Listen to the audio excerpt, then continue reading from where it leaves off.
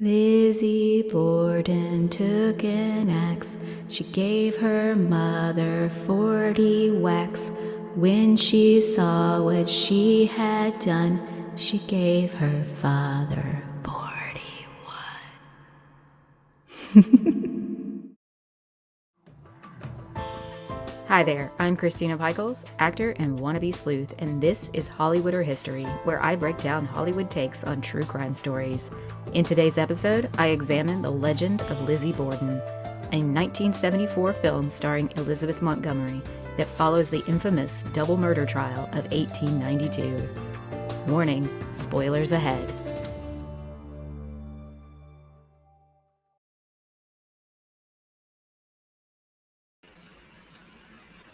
Hello and good afternoon. Welcome to, we'll call it True Crime Tuesdays, I guess. Thanks, Dana. Look at me with a fancy intro. I'm trying. I also, uh, it was a good excuse to record a creepy song. And uh, welcome to my murder wall. It's a work in progress definitely going to be added to. But uh, yes, I possess hatchets, as you do. oh, so today's episode is focusing on the 1975 movie, um, The Legend of Lizzie Borden, which, as you might guess, is about Lizzie Borden and the infamous double murder of her parents that still remains unsolved because she was acquitted, which is a whole thing. So, right off the bat, I will say this movie is probably more historically accurate than one would expect. it's certainly more than um, its predecessors, which will come later. So, because this one was actually um, on YouTube, in case you didn't see that. Hold on, I got to situate my mic again. You guys know how I am. Oh, one day. One day me and my mic will get along. Okay.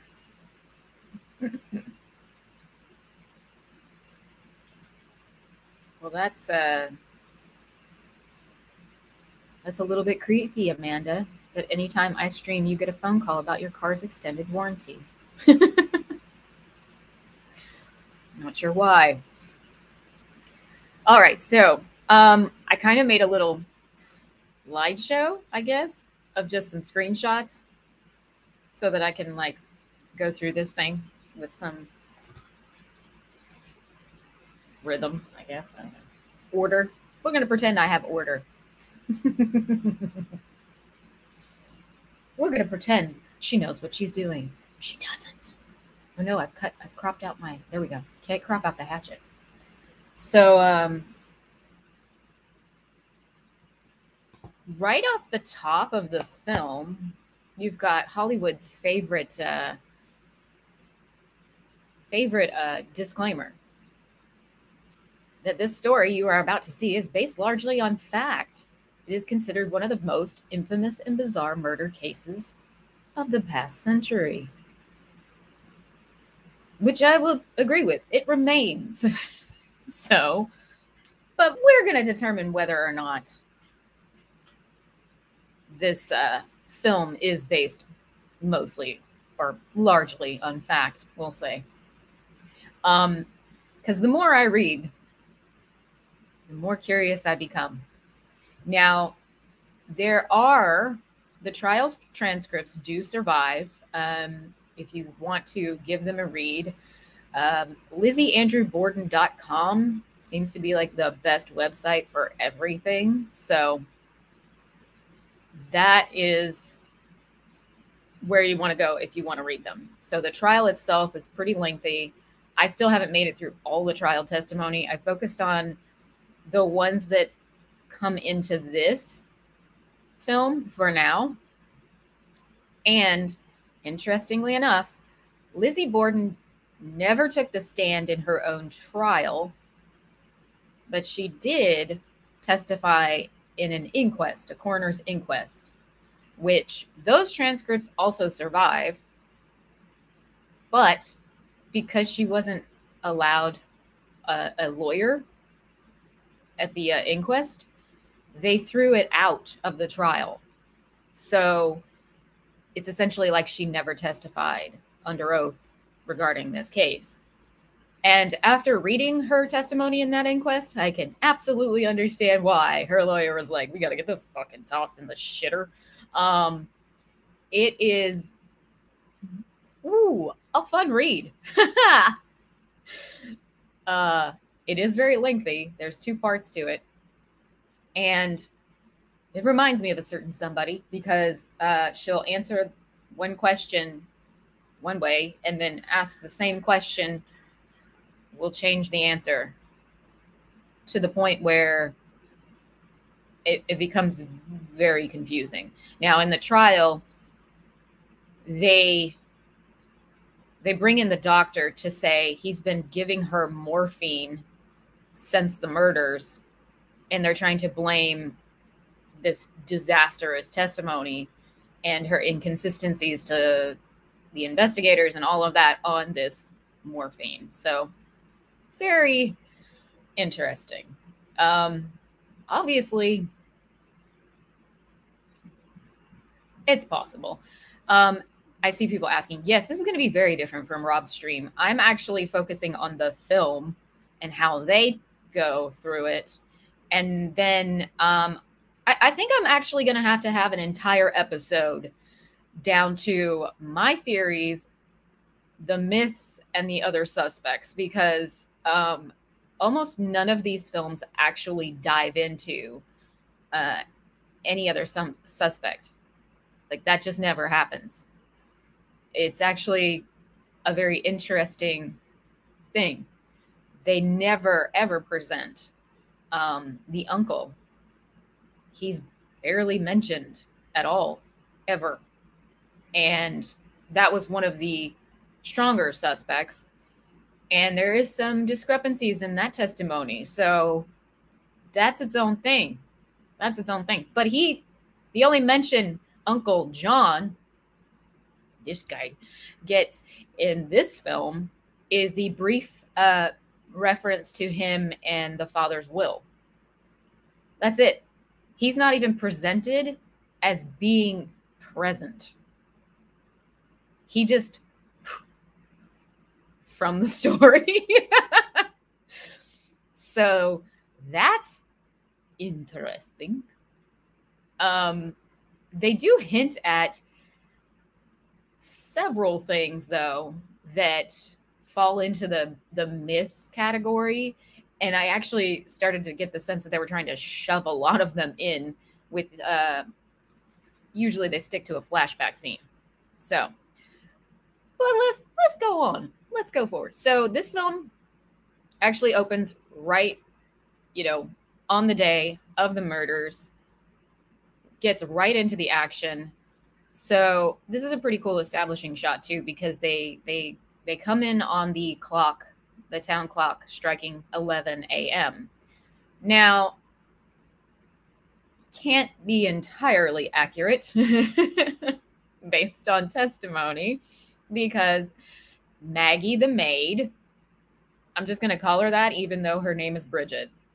We're going to call her Maggie the maid because it sounds fun. Um, in her testimony, says that she heard the clock strike 11 when she was upstairs in the attic, and that's when she claims Lizzie called out to her. So we're doing a tiny little time lapse here because the next shot is the maid running across the, the street to go get the doctor. So, not exact, but close enough. We'll take it. Now, this is this is what gets fun. So, according to both Lizzie and her neighbor, Mrs. Churchill, um, as the maid is running across the street and down the street looking for help, Miss Churchill, Mrs. Churchill, I think, is coming home from the grocery store and sees the maid and thinks that's a little odd, right? So she then looks uh, out her window, which faces the Borden residence, and she sees Lizzie standing at the screen door. So she goes out and she walks up to her and she asks her what's going on. And this is when Lizzie, um, according to testimony, says some interesting things. And there's actually something that is testified to here by Mrs. Churchill that completely gets abandoned in the film, in the plot, and contradicts and creates a huge problem for Lizzie. Um, as you can see, she says, I opened the window and said, Lizzie, what is the matter? Oh, Mrs. Churchill, do come over. Someone has killed father. Now, down below, she's asked again. And she says, I go up to the door. Oh, Lizzie, where is your father? She said, In the sitting room. And I said, Where were you when it happened? And she said, I went to the barn to get a piece of iron. Where is your mother? According to Mrs. Churchill, Lizzie said, I don't know. She had got a note to go somewhere to see someone who is sick, but I don't know. But she is killed too, for I thought I heard her come in. And it's actually that line that she is killed too that um, really needs more attention because she goes on to say to everyone else in the house that she doesn't know where the mother is, that she thought the mother was out. But then she does say, Oh, but I think I heard her come back. But right here, according to Mrs. Churchill, she's saying right out the gate that both of them are dead. Or she's just assuming it. Either that's interesting because the uh, every every interpretation implies that no one else knew that there was another body. And so right here it sounds like Lizzie knew and she knew exactly where she was. Hmm. So suspect. And of course, they come inside. I'm, I'm I'm not using the most graphic images, so no worries. These are just the movie stills. so Lizzie and Mrs. Churchill come inside, and Mrs. Churchill is one of the first ones to see the father's body. And he is, of course, lying dead on the sofa in the sitting room. So, this is where the maid, Maggie, Maggie the maid, has returned after fetching Alice Russell.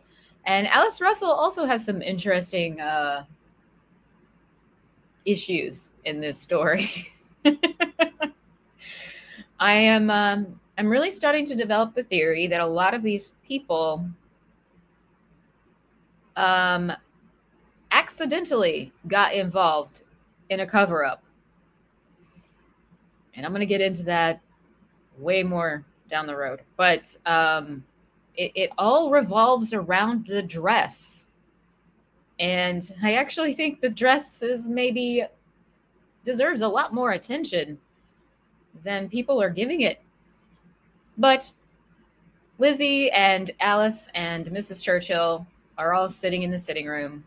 Dr. Bowen from across the street comes over, checks out her father's body, determines, yep, he's dead. And then they have the exchange about where is Mrs. Borden? Where is Mrs. Borden?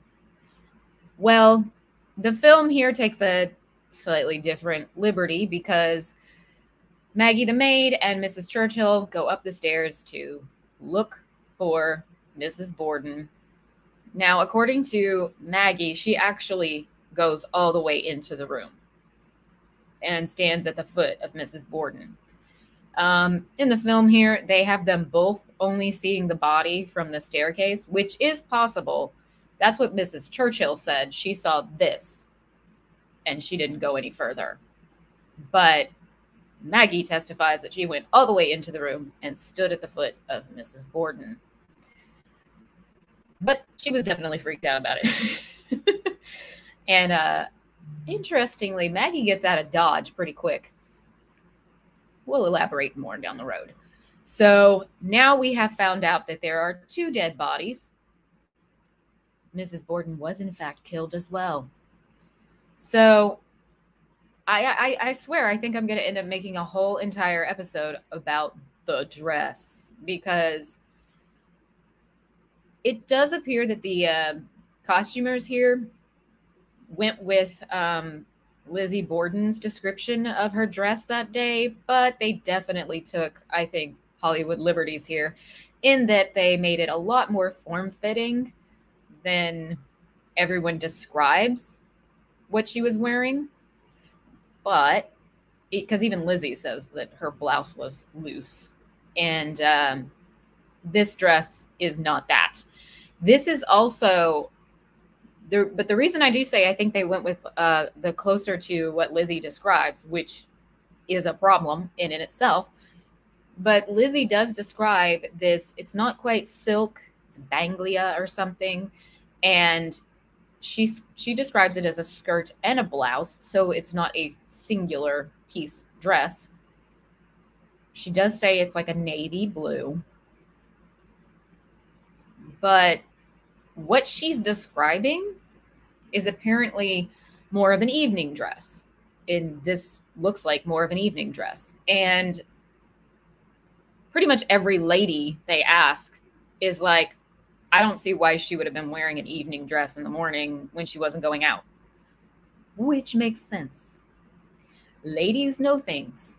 And there is not a singular testimony that matches this shit. It's just a fucking train wreck from start to finish. um, and then there's the question of what dress did she give the police officers? Because assumingly it's this one. Um, that's why this dress deserves its own freaking story. And the dress is mysteriously gone. So here you can see the back of it just a little bit. You can see that it is two pieces. It's a skirt and a blouse. And but it, you see how it's form fitting across the waist really tight actually um there's the alice and mrs churchill both testify that it was much looser around the middle there was a moment they were going to loosen her dress because she was feeling faint and she said oh no it's plenty loose so yeah it it doesn't really match up but then again there are apparently no images of the dress, which I find odd.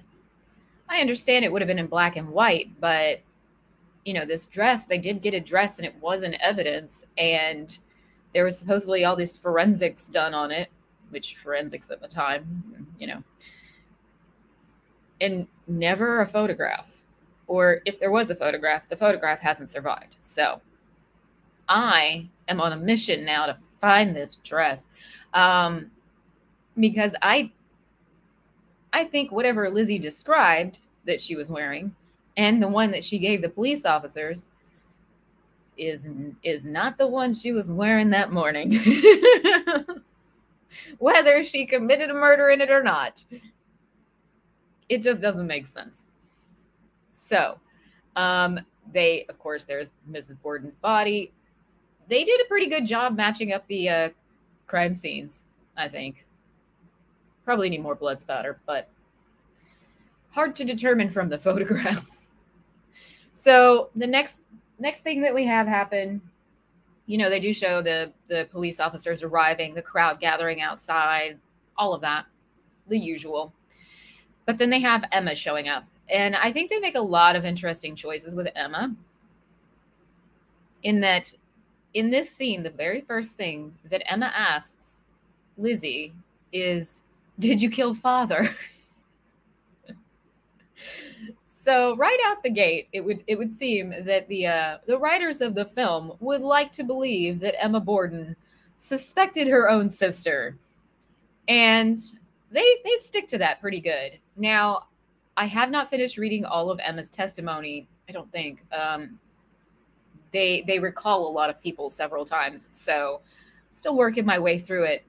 But I will say there are a lot of contradictions and things that might again imply that several of these women at the very least knew that Lizzie wasn't being completely truthful or covering something up and they just wanted to you know help her out.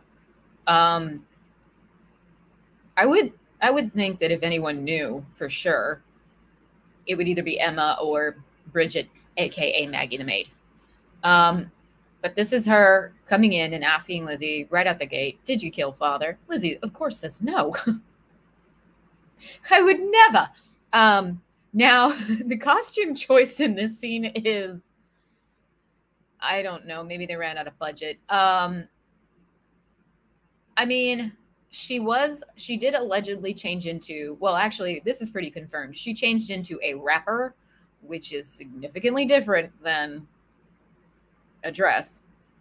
Um, and this looks like it's supposed to be a wrapper, but it's layered on top of something else. I don't know. It's just ugly. We'll go with that. Um, because I actually, I don't think I got it in the slides, but I actually have been pulling uh, accurate photographs and um, patterns from the time. And uh, that's not exactly what they mean by a wrapper. Um, basically a wrapper was just a house dress that you could pull on pretty easy and cinch at the waist. Um, I don't know what this thing is supposed to be. It's just ugly. And then she's wearing this other thing underneath. I don't know. Maybe they were trying to go with. She threw that on so you couldn't see the blood. I don't know. Now they definitely really, really run home with uh, Emma being the mother here. Um, again, it goes to Emma knows Lizzie better than anyone. Emma takes care of Lizzie. Emma, Emma knows all things. Um, you know, that does seem accurate based on everyone's testimony. Emma was much older than Lizzie, so she, you know, was asked on her mother's deathbed to take care, take care of your sister. So this sounds like it all adds up. Um, however, I I really, really, really, really, really want everyone to just focus on this cap on Emma's head. Because I said in my last uh, stream when we were just, you know, chatting, this was very common for women to do in this time period. Very common. Every woman would have had one of these almost every woman would have slept with one on her head. You know, they didn't wash their hair every day. They didn't get to do their hair every day. So you would, you know, to prolong your style and all of that, you would sleep with a cap on. Now, what's really fascinating is nobody ever puts a cap on Lizzie Borden's head. And I'm like, I'm pretty sure that would take care of the blood and the hair part, you guys. But okay.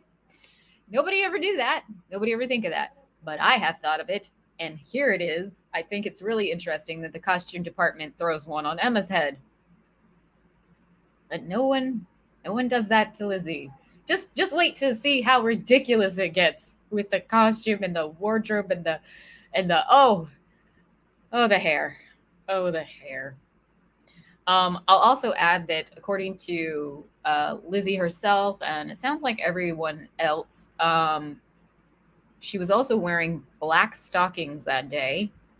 So again, stockings. See, I know things. Um, this is why I'm like, you don't need to strip naked. What are you talking about? Are you kidding?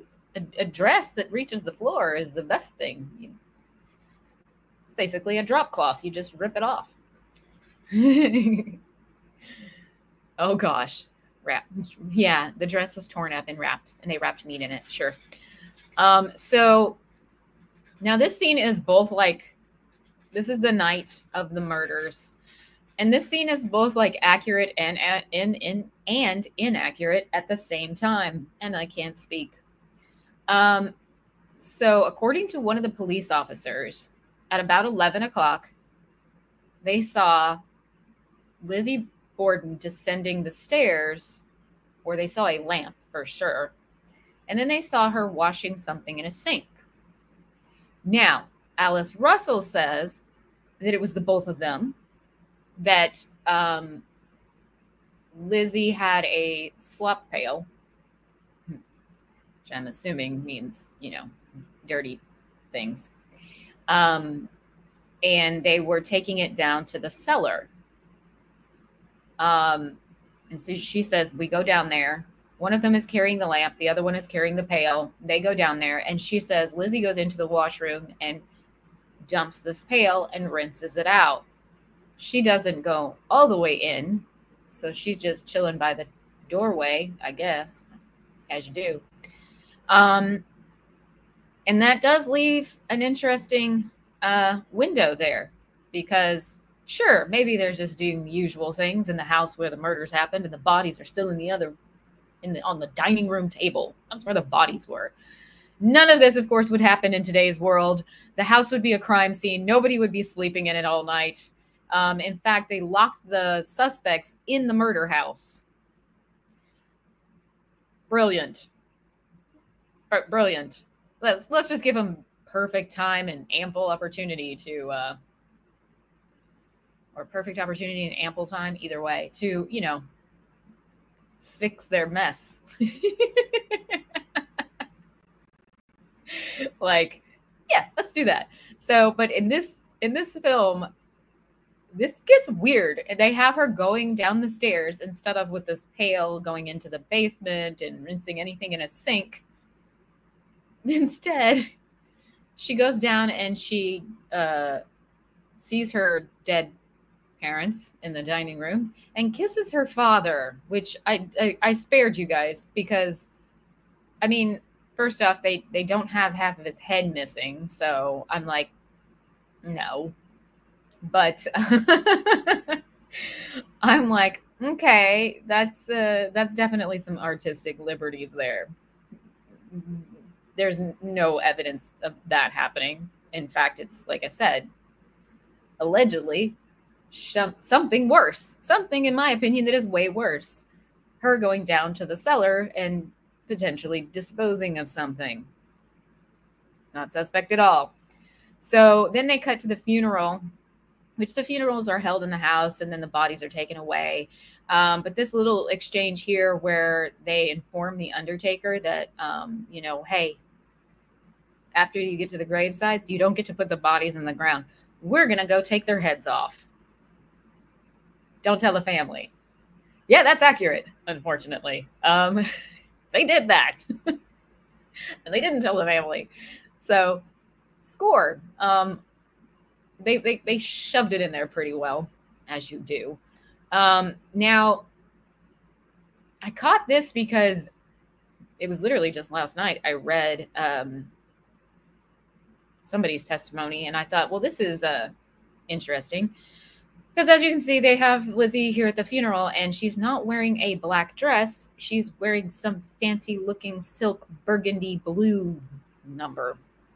And there's some ladies in this scene that are like judging her because she's not wearing black.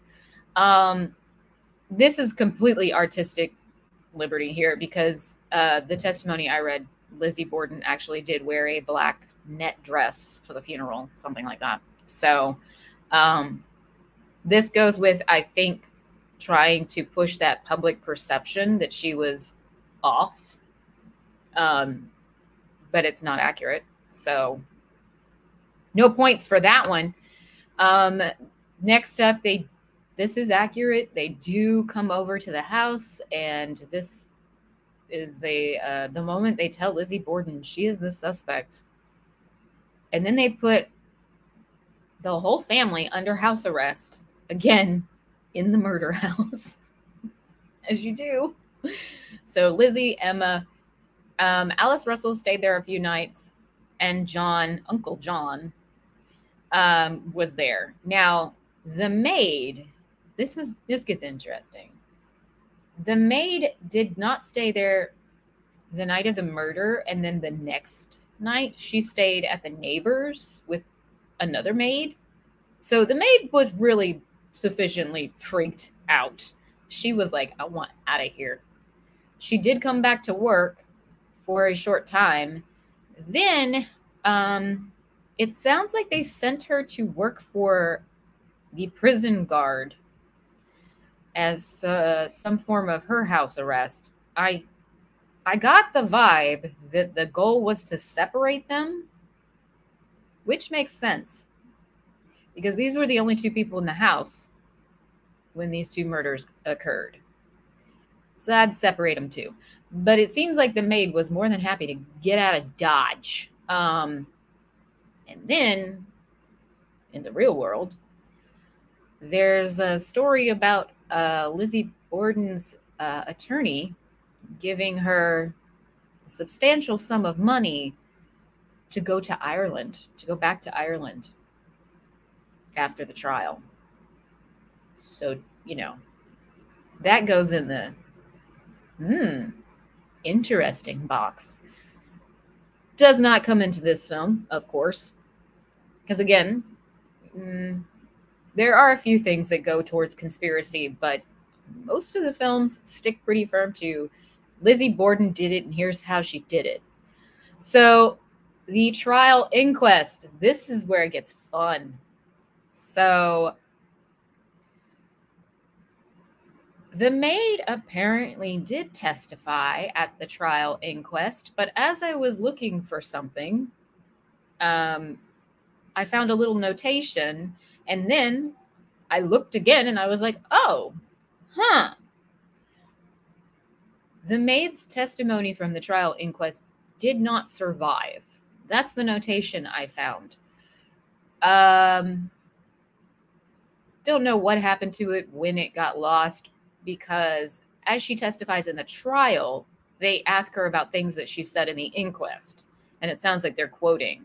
So presumably they still had it at that time. But I'd love to know where it went because I got questions. Um, but so here they take some liberties and they shoehorn in her testimony from the trial or parts of it into the inquest so that they can start setting the scene of how the day played out but they start with from her perspective so it's a li- it's like a half half and half here because her testimony it does actually sound almost word for word from trial testimony. And I will give them that.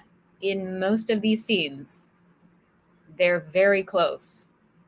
There are some exchanges that are word for word. Others are kind of mixed together in order to shorten it, I would assume, for time. Um, but they they clearly did actually, you know, take the transcripts and use them, and that's more than you get from most productions. So kudos on that. Um, so Maggie tells her version of the story. You know, it was a hot day. I got up at six. I made breakfast. Now, once again, no mention of Uncle John. he just doesn't exist. no mention of the mysterious uncle staying or having breakfast or any of that. Um, even though it is testified to by everyone. So Hollywood was just like, nah, we don't need another suspect. We don't want to confuse people. Bye. So she tells the story, you know, her her account seems pretty similar. There are some discrepancies which I've noticed and I'm looking for more. That's why I would love to have her inquest testimony, but apparently it just poofed. What a shame. So she goes to washing the windows at some point. This is when allegedly the first murder occurs. And, you know, she does have a solid alibi. She talks to the other maid across the street.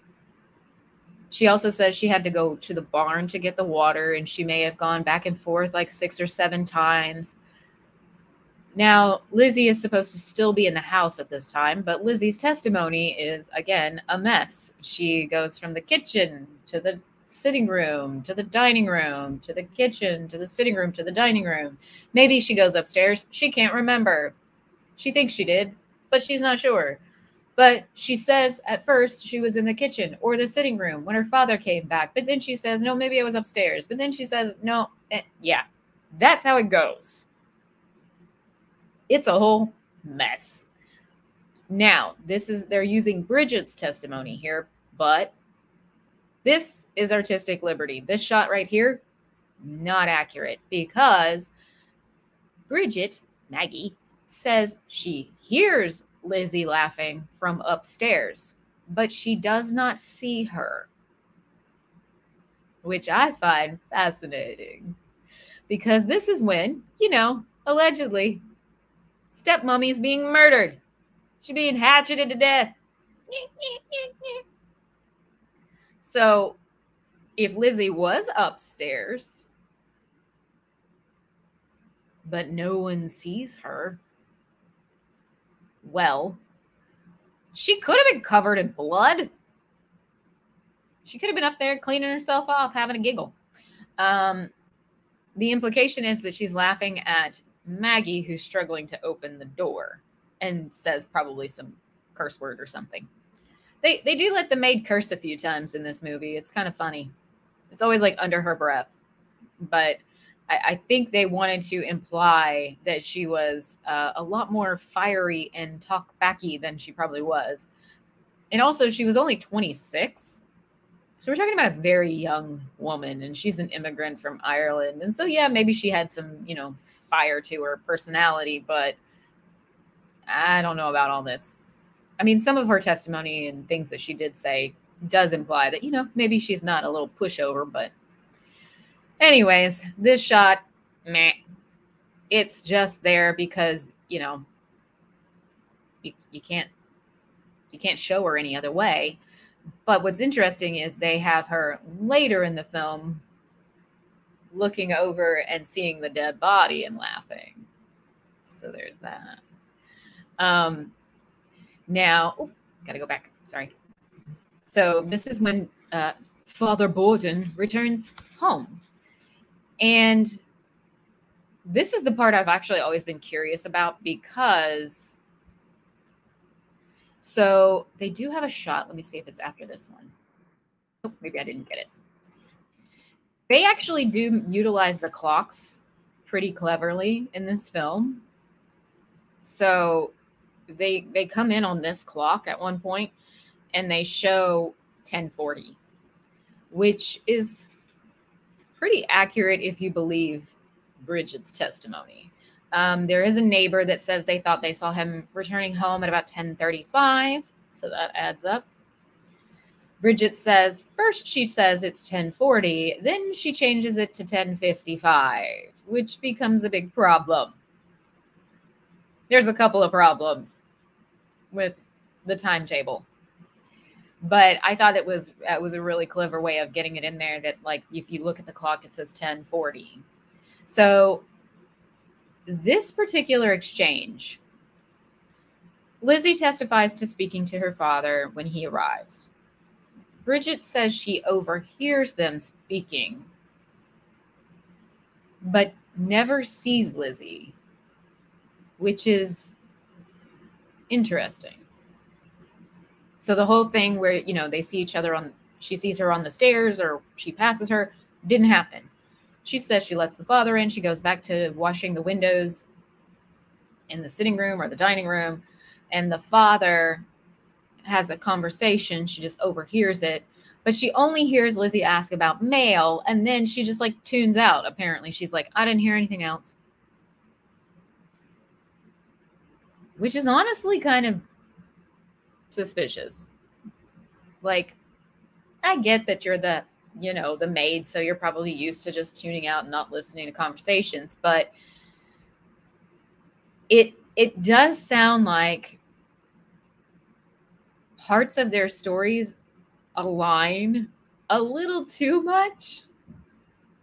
You know what I'm saying? Like a little too much. Like you got the same words and all that jazz.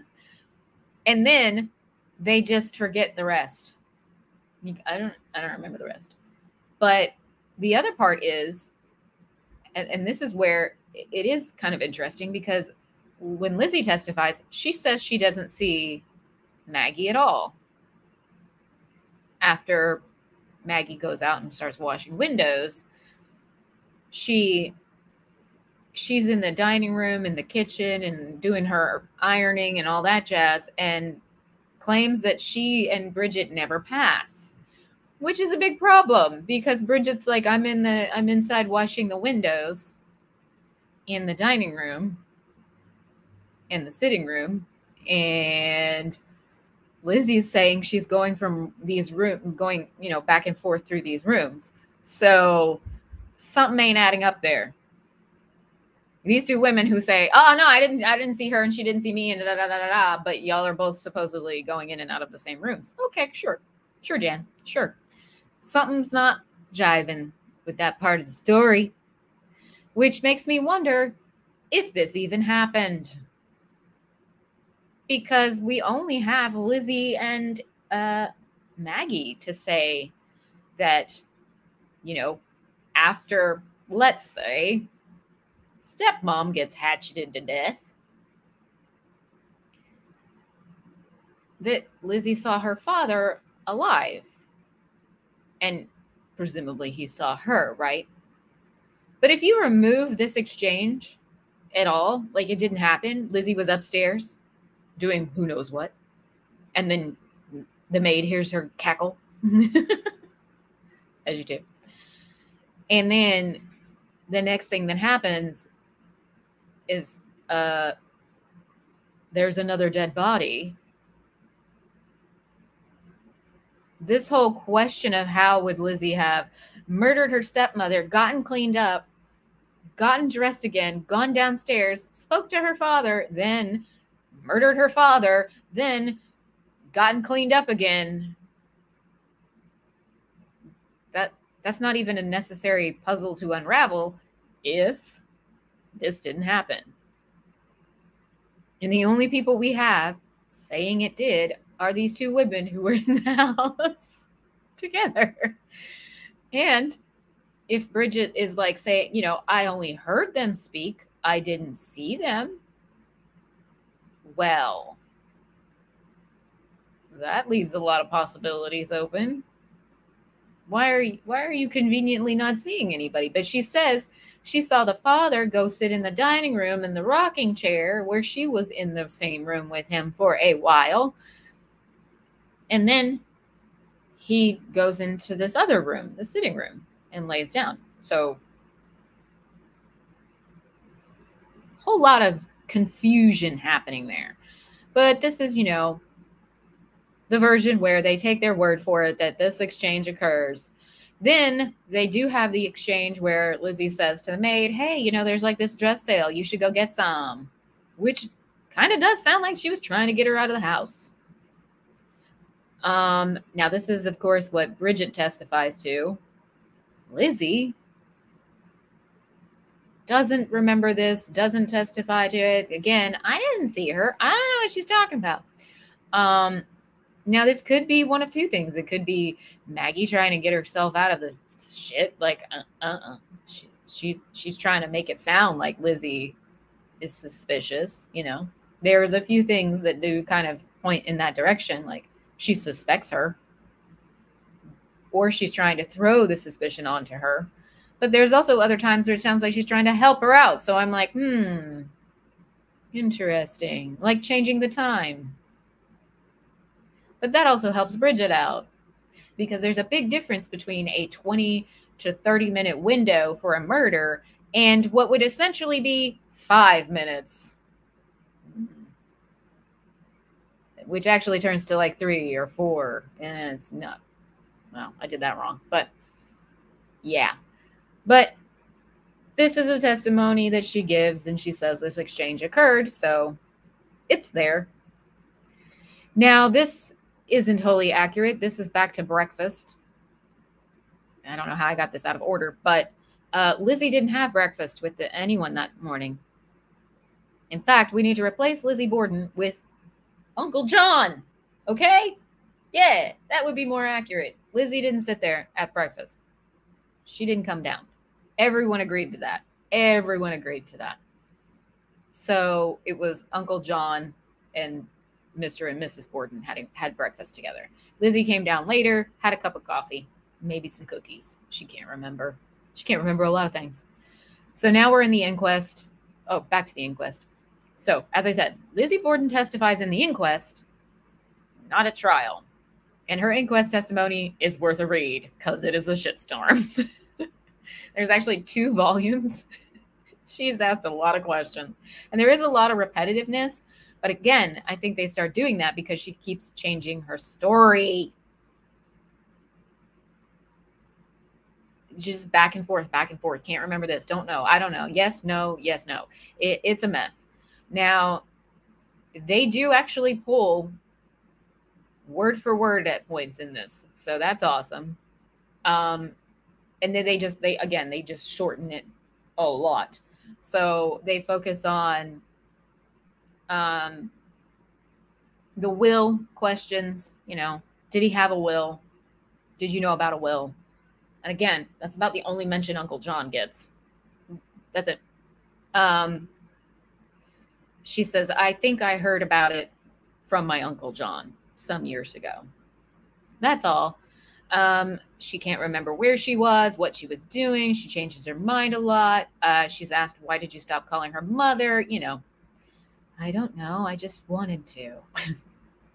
so she does come off as as cagey and confused at the same time, like a lot.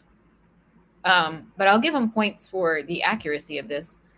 However, um, there was one thing that I, I liked in the film that I was looking to see if it was in the transcripts, if this was a real exchange, and I did not find it in the transcripts. So I have to say that it's probably completely fictional.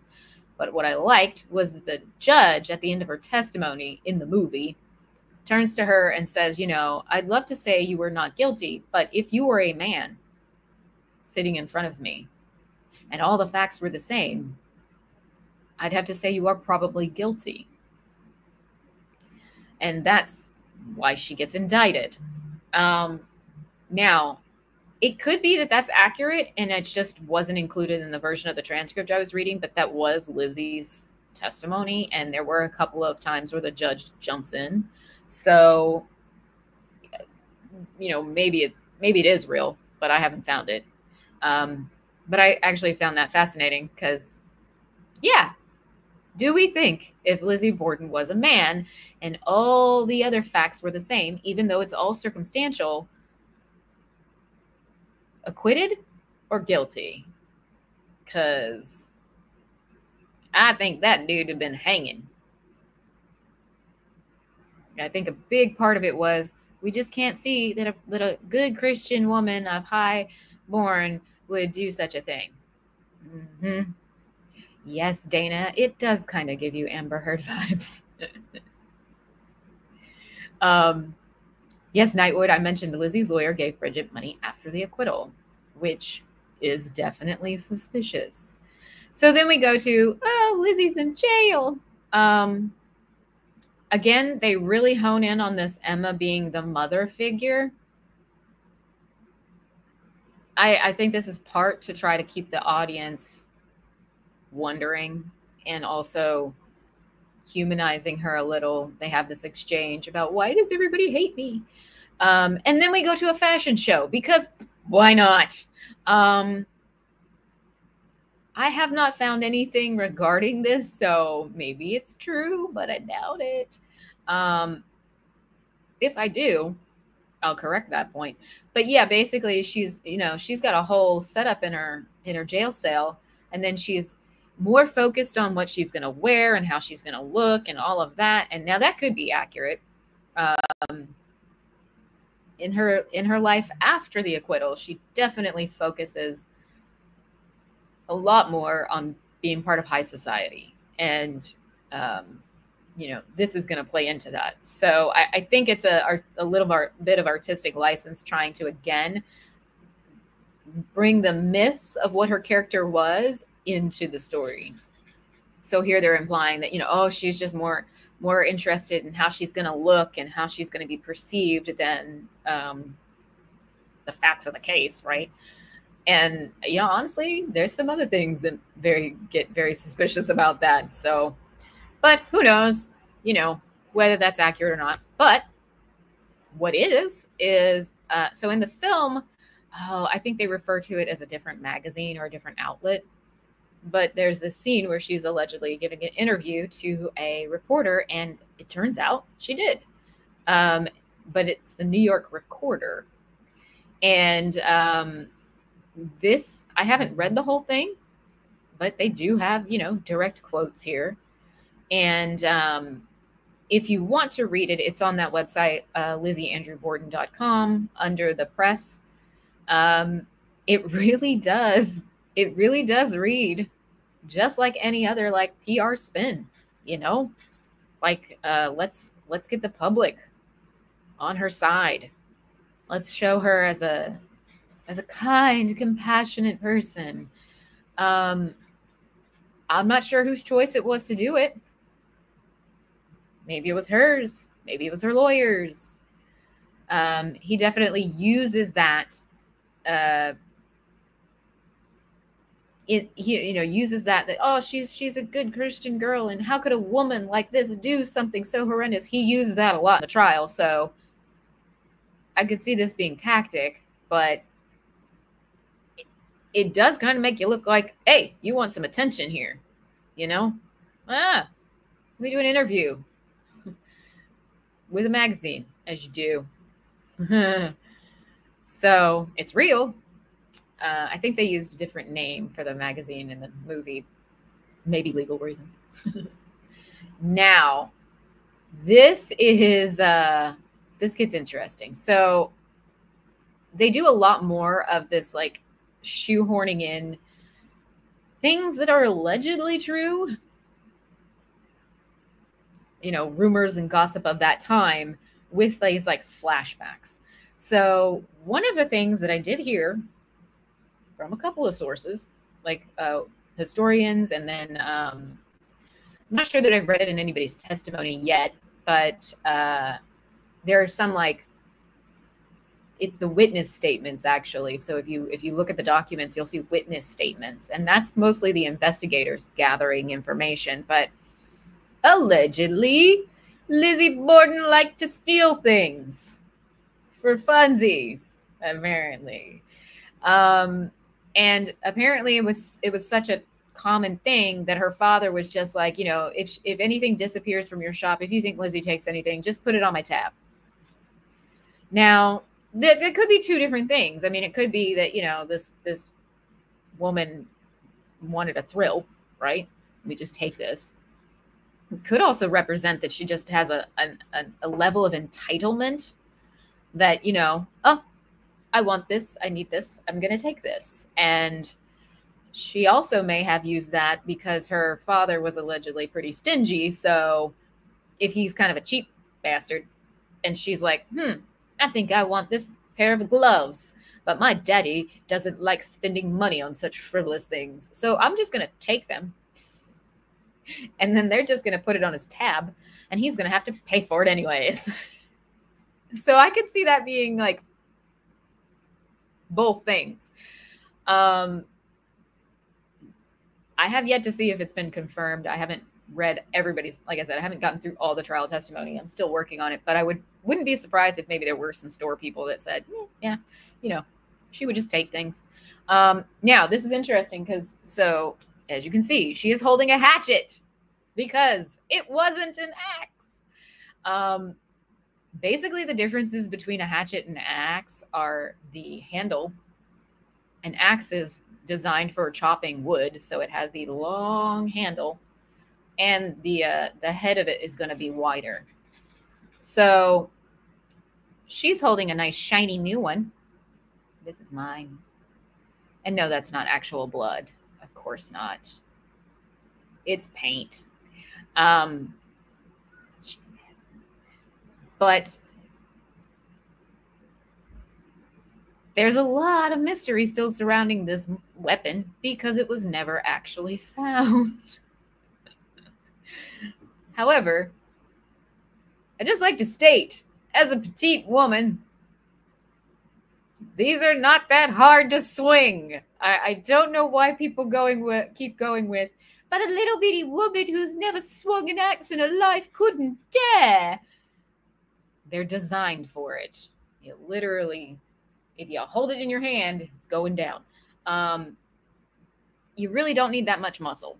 You really don't. They're designed to do a lot of damage with just a little wacky whack. And uh, again, you know, Mama Borden or stepmama Borden. By the way, if this falls down in the middle of my stream, I'll probably scream like it's a ghost. But Mama Borden got whacked not 40 times, 18. So the little the little song, our little little child song is not accurate. That's right out the gate. But 18 times still kind of implies a, a lot of intent. and there's a, a hit to the head, a hit to the back, and multiple hits to the skull. So it wasn't exactly as perfect as some people wanted to claim that it was. Again, it's not that hard to just start swinging and hit your target. But in this film, they take the approach that Lizzie steals the axe. Okay. Um, artistic license. We'll just go with it. Um, and then they cut to this other scene where she is getting in an argument with her family about this stealing. So they really want to ram it home. In this scene, her father's accusing her of stealing something from him. And, you know, she's like, well, I didn't, but even if I did, like, you're such a, you know, greedy, you know, stingy man that I, I deserve it. So they're using that, again, that, that implication that she wanted a better life. She wanted fancier clothes. She wanted a bigger house. She wanted more modern things. That she was feeling rather rather stifled in this situation. So they're just kind of really taking that home here with this whole like, I, if I steal things, I deserve it, which goes to that entitlement. So, yeah. Now, here comes the dress in the trial. Dun, dun, dun. Uh, allegedly, this is the dress that Lizzie gave them that she was supposedly wearing when everyone showed up. Huh. But was she? Because as you can probably imagine, most people can't describe the dress. So this is the doctor testifying, and he pulls a, oh, I don't know. It was drab. I don't know. I don't know. I don't know. What I find most suspicious, and this is why the dress is just going to end up with this whole episode. Uh, Bridget the maid pulls up, I can't recall. I do not recall. I swear I don't recall. what was Lizzie wearing that? I don't know. Um, really, Bridget? Really? And what's fascinating about that is in the trial, they ask her what what what was Lizzie wearing on Wednesday, and I I, I think this might have been a oopsie backfire moment because they probably expected her not to be able to describe what Lizzie Borden wore on Wednesday. She does. She describes it in great fucking detail. Two different outfits, and one of them sounds a whole lot like the one Lizzie claims she was wearing this morning. So you can remember what she was wearing on Wednesday, but mm, when it comes to Thursday, you know, when people died, ah, I just, I can't, I can't recall. I can't recall. I can't recall. But everyone can recall the pink wrapper that she changes into before the police arrive, after the police arrive. Does anyone know when? Lizzie says it was suggested that she should change her clothes. No other person wants to take responsibility for that one Bridget says, No, I didn't suggest that. Alice Russell says, No, I didn't suggest that. Mrs. Churchill says, No, I didn't suggest that. I don't know anything about it. Not suspicious at all. So the doctor's like, No, I'm not going to say it's that dress for certain. But allegedly, this dress was sent off for some forensics. This is where it gets really interesting because there was blood on the dress. Not a lot, but some. They determined it was menstrual blood. But it's never like explained how they determined that, other than that's what the doctor said it was, because that's what Lizzie said it was.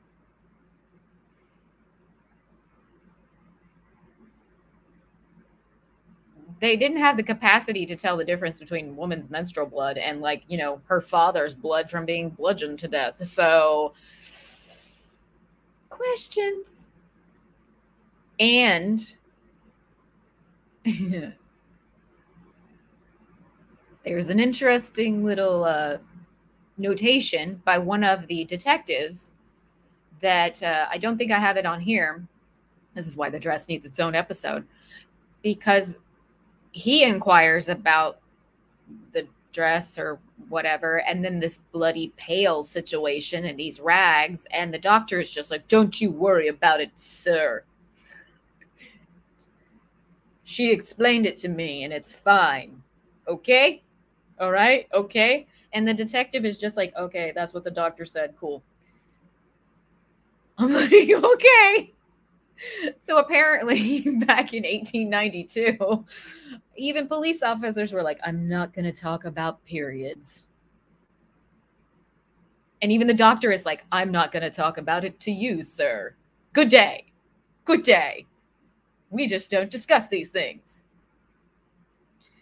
Now there's a question of um you know whether it was even confirmed that she was or they just took her word for it because like apparently even doctors wouldn't necessarily examine for such a thing. Like this is too no no and this is again where bridget the maid seems to throw lizzie under the fucking house or cellar um, because there's testimony about this bloody pail you know which is a pail with like rags in it, the, the bloody rags, and it being found in the cellar. Lizzie says, I think it was there three or four days. And Bridget's like, nah, girl. I did the laundry. Like, no. If it was there yesterday, I would have cleaned it and taken care of it. So, uh, really interesting when you consider the uh, police officer who says at about 11 o'clock at night, the night of the murders, Lizzie and Alice Russell were allegedly going down into the cellar and washing something in the sink.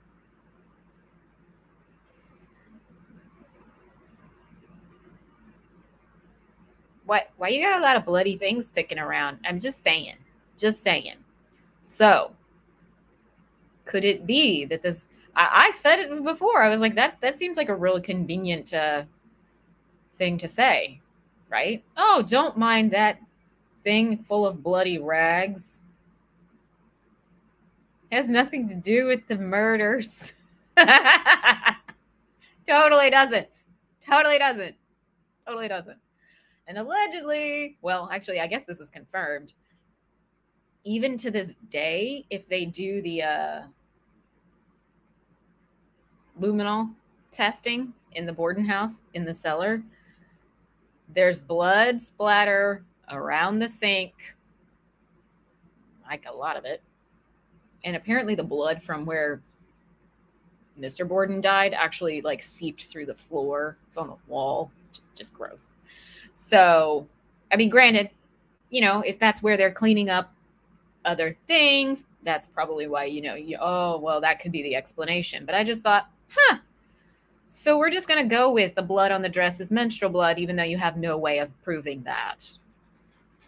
You literally just took everybody's word for it. You took her word for it, really. You just took her word for it. Cool. That doesn't seem suspicious at all. Woo. Oh yes, yes. Uh, it is. There is a reference. Lizzie calls it a flea bite, which is the euphemism of the time for menstrual blood. Um, again, though, we don't know how much, but apparently it was not on the. Again, it was not on the. Uh, it was not on a slip. It was not on a petticoat. It was on the skirt itself. So, well, uh, ladies know that's not impossible. It's just uh, more questions than answers because no photograph of this, not at all. What? And you know, we're just gonna say, oh no, it was not. It was not human blood. Okay, Alice Russell, big.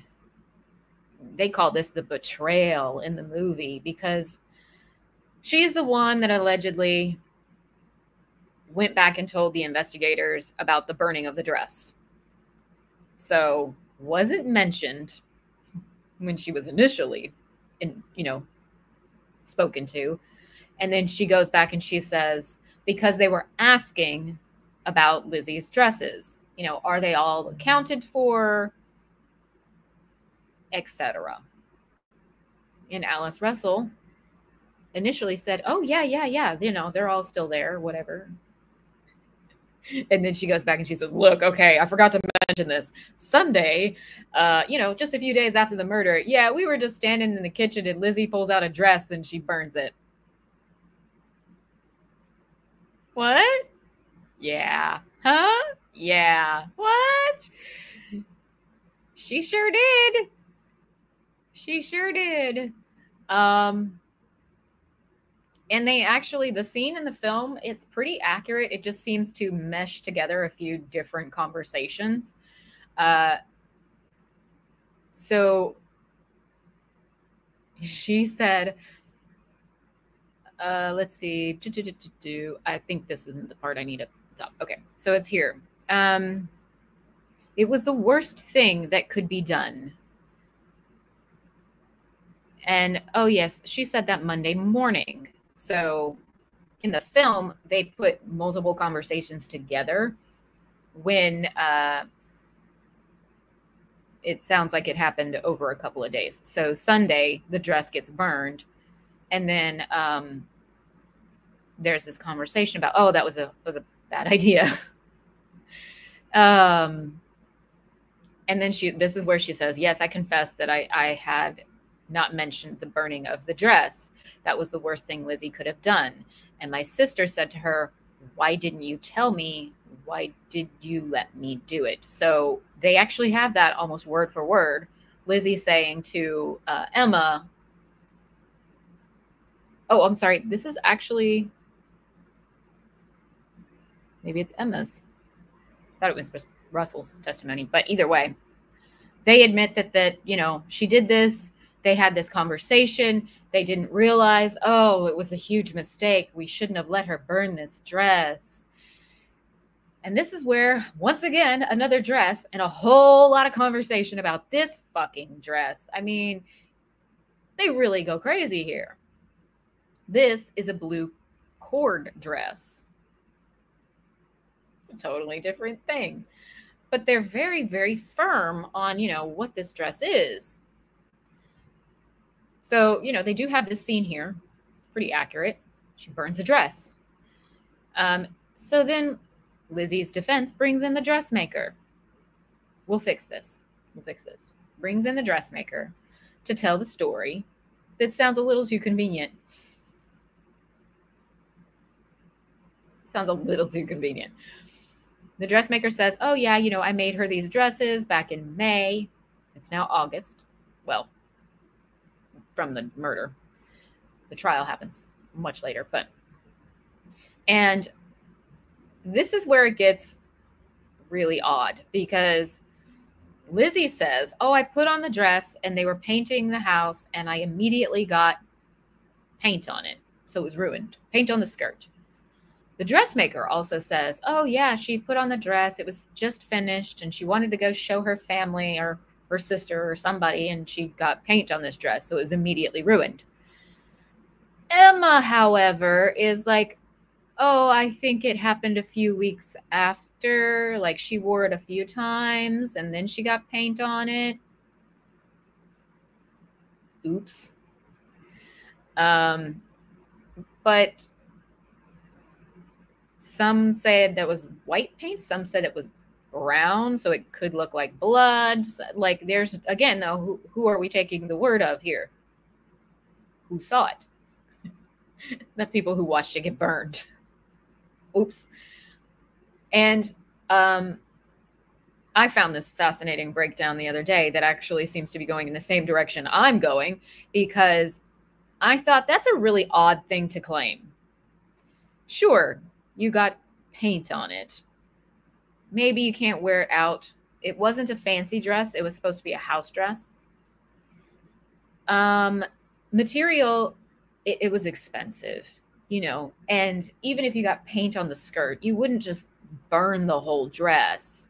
You would either try to refashion it or tear up the material and use it as, you know, rags around the house, etc. Which the dressmaker is asked about, but oh, she says, oh, there, there, you couldn't have repurposed it. You couldn't have, you couldn't have done anything different with it. I'm like, but you said the paint was only on the skirt, so. Mm. Um, my thing is though, again, this goes back to kind of what Emma said that Lizzie did keep the dress and wear it around the house for quite some time to the point where it was starting to fade and look worn through. And oh, that's why she didn't keep it for rags because it was already a rag. That's why she said, Oh, I think you should burn it because it's already trash.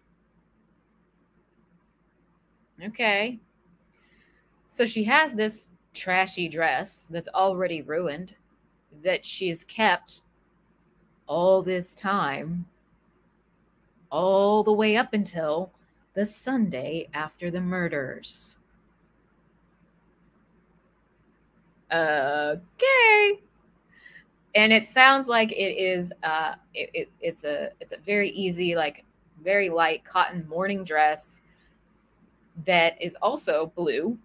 There's some there's some that say it was a light blue but not quite baby blue or sky blue. And then there you know but navy blue. But oh maybe it had some checkered designs. This is why the dress is going to get its own episode. Okay so my thing is okay if you have two dresses that are blue and none of the men are actually paying attention to what she's wearing she could have very easily gave the police a totally different dress. Obviously. And kept the one that she was actually wearing when she bludgeoned someone to death. But there's more to that theory moving on though. So the dressmaker tries to back her up and say, "Oh yeah, she had this dress. It was ruined. That's why she burned it." Sure. Okay. Um now we've got more I don't even know what this shot is. One of the doctors testifying? I don't know. Wasn't important enough for me to remember. Okay. So now we have more artistic license because we do a scene where we have stepmommy and daddy in bed talking about her about the will, this mysterious will. The mother is suspicious that the daughters are trying to cut her out and she wants him to make a new will and he's like, "Okay, fine, I will."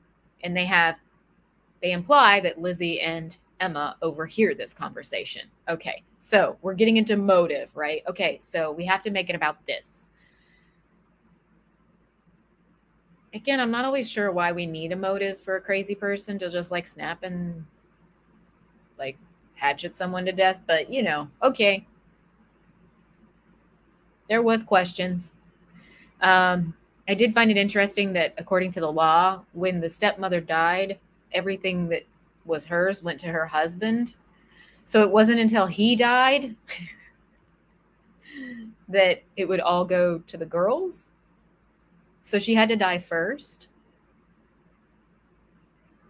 I suppose if you consulted to somebody about that, you would maybe have that in the back of your mind.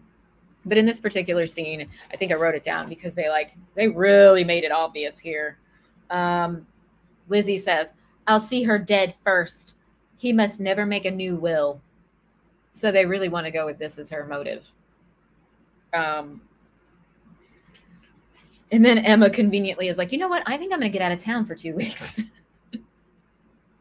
so this is this is Hollywood really trying to cram it into one small scene. Um, there's no evidence this conversation occurred. There's no evidence they heard it. There's no evidence of this at all. So this is just Hollywood fiction. Um, back to the trial. Okay, Lizzie did faint. That is a thing that happened. Uh, she was not on the stand. This is when they pull out her father's skull. There's actually some artistic drawings from the courtroom, which are pretty funny to look at, of this moment where she's, um, you know, could be a genuine reaction, could be, uh, could be some drama for attention, for again, if she cares what people are thinking, well, let me let me faint. Oh, it's too much. It's too much. Weirdly, you didn't faint when you saw the body laying there, though. Like you open the door and you see your father's head bashed in, and you don't faint then, but you see a skull, and you're like, I can't. Okay. okay. um, Emma takes the stand. They do seem to pull pretty pretty much from her testimony. Again, kind of chopping it up and chopping it together. Um, they they talk a lot about the dresses. They ask about, you know, was there any any issues in the family? No, everything was great. Everyone got along, blah blah blah blah blah. There are lots of people in the witness statements they're all very cagey and that's of the time you know we don't gossip we don't talk about these things but allegedly lizzie was talking about it to some people even her dressmaker. And if you're going to gossip i mean and she was saying that she thought her stepmother was deceitful and two-faced and um, they were very upset about this property thing where the father bought a piece of property and gave it to the stepmom's sister and they were like, well, we should get our own property. And then he did give them property. So, you know, there were some issues. There were some issues. Maybe they're blown out of proportion. Maybe not. If Lizzie's going around telling everybody um, all this crazy shit, then there's that. Oh, I almost forgot about Alice Russell also being the one who comes in and says, The night before the murders, Lizzie came over to my house and she starts saying all this crazy shit she's kind of paranoid. She thinks people are poisoning them. She says uh, someone's going to break in and kill us in the middle of the night or burn the house down on us. And out of nowhere, tells Alice Russell, "Oh, you know, the house has been burglarized. Yeah, somebody broke in in broad daylight while while I and Emma and Bridget were there and stole some stuff." And the barn was broken into a couple of times but there's really nothing in the barn anymore. So, hmm. Maybe Lizzie truly was paranoid. Or maybe she needed to set the stage. She also knew at this point that I believe her uncle John was in town. So she knew that. So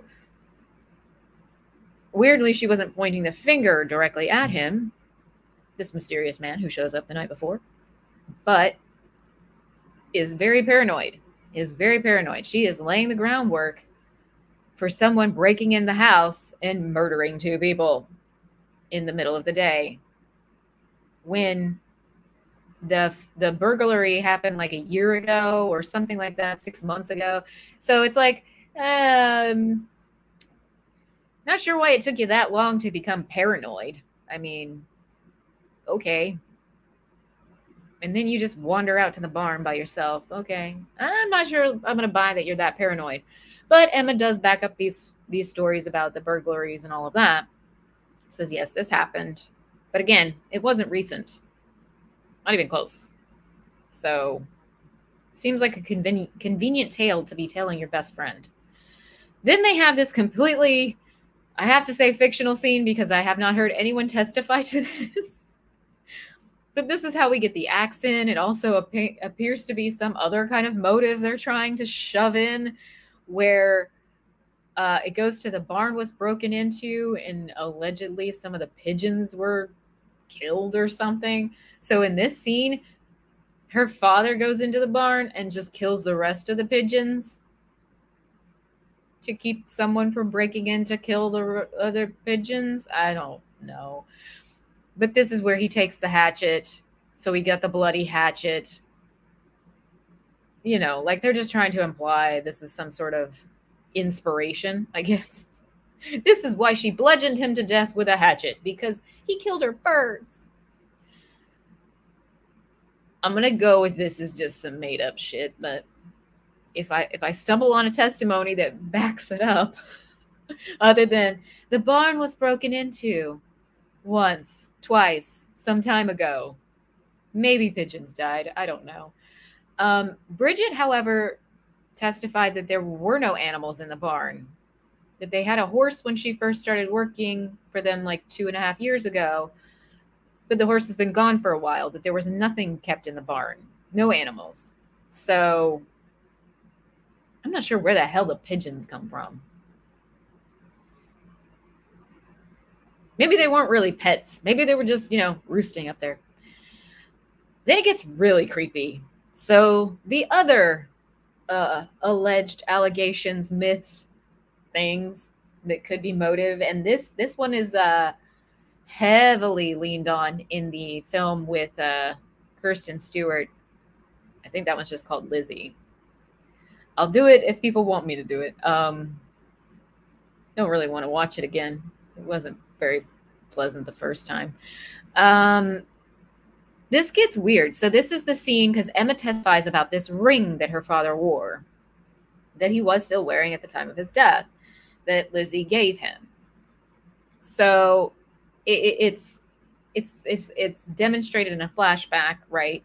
So she's a child and she's giving her father this ring, and it's at first you it's like, oh, okay, so she just really loves her papa, but then it goes a little to the um I don't know, incest road.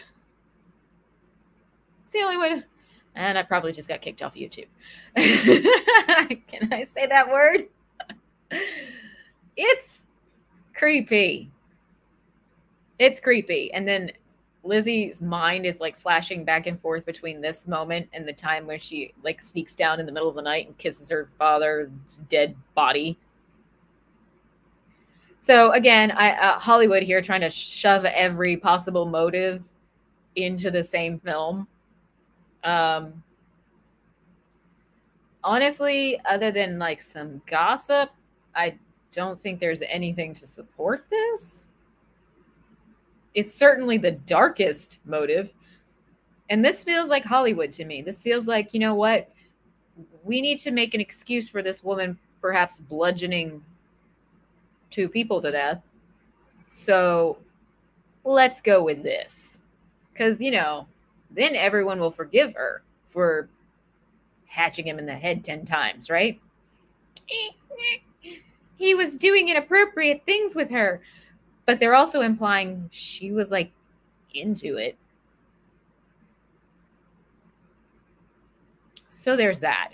I don't know if that goes with Lizzie was an odd person. Me?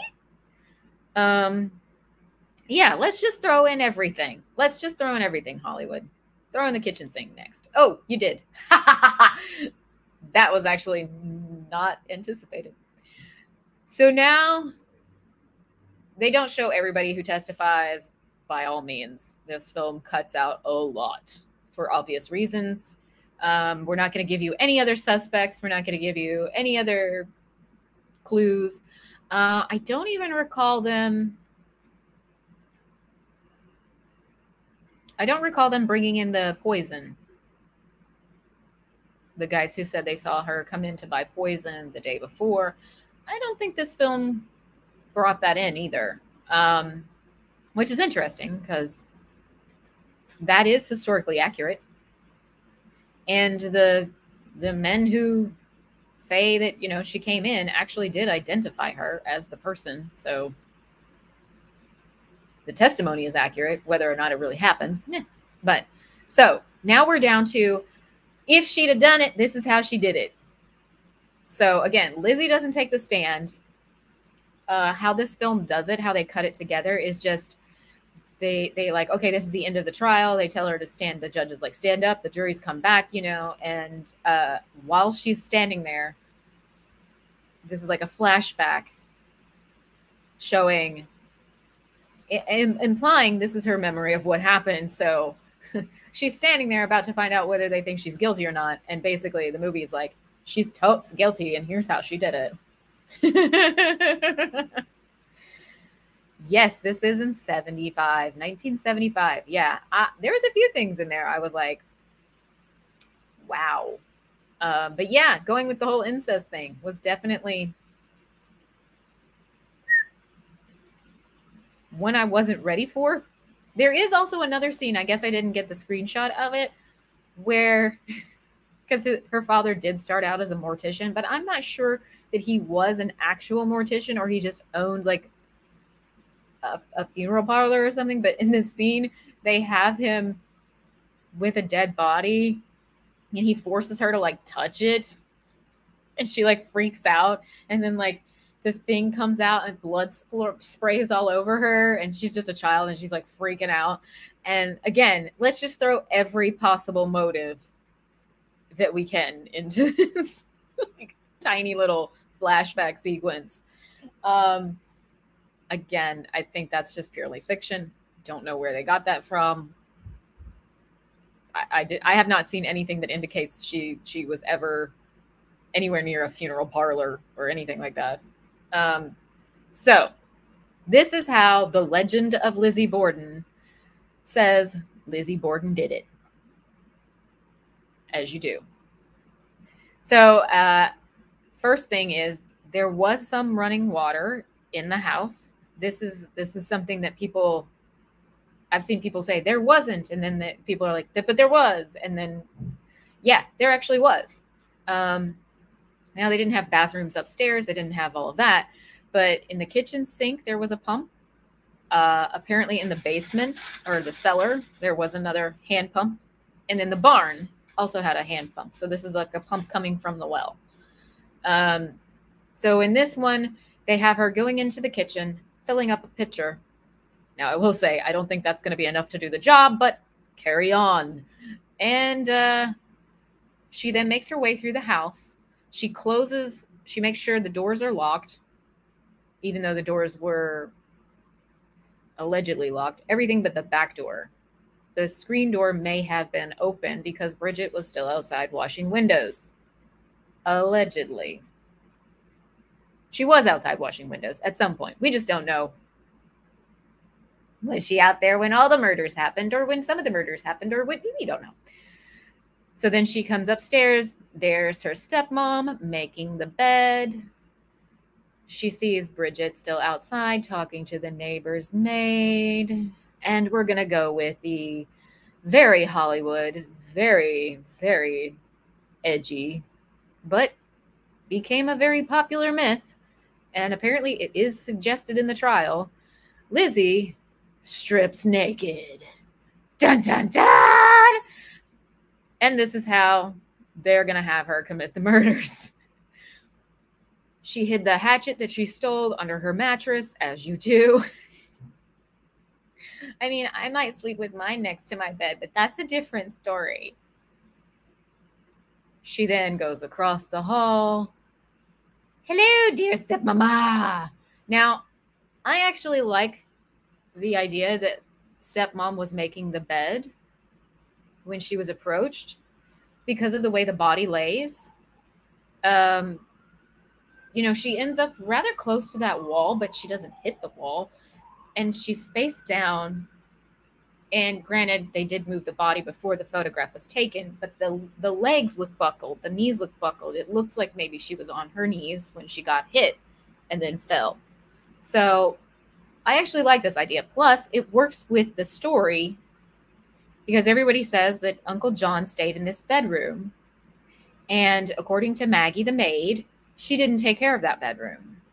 That Mrs. Borden would typically take care of that bedroom. So after breakfast, when Mrs. Borden says, you know, I'm, I'm, she's dusting, She, first, she's dusting around the house and she tells Maggie to go wash the windows. Lizzie says she sees her mother go up the stairs with some pillow shams. She assumes she's going into the guest room. In her inquest, she's asked, "Well, well, why would she take more than three minutes to do that? You know, just, that's a very short task." Oh, I don't know. Well, could she have been doing anything else up there? Oh, I don't know. Um, unless she was sewing. Well, did you hear the sewing machine? No. For some reason, Lizzie Borden absolutely will not say the very simple, like, because I would assume, oh, maybe she was making the bed and cleaning it up and dusting and all of that.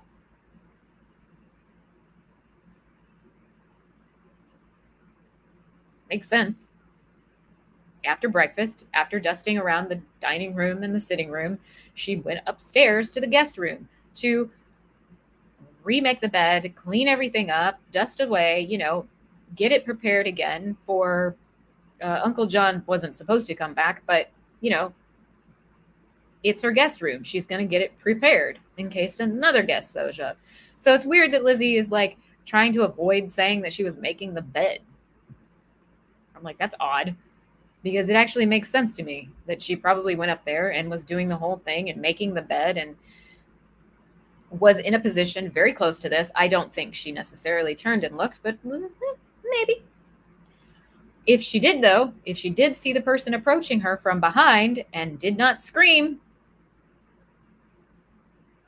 then she knew her attacker. So, bludgeoned to death next to the bed. Oh, oh, this shot, they've got more blood spatter. That's interesting. It wasn't there in the first one. Now, this is how they uh, this is how they say she cleaned up. So she goes back to her room. Again, she's got her little basin here, and she takes her pail of water and she just, you know, bird baths it. but once again, we didn't put a cap on her head. I don't know why nobody's putting a goddamn cap on her head. It would make the most sense. Um, she cleans up she then takes her little pail down to the cellar and dumps the bloody water in the privy. But remember, the police said there was a pail of bloody water and rags just chilling. Bum, bum, bum. It was just sitting down there. And Bridget and Lizzie have different ideas of how long it was sitting down there. And there is testimony about another, uh, more like a hand basin that had blood in it and bloody towels that everyone just assumes was from the doctors who come in and touch the body and they wash their hands because they did wash their hands. the way they just contaminate the shit out of this crime scene is hysterical. but I guess that's 1892 for you. I'm just like, oh my gosh. Uh, uh, I, I mean, I only watch CSI, but I'm like, what the fuck? It goes back to the bloody footprints that never are mentioned. Nobody mentions any kind of bloody footprints. There was carpet, but there was also wood. If it had been an intruder, wouldn't there have been footprints? But maybe they don't care because by the time the police show up, like seven people have walked through the goddamn crime scene. You know, you've got you got Lizzie, you got the maid, you got um, Alice Russell, you've got Mrs. Churchill, you got Dr. Bowen. That's a lot of people walking through a crime scene. And then you got Uncle John. There's some debate when he showed up and how many police officers were already there and how many weren't. Then there's another doctor. So how many people were just tramp tromping around? And you know, by then, maybe, maybe. There's so many blood footprints and marks and things that you know we can't even begin to determine whether or not one of these was from the murderer. So you know that could be it. But also again if the maid is outside washing the windows going back and forth to the barn lizzie's the only one inside and she kills her stepmom. Let's just say she did it. The movie says she did. So she kills her stepmom she goes down to the cellar again. There's another wash bin down here. She could have also taken her bloody rags and you know if there was any dro- drops of blood or footprints on any of the hardwood she's got time. She's got tons of time right here. There's they estimate probably an hour between the deaths. So we're talking like 9:30 to maybe 10:30 so she's got time she got time to go to wipe down that that staircase with her bloody rags and take it down to the cellar and then be like job done and uh, in this one, now this is weird because I don't know why they had her put the the hatchet in her stocking. but I'm like, you're carrying a pail of bloody water, just dunk it in there and carry it that way. Anyway, but what I did find interesting about this shot, I don't know if it was intentional or if it was an accidental thing that actually happened when they were filming. Um, but they end up there end up being a blood stain on the skirt. Like in the in, honestly, it could be in the right spot. So it may have been an intentional thing that they they added, you know, some fake blood to her skirt. Um, because again, this is allegedly the dress that she gives the police that does have some blood on it. Um, so in this in, in this part, because this is this is murder one, she hides the hatchet in the in with the other hatchets. She had cleaned it. Oh no she didn't clean it in the sink. Not sure where she cleaned this one. Hmm. But she just dunks it in with the other. She's just like you know and then goes back upstairs and takes a nap because murder is exhausting i need to have a lie down i think that's hysterical I, I like I really think that's hysterical. Um, I see your questions. We'll get to questions. and then, like I said, I think I'm going to end up making a whole episode next week where we just go through the other suspects, the myths, the. I'll give you my theory. You can throw out some fun ones. Um, everybody had them already, and I'm just like, wow. But the more I read, the more I'm like, shit. Hmm, I don't know. Oh, but you know, she has a lie down. It's a hot day. She just murdered someone. Weirdly, still wearing this dress because this is what I keep saying. It's a hot day. It's a hot day. It's like 84 degrees. There's no AC back then. And she's in this house that's sweltering. Then she claims she goes out to the barn, which is going to be even hotter there's no way this woman was wearing a, a, dress like this. There's no way that she was wearing that inside the house. Again, the dress she describes is definitely a party dress, is something you put on for nice dinner or you going out. It, it it's not a house dress. And she had no intentions of going anywhere this day. So it is much more likely that she was either wearing this light blue wrap dress that's very that's cotton, it's light, it's maybe it's the one with the paint, you know, and uh, she's just wearing it around the house. But I also think, you know, it's possible she when she went upstairs and she sees her stepmom doing whatever, maybe she makes a passing comment that, you know, uh, it's so hot and I'm feeling a little faint and I think I'm going to go have a lie down. And then she just goes in a room and instead of stripping naked, she just goes down to a shift. But I still think more and more she was actually just wearing this other blue dress. And therefore, she doesn't care about this dress. This dress is already ruined. So, you know, you get angry. You get angry. Where did she get the hatchet? Mm, I haven't figured that out yet. But she gets angry. Maybe they have words. This is the other thing. After, so Uncle John leaves first, then father, then, you know, Mr. Mr. Borden. So then it's the three ladies in the house. Mama Borden sends the maid out to go wash the windows. We're not sure how long this takes her. She's not sure how long it takes her.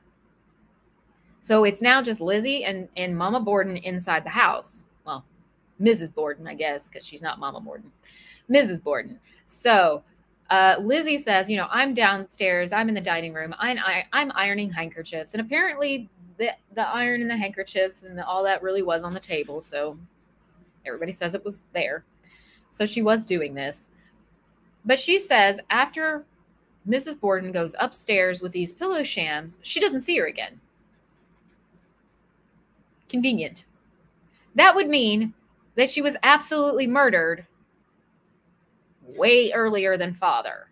Because if she wasn't murdered as soon as she went up there, or shortly after, then she would have come back down. She would have been kicking around the house again. She would have, you know, they would have seen each other. But we don't know because we only have Lizzie's word for what exchange could have possibly happened between the two of them after the maid goes out to wash the windows. Could have been anything. Could have been something that made Lizzie so angry that she marches out the back door to the barn where the hatchet or whatever, or she goes down to the cellar where there's a hatchet, or because there is a missing hatchet, allegedly. And she, you know, just because there is, she also does say she goes down to the cellar at some point. She first, she says, Oh, I think it was when I first got up. Then that kind of changes. So mm, you're down in the cellar where the hatchets are. Maybe you're angry. Maybe you come up and you're pissed. And you just 18 whacks to the head. Now, is she covered in blood from head to toe? Mm. Unless somebody wants to recreate it, which I'm surprised they haven't.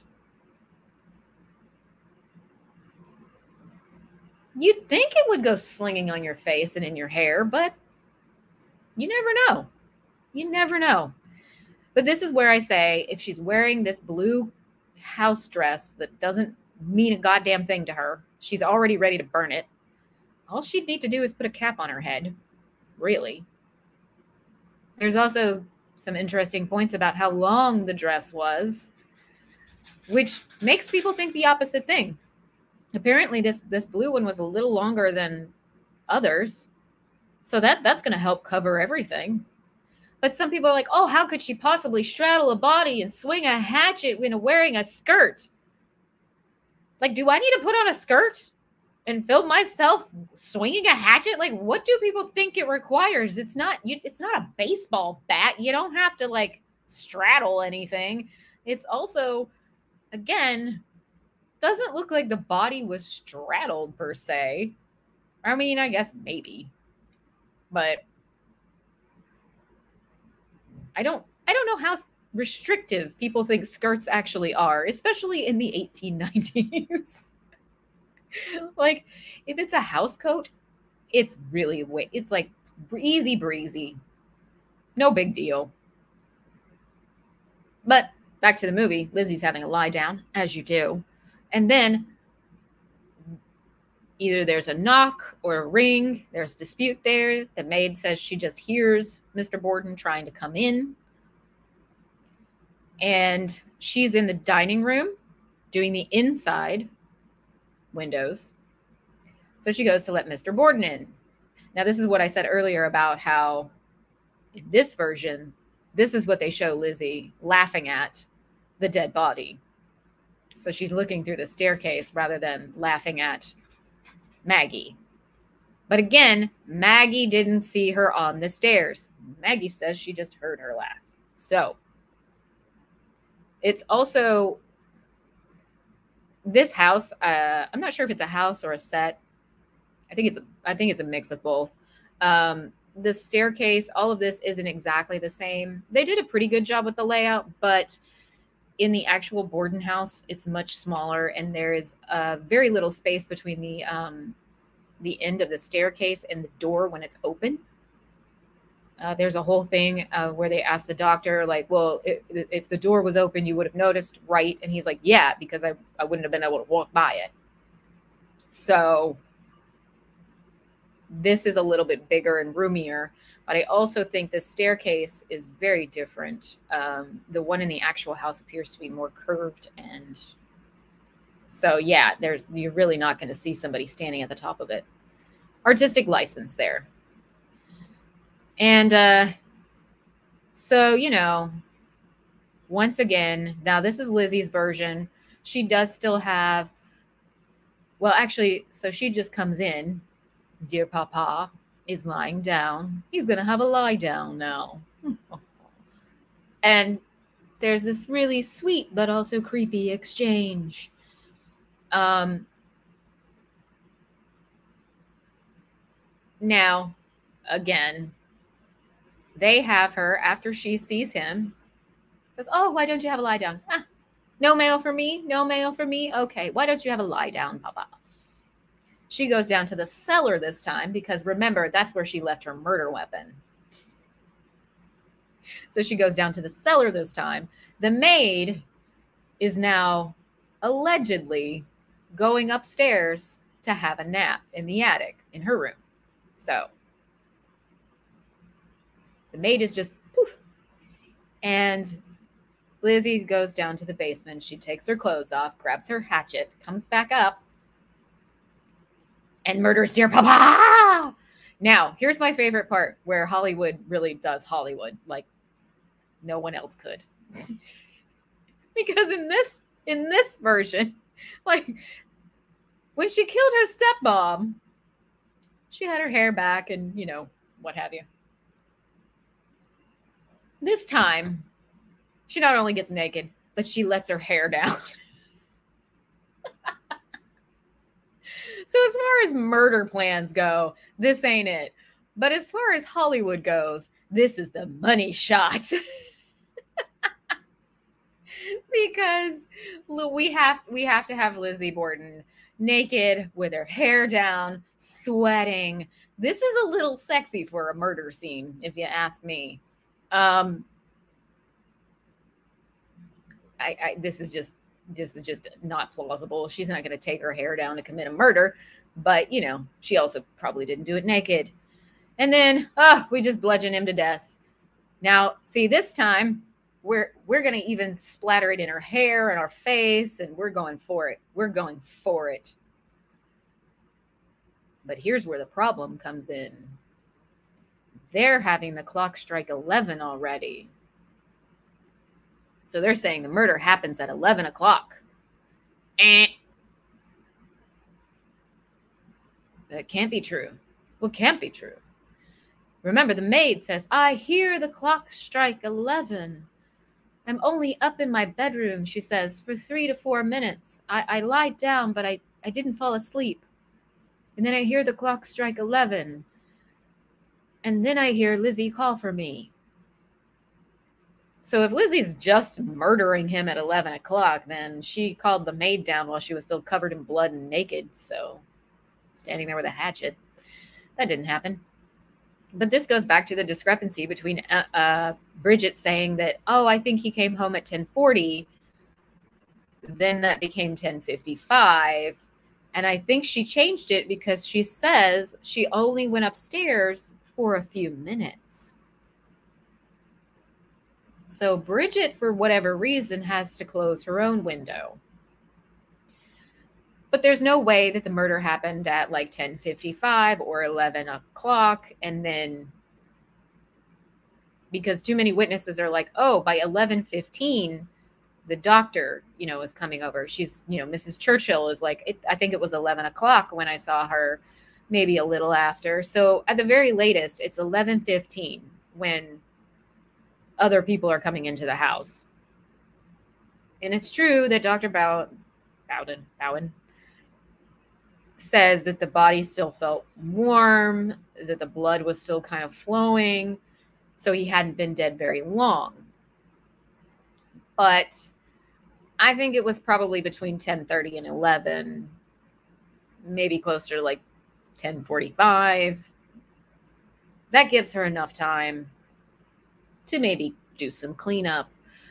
But there's an interesting theory that I really like so this time, after she's done with her murder, she flies into the kitchen, as you do, and uh, she tosses her bloody axe in the sink and rinses it off, and then she bird baths it, as you do, in the kitchen sink. While the maid is just upstairs having a nap. Okay. Okay. But at least, you know, we got water. Um, and then she goes back to the cellar these are, these shots are unfortunately so dark that I'm like, eh. Uh, this time she dumps the hatchet. You can't even see that one in the uh, privy and gets dressed again. And then she comes back upstairs, and the end. All of that, by the way, is shown while Lizzie is waiting to find out whether she's guilty or not. So this is the you're not guilty, you're acquitted, go home. The end. Um, so eh, as far as it goes, you know, it's still there's still a lot of mystery. But I'll give them credit for getting a lot more accurate than I was expecting, actually. but there's still a lot of holes and a lot of artistic license there. But you know, it's still there's still so many questions about uh who could have done it? How could how could they have done it? And if it was lizzie how could she have cleaned up? And all of this. So you know they're just trying to put it together based on granted this is also what the state kind of tries to say you know well we can't explain why none of her clothes were covered in blood so she was naked which is a weird choice when you have her burning a dress.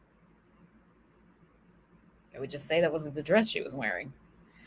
But I guess they the problem they have there is that, you know, oh, well, we have two witnesses who are saying, oh, no, it just had paint on it. Well, three if you count the dressmaker. But the dressmaker didn't see it the day it got burned. And in truth, I don't think Alice Russell or Emma Borden actually saw anything of the dress other than a you know she takes out a dress a thing a blue thing and shoves it in the fucking fire. So we only have their word for it that oh yeah it was this this blue cord dress that had paint on it. Okay but how do you know it didn't have blood on it? How do you know it wasn't covered in blood? Uh uh did you examine it closely? No. And then they acknowledge that after she burns it, like right after she burns it, they go, Oh, that was probably a bad idea. hmm. And again, I say, I don't think you're actually going to burn a whole dress in 1892 when you would definitely at least, you know, rip it up and use it as rags and things like that, dusting rags, the you would quilt with things like that, make things around the house. You know, we only have Emma's word that it was so worn out, so worn out that it wouldn't even be good for, let's say, bloody rags. No, it was so it was it was a rag itself. Which is interesting because again, the doctor is like he doesn't want to say what he thought the dress was, but he's like, well, it was drab. It was a drab thing. It was all worn out. Okay, well, that would definitely imply the dress that got burned, not the one that the police got, which is significantly nicer dress. And then what really gets interesting, and this is why the dresses, it's a whole thing. I'm pretty sure I can solve it with the dresses, maybe. I don't know. Um, there's still the issue of the murder weapon, but someone, so Bridget actually is asked to describe what she was wearing that morning. And what she described she was wearing sounds an awful lot like this dress that everyone else is describing Lizzie was wearing that Lizzie also has and maybe they both have a very similar dress but this is interesting because in every version in in this one I think in all the others you have the maid wearing a typical like cliche maid uniform, the black dress with the white apron. That's not what she was wearing. Not at all. She's wearing a navy blue dress with um, a navy blue calico dress, which is like cotton dress that also has a pattern that sounds almost identical to the pattern that people were describing was on Lizzie's dress. And I'm like, hmm, is it that the women either couldn't remember or don't want to remember what Lizzie was wearing? So they're describing Maggie's dress, Bridget's dress. this is why it's going to get its own thing because I'm still digging, basically. I'm on it. I'm going to figure out this dress thing. But one other theory, I'm going to throw this one at you today, but it'll probably come up in my other video when I when I finally get to how what how do you think she did it if she did it did she do it yeah. um but I didn't put this one in the uh hold on I gotta pull it up first I didn't put this one in this the slideshow because I, I didn't want to do that to people. So you're gonna get your warning, your graphic image warning incoming. Incoming. Graphic image warning. This is one of the crime scene photos. so if you're squeamish, look away. Um, now, this is actually, I found this when somebody colorized, which is cool, the photo of dear papa because it was this wasn't in the movie was not in the movie but i have questions. So i'm kind of borrowing this theory from somebody else but we agree on the dress thing so I, I need to i need to reach out to this person. So here's i'm i'm, I'm going to zoom in. I'm sorry. I'm sorry. But oops that's not what we want to do. Take your attention to this here, right here in the corner. This is allegedly Daddy Borden's coat. And uh, it's said to be a very nice coat. Um, you know, like a like a like a a suit coat or an overcoat, like a nice coat. Again, it was 84 degrees. As you can see, he's still wearing his suit coat. And apparently, he kept this coat hanging, you know, in a closet. So, why? Because the idea was they just they just brushed this aside as he took his coat off rolled it up, and put it under his head as a pillow. Which would make sense if it wasn't 84 degrees outside. Why why would you even have that coat? You wouldn't. There's no reason to have that coat out on this day. And if it's not hanging literally right there, which it wasn't typically, he's not going to go get his nice coat to roll up and use as a pillow when there's literally a pillow right here. And of course, sorry, it's pretty gross, but it's pretty pixelated, so whatever. Um, so, this coat, this mysterious coat, which allegedly gets burned or buried with the bodies, one or the other. Um, Some people are postulating, and I like this idea, that Lizzie, maybe for both murders, maybe not, because again, Daddy wasn't supposed to be home. He wasn't supposed to be home. When he shows up and knocks on that door, she's not expecting him either. So, why was she laughing upstairs? Hmm. If she did, you know, that's just Bridget's testimony. But she's just, you know, ha ha ha. Uh oh. Now what do I do? But if she sees her father's coat, which is definitely going to be big enough for her, someone has suggested that she put the coat on backwards, potentially, doesn't have to be backwards, but backwards works. Uh, hold on, I'm going to get a picture. There's another picture I want. I just have to figure out where I left it. As you do. Also getting a thousand text messages. I want the one of the. There it is. Oh no, you can't see the I was trying to get the one of the house with the couch. Couch! I want the couch. I need the couch. I have this one, but I want the other angle. This is what happens when you don't put it in the thing. Well, we'll use this one. So, if you come in and you're wearing, I was trying to get the one that shows the door over here, but if you come in and you're wearing a coat, whether it's this way or backwards,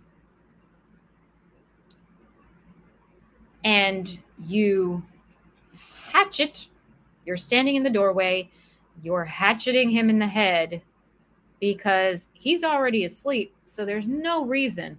I one thing I don't like that they do in the movie is they have her announce herself to both victims. I'm like, that would be dumb.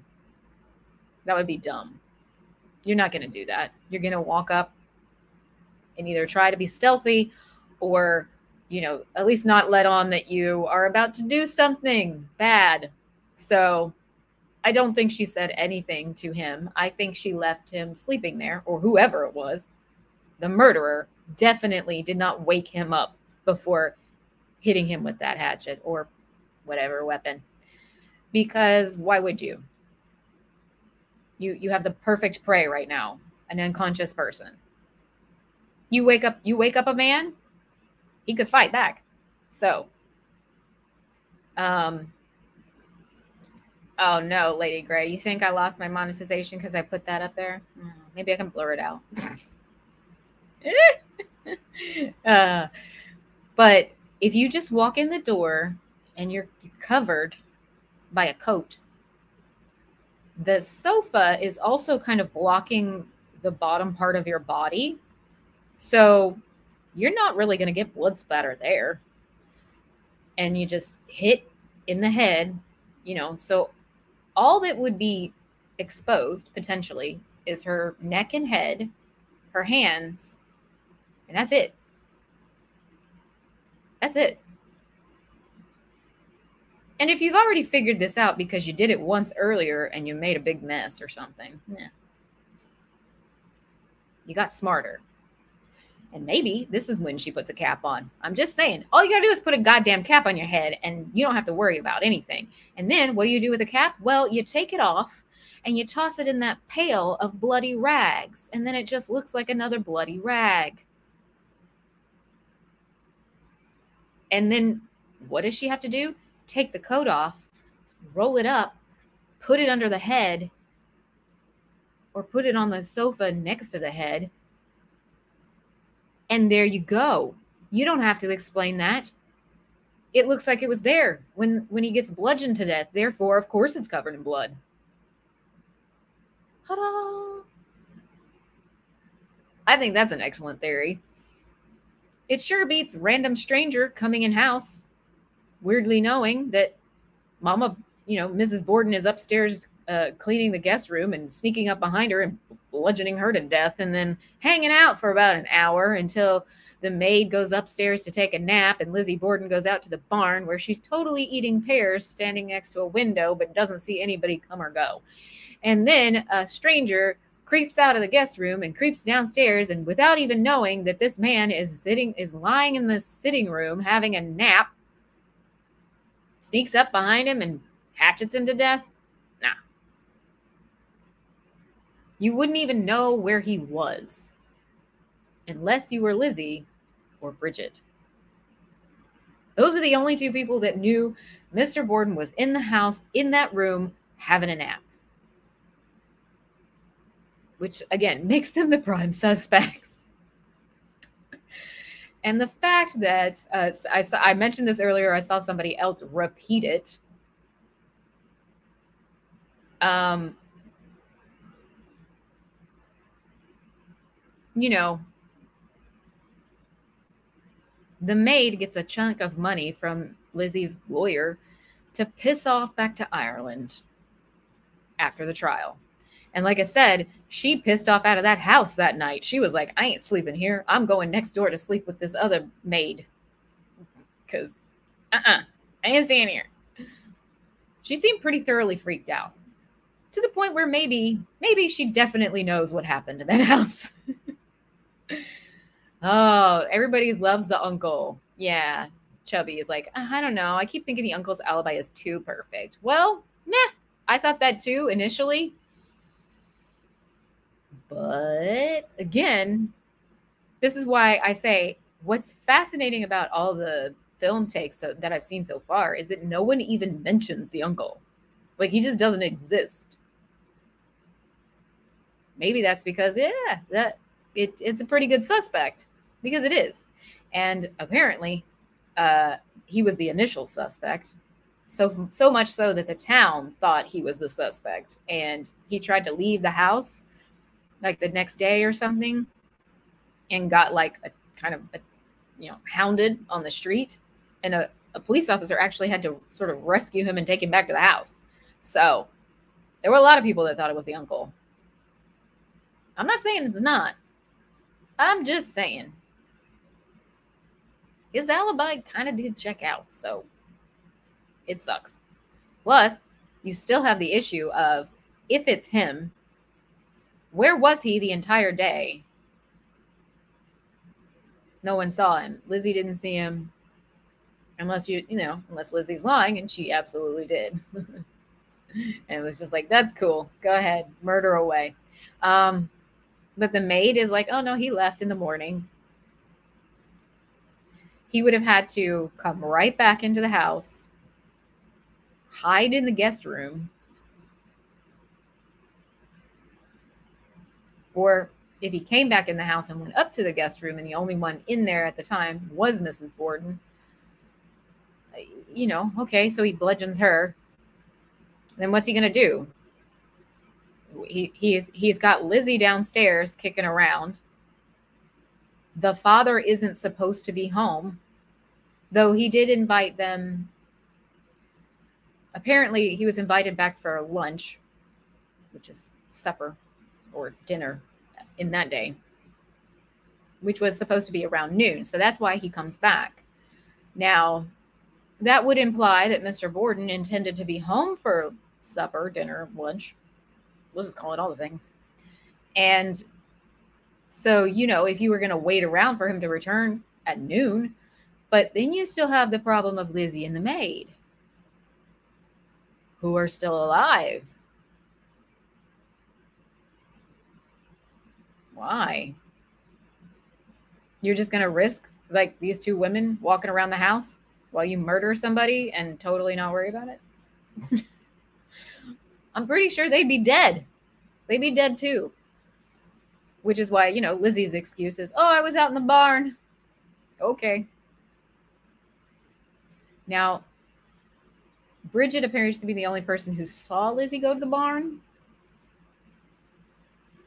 Again, that's maybe where the hatchet was. She definitely did not go up in the attic, it sounds like. She tries to say she went to the second level looking for things. But the police looked and looked and looked and they said, you know, there wasn't a single footprint up there in the dust except for ours. So that's the first mention we have of footprints. And I'm like, hey, okay, so you guys look for foot- footprints. You did. You did. You said you did in the barn. You, you just forgot about the house. You just forgot about the bloody footprints in the house. Okay, it's fine. Whatever. But yeah, I think that's very interesting that they're like, the stairs in the barn, um, there's no footprints. There's no dust disturbed. It's they're, they're also like there's really nothing up there. And again, even the maid is like there, you know, there's no animals out there. There's no nothing. Yeah, she says she was eating pears. Is the new my dog stepped out of bee? Yeah, kind of. It's a weird thing. Also, the pears. See, this is what happens when you actually read testimony. Not only do you find things that are, you know, hmm, that doesn't mesh, but you might come across a little thing that probably nobody is even thinking about at all. But maybe people should. Because, yeah, Lizzie says, I go out to the barn, I stop at the pear tree, I pick up some pears off the ground. This is after saying she didn't feel like eating anything in the morning. I then go into this dusty, hot barn, go up to the second level, and I stand there. First, she says the window was closed, then she says the window was open, and she's standing there and she's eating three pears. Okay. However, in the morning, her father picked up a bunch of pears and put them in the dining room. So there are already pears, fresh pears, sitting in the dining room where she was multiple times. So if girl felt like having a pear, why don't you just eat the ones that are right there in the dining room? why are you like, let me go outside and think about it and pick up my own and whatnot? But you know, Uncle John also says something weird where he comes back and allegedly goes back in the back and gets a pear off the ground as well. And I'm like, I mean, I get it, but maybe he didn't know there were pears inside because that could have been after he left. But Lizzie was literally sitting in the dining room and ironing in the dining room and doing all this stuff. And there's a basket of pears. But she's not going to eat those pears. No, she's going to wait till later. But she's on a mission to find a piece of iron. No, a lead sinker. No, iron to fix the screen door. No, what? Ah, hmm. Once again, she told people different things the day of. She told someone, allegedly, that she was looking for a piece of iron to fix the screen door. In her inquest, it becomes I was looking for a lead sinker to go fishing on Monday. ah, mm. Oh, I, you were going to suggest that one of the victims was in cahoots with the uncle, but if his alibi is that airtight, which victim? And what benefit is it to him? Because that's the issue with the uncle. It does not benefit him in any way to kill either of them. Well, unless you go with his business dealings with the dad were not going well. But there's not really a lot to back that up. Um, in fact, he had a letter. He presented a letter because um, Mr. Borden had actually asked for his advice on buying a building. And he sent him a letter and said, Oh, you know, I, I took your advice. I did this.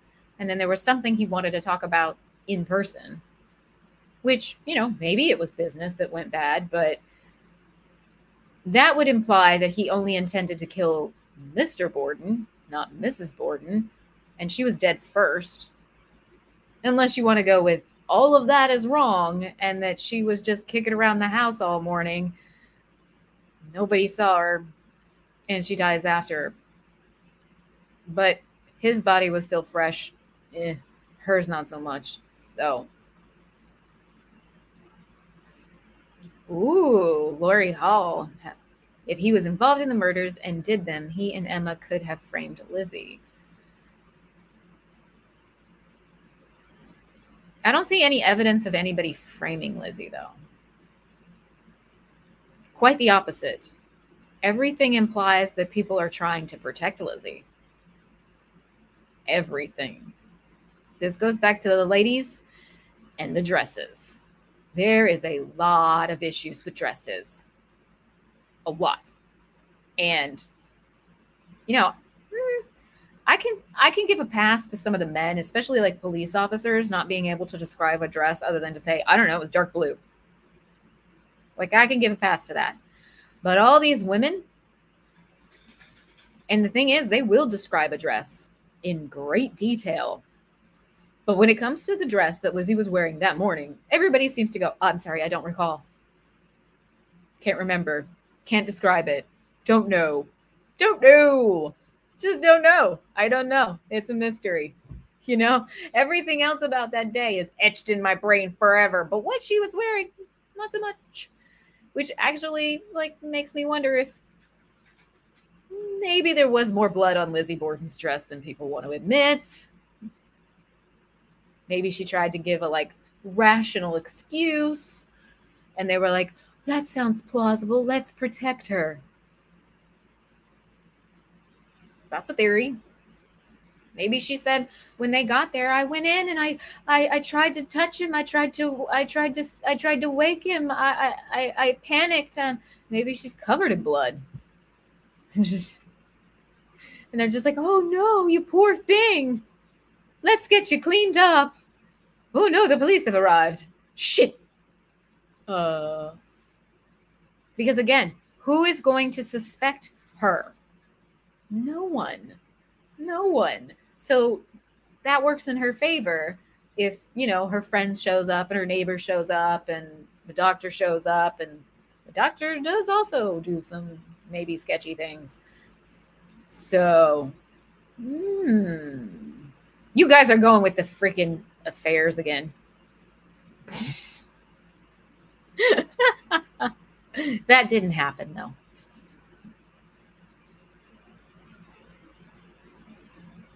Um, she did go visit friends though. She did. She did. I mean, yeah, her absence, you could consider that a sign of something, but I do I think that uh somebody knows who did it? Yeah, I think I think Emma, Lizzie, and Bridget know who did it. That's my guess. Or they have a very strong feeling about who did it. Very strong feeling. So let's talk let's talk a little bit about the aftermath and then that's probably where I'm going to leave this one. So my next one, Thursday, probably won't be I'll probably have more time to go into more crazy shit because I'm going to do the modern more modern version the uh, the version with um, Christina Ricci, which I have seen before, but I, it's been a minute. So one of these days, I'm gonna get this. I'm gonna get this screen sharing thing. So we're gonna do Thursday. We're gonna break down. Lizzie Borden took an axe and I already know there's going to be all kinds of crazy shit in that one. Um, they still go with the she did it, she she gets naked, all that jazz. But um, I'm trying to recall if they actually do try to implicate anyone else in the crime. Um, that could be the only difference. We'll see. But uh, so Thursday we're going to do that one, and then because I just I just keep finding new things and going ooh, and it's so much that it might need we might need one episode of just like pure speculation where I'll tell you my theory when I'm finished making it. and then everybody else can really go crazy with the speculation. Um, because again, this this dress thing is like what the, and you know, of course, guys aren't Guys aren't doing this. They don't care. They don't know. They all think that it took her 40 minutes to get dressed and that she needs, you know, an assistant to cinch her into a corset. And I'm like, ha! She says she's here, says here she's wearing a house coat. She's wearing a wrapper. Them are very different things. So, uh, but I do, yeah, I also like, I like Christina Ricci. Um, she d- she does do creepy well and there is a series a spin-off series um, that follows her life after the murders which is a whole thing but and maybe we could do that because there are some things that come into play so one of the things that i heard that made my jaw kind of drop in addition to the maid allegedly getting a good chunk of money to fuck off to ireland she did return to the US though at some point, but she never went back to employment with the Bordens. Okay. But she gets a chunk of money and vanishes to Ireland. When the trial was over, this this is crazy. This is maddening. This is like what the fuckery. Um, the state wasn't interested in pr- prosecuting anyone else, apparently. I guess they'd hate to admit they were wrong. So they were just like, fuck it. Um, and they released all the evidence to Lizzie Borden.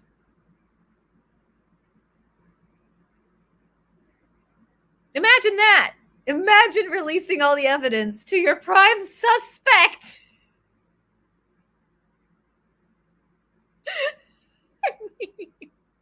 the fuckity fuck. Okay, that sounds brilliant. But here's what's weird. Lizzie allegedly said, because her lawyer was like, What do you want to do with it? And she allegedly said, I don't care.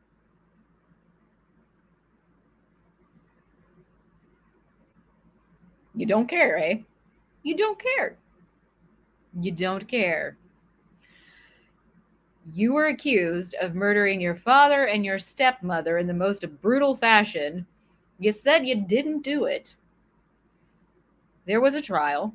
Now, I can understand that the trial was hell and you just maybe want to move on with your life, but the only chance in hell you'd ever have of clearing your name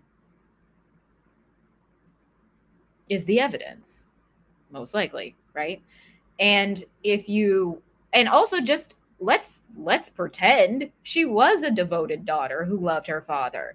You're going to tell me that you're not going to use all that evidence and hire like a private investigator and and spend the rest of your life trying to solve this mystery yourself? Because i would. I become the world's greatest detective. It's not like she had anything else to do She's a rich chick in 18 whatever. So this is something um, that uh, let me see if I can find it. Um, they said it on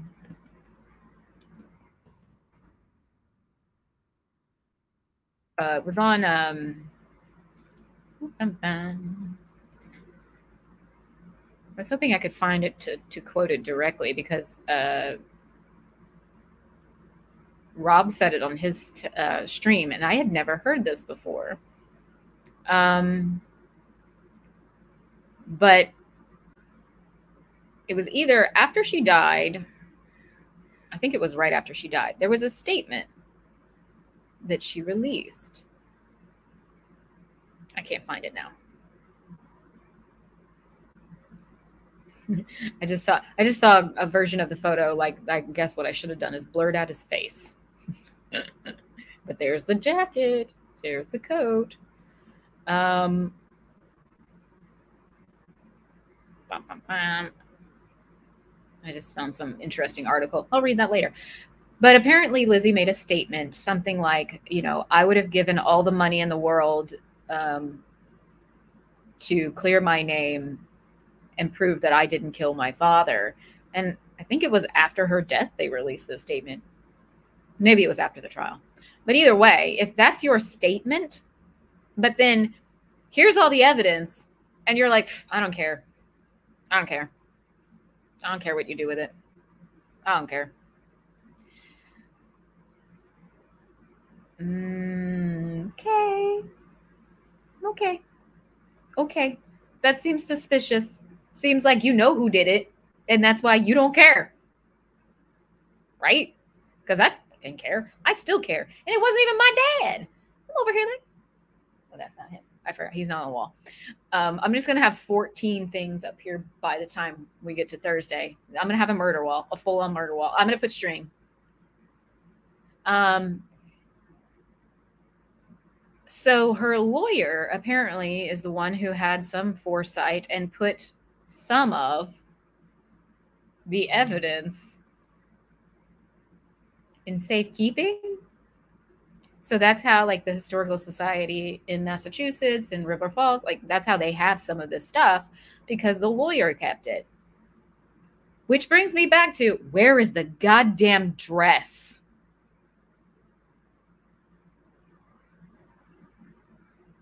It was in evidence. Where is it now? What? Did it get burned too? I bet it got burned too. Ah. if he kept the other things, like the hatchet, why didn't he keep the dress? And I mention this because if you go through the trial transcripts, I think we all learned a thing or two watching six weeks of a trial. When everybody starts objecting like crazy, there's something they don't want you to know, right? Like they're oh, uh oh, uh oh, uh oh. So one of the points that like every time it got to talking about the goddamn dress or what she was wearing and just his objection, objection, objection, objection, objection, objection. Oh, oh, they did not want to talk about this dress. They didn't want to talk about what Lizzie Borden was wearing that day. They really didn't. Well, somebody did, but definitely not Lizzie Borden. And that's why it's very suspicious, like I said, that everyone seems to be helping Lizzie out by not recalling what she was wearing. And then when they do recall, mm, it doesn't match the dress that she gave them at all. And then the dress that she burned, oh, that was something else. Wait, how many fucking dresses are we talking about now? So, did they really let her have all that stuff in her gel set? I don't know. Um, I feel like I'll have to read the uh, read that whole interview and maybe something else to find out if she actually was allowed to have all of that. it's possible. It's possible. Oh, Dana, you couldn't find anywhere for the free for the Ricci one? Yeah, I only saw it on Amazon for like three bucks or something. Um, it was a lifetime movie.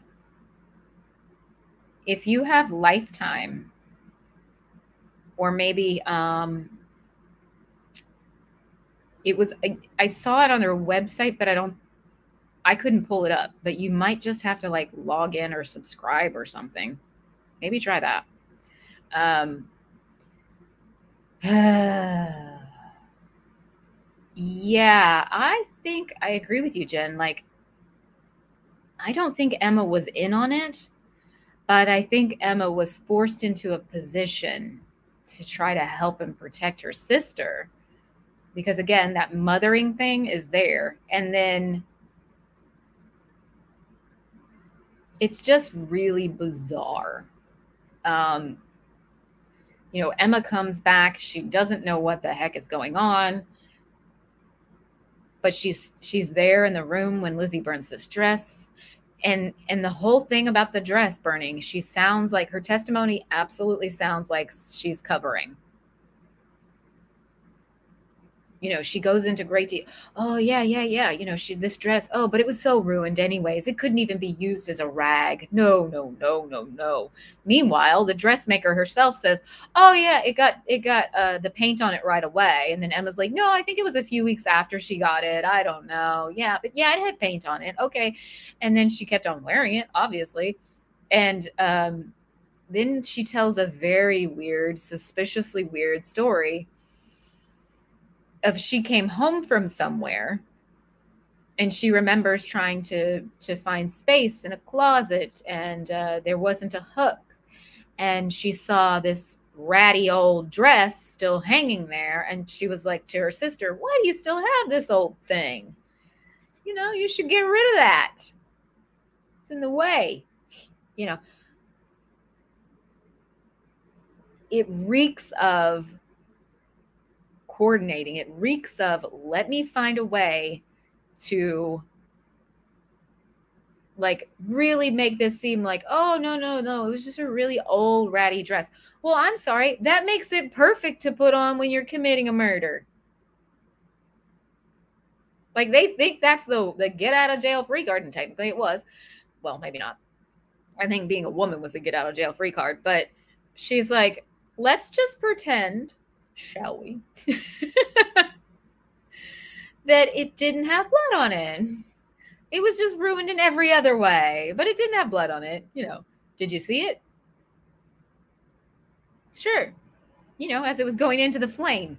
Um, and it goes back to how everybody's asked, you know, when they arrive, did she have any blood on her? No, no, no, no, no, no, no, no, no, no, no, no,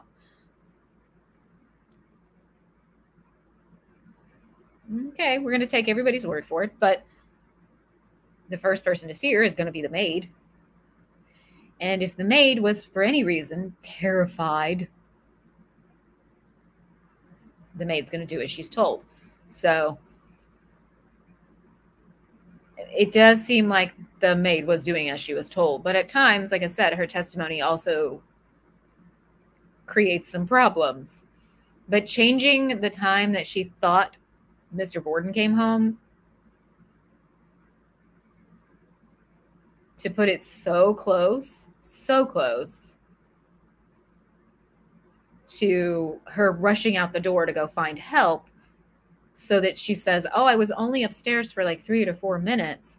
I'm sorry, that's not even long enough for anyone to commit a murder. Like, no.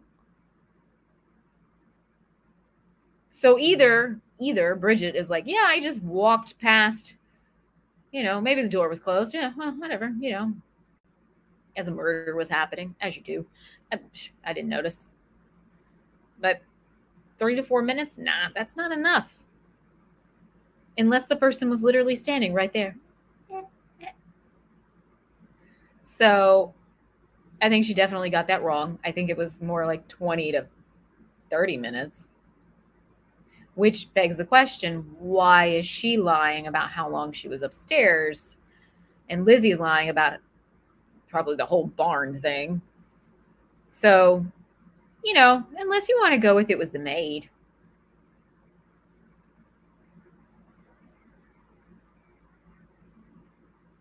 But then wouldn't she have been covered in blood? And wouldn't Lizzie have noticed that, hey, you changed your clothes? Did you take a bath? What happened there? Oh, you know, I was washing the windows. She actually has a great excuse for if she did change her clothes or was wet or had a wet appearance. Oh, you know, I was out washing the windows. It's hot. I was sweating like a fucking whore at a church house. I went to the barn, filled up my pail, I splashed the water. It flew onto me. Like, you know, if the maid had done it, she'd have the perfect alibi for why she looked wet or no one said she did. So, may, eh, if she did, I guess maybe they wouldn't have noticed. she was washing windows. But the enemy of my enemy, they couldn't even get her name right. True. True, Jen. Um, and I don't believe her when she testifies and says, no, it didn't bother me. She did not arrive when they were children. She'd only been working there for two and a half years. So these were two grown ass women that just refused to use her name. I'm sorry, that's going to tick you off. That's going to tick you off. You're the hell by now, but eh, whatever. Um, thank you, Renee. Uh, I a funny story. I was actually so I I had an audition to do. I was going to do it yesterday, but you know, Los Angeles is full of pyros, so I couldn't. So I did it this morning, and funny enough, it's a it's a period piece and Irish. They, they she's an Irish immigrant, so I was I was just doing it earlier and uh, the name is Molly, I think, which is funny. So, oh, so it wasn't that bad, eh? I it was that was probably better. What I just did was probably better than I ended up doing in my um, my audition. I was so tired. Oh, I could still hear the boom booms at two thirty. I was like, "Fuck you, people." Um, yay America, but also can we go to bed now? Like Oh god. Is there anything okay, Chubby, what you say? Is there anything to suggest that the one or both of the parents were abusive that might explain why the people were trying to protect Lizzie or maybe another story Lizzie was trying to spin? Hollywood thinks there is. were you not here for the incest scene? Yeah, that's a thing. I don't know that they, there was anything, I haven't read anything that went so far as to say abusive. But this is not a time period where anyone would talk about that. But Lizzie was saying some snarky, mean shit. Like, my stepmother is two faced. Like, there are witnesses who say she was saying that. Um, one of them is the dressmaker. I don't know if it's the same dressmaker or a different one. Um, and there's a whole conversation with Alice Russell where she sounds paranoid and like is trying to imply that they're all in danger. Um, and that's so conveniently the night before. So, but she doesn't have any specific person that she says is the danger. Like that's what's very suspicious about that. Like if if you know there had been this person making threats, if if somebody had been showing up repeatedly, you know, angry with her father, if if if all of that had been happening, then she would have said, "Oh, you know, there's this man. He's been to the house like three times, and he's angry, and he's I'm scared." She didn't even mention Uncle John as being like, you know, Uncle John's in town. He's bad, because that's that's a theory I would have gone with. Maybe Uncle John was a bad person, but that wouldn't explain him killing the parents. So it's a theory. Um, that that one is heavily relied on, like heavily relied on in the um, the version with Kristen Stewart. Um, it gets really dark.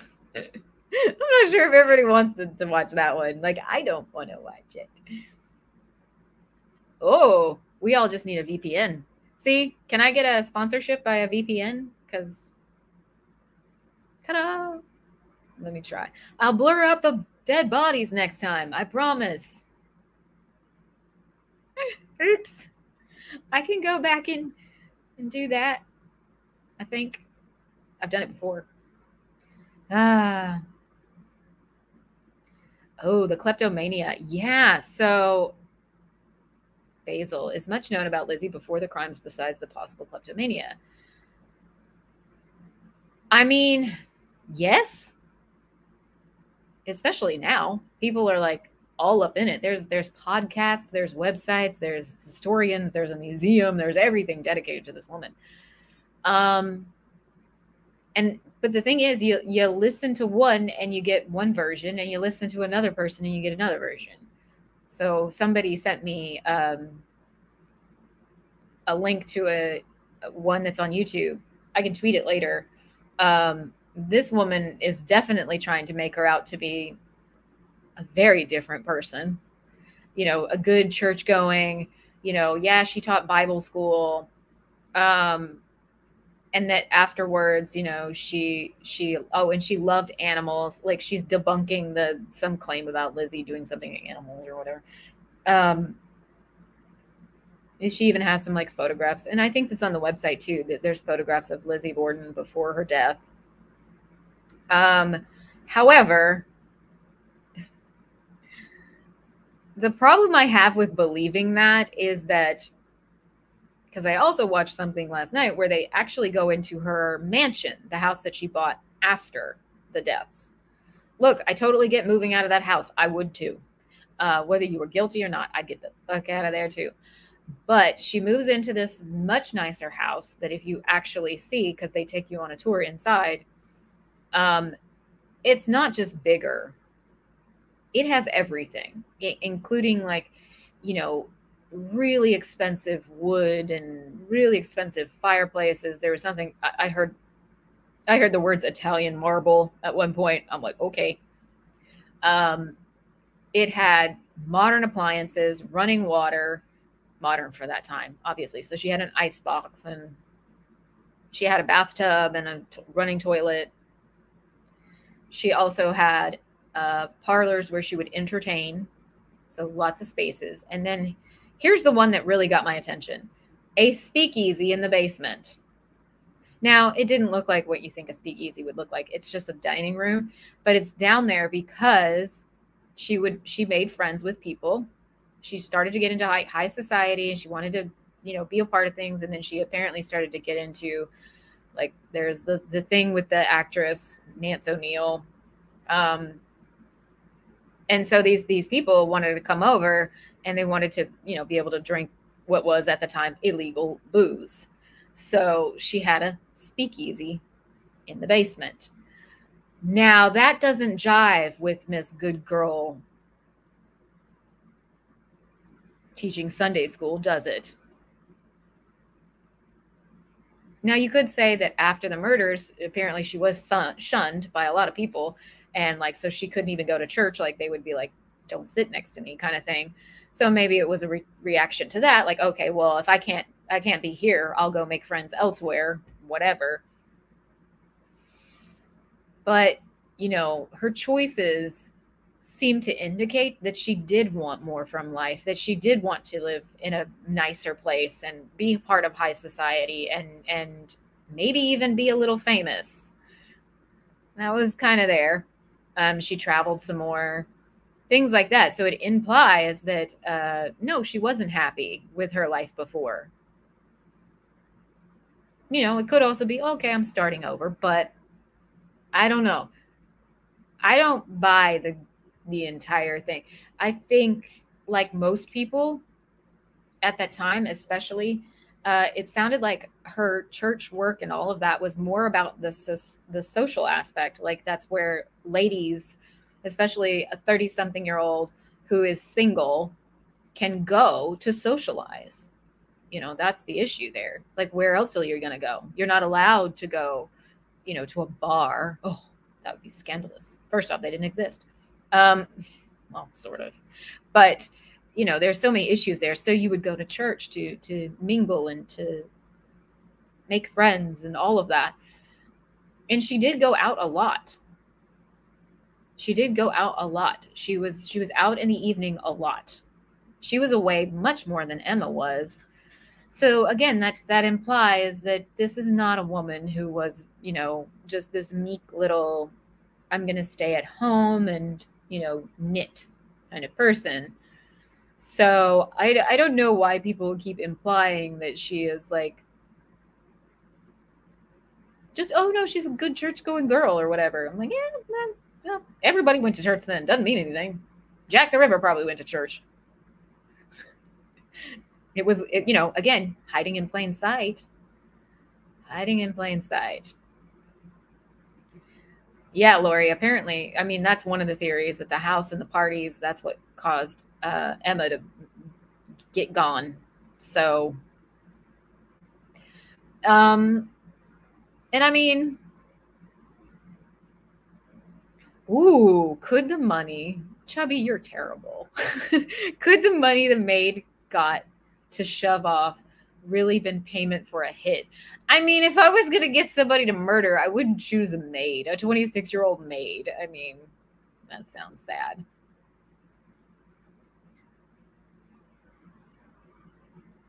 I doubt it.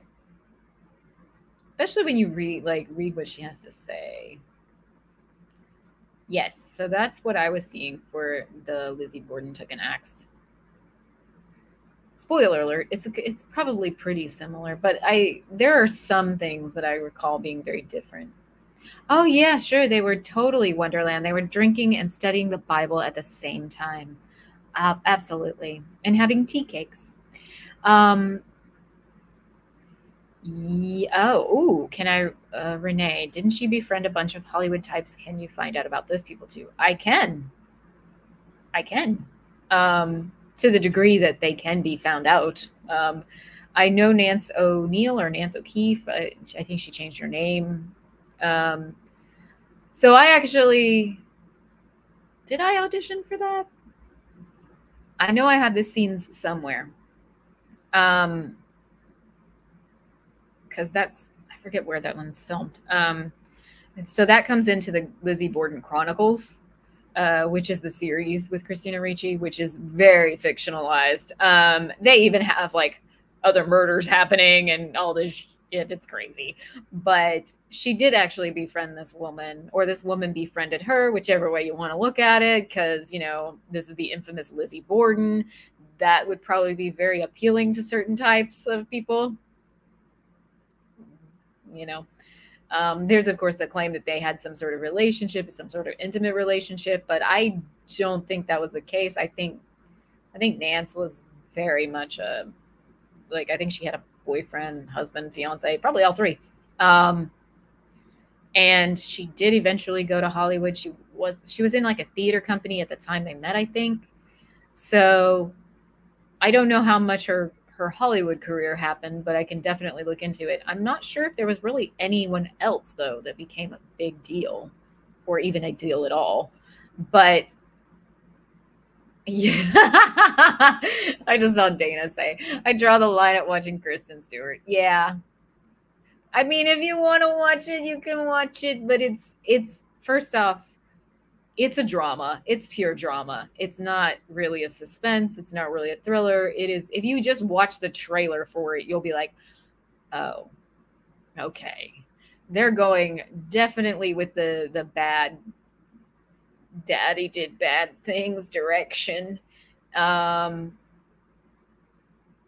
but it's actually interesting who they victimize. You, I don't know, you might be might be curious, but um, because Kristen Stewart actually plays the maid, I think she just wanted to do an Irish accent. The Curse of Lizzie Borden, 2021 from Discovery Plus. Is it fiction? That sounds like something else. That sounds like a horror movie. oh god. Mm. Actually, I think um, Basil. I think Emma was closer. I think Emma was in her forties. Yeah, they were 30s and unmarried, even in their class. Very unusual. it, it is, but uh, that's why they become spinsters, you know. Um,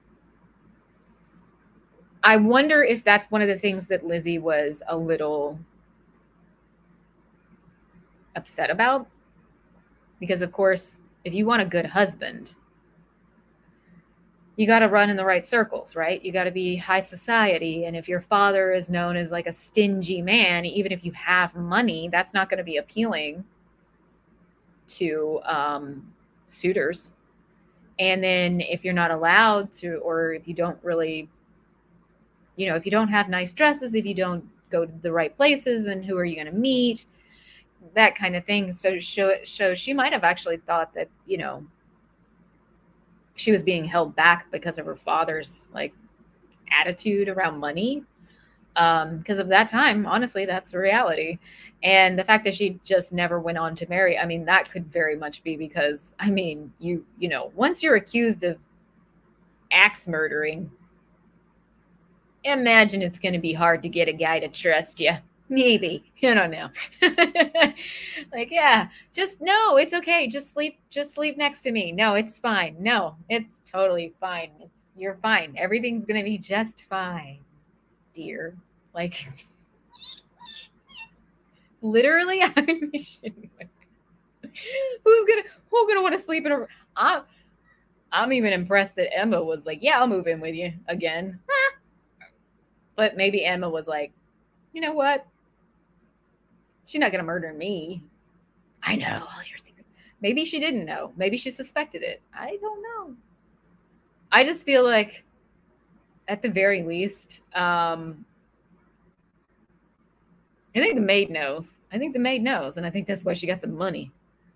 Um, there's just it's those three's testimony in particular that I want to look at. So there is one thing that already somebody else has already caught the dress issues and has already compared things. But there's more to it. There's way more to it.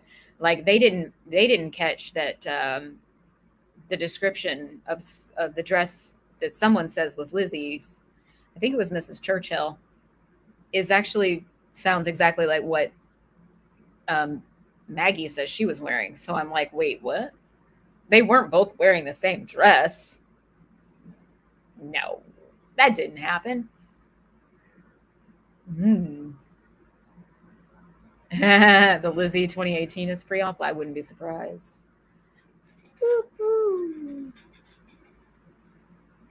Yep. think as for this lady, think as for how no one heard anything, at least for stepmom, if she didn't scream, they were hooves. There were hooves and wooden wheels rattling all over. That could have drowned it out for Maggie. Sure. Well, for in again, allegedly, allegedly, when stepmom was murdered, Maggie was out washing windows. She's not to hear anything. Because mom's on the second floor, Maggie's on the bottom floor outside, going back and forth to the barn, washing her windows. And yeah, so you've got you got street sounds behind her. Yeah, there's no way she would hear unless it was a very loud scream, which I will say there was one witness, and I have to go back and I have to look at this, and I I'm very interested because there was one witness in the neighborhood who thought they heard a scream in the time window of the murders, but I think they said they thought it was closer to 11 a.m. And that goes into my theory that maybe, maybe Bridget screamed. Maybe Bridget saw way more than Bridget says she saw because Bridget was apparently freaking terrified. Like, sounds like she was kind of way more anxious and way more excited and way more like, nah, and did not want to go upstairs. She did not want to do that. That was accurate. Um, everyone says when she was when when Lizzie was like, I wish you would go look for mother upstairs or something, Mrs. Borden. She's like, I don't want to go up there alone, which is smart because again, like Lizzie Borden doesn't sound like she's concerned for anyone's well being. We don't know who did this. We don't know who did this, according to them, right? And yet we're going to stand in the house. We're going to invite more people into the house. We're going to ask the maid to go upstairs. They did go, she did go upstairs to get sheets out of a closet. And I'm like, we don't know if the murderer is still in the house. But everybody's just like cool with that, whatever. like, goodbye. Hmm, you know, just go on up there. It's going to be fine. It's going to be fine. But it goes back to that statement that Mrs. Mrs. Churchill said, where allegedly she told Lizzie told her at the door, Mother has been killed too. But then Lizzie's like, oh, I don't know where she is. But you should definitely go look in the guest bedroom, Bridget. Sounds like Lizzie knows exactly where everybody was. And Bridget didn't. Well, at least she didn't know where the stepmom was. I think I think it's much more likely that she witnessed or heard something regarding the father's murder. Maybe she just saw Lizzie covered in blood holding an axe. That would do it. That'll make you scream. That'll make you run. That'll also make you go, uh oh. Because you got a choice. If somebody's like threatening you, you can keep your mouth shut. You can do as I say. You can help me out. Or I could just murder you too. I mean, you know, take a pick. Take a pick. If that was the uh if that was the offer, yeah, go check out the trailer. Just you know, um, the other one is just weird. Oh, you have some stuff on the um, her friends and stuff. Ah. There's a lot of paranormal investigations on YouTube, which is fine. I like I like being able to see inside the house and stuff, but some of it's just like stupid. Yeah, whatever. Oh, okay. The Curse of Lizzie Borden is a para- paranormal documentary on Discovery Plus. That sounds about right. the family was cursed. I don't know. Yes, if it's hush money, the maid didn't do it. Mm-hmm. Thank you, Chubby. And it feels like the father's death wasn't planned. I keep saying that. It's possible that Lizzie killed the stepmom just to remove her from the will, and then the father found out. Ooh. I think I don't know if it had anything to do with money or the will. I, I think it might have just been um, something building kind of over time. And maybe she just snapped and just wanted her gone, you know? Again, what did they say to each other that day? You know, everybody's saying, oh, it was civil, it was cordial. Well, no one else was in the house. Maybe it wasn't. Um,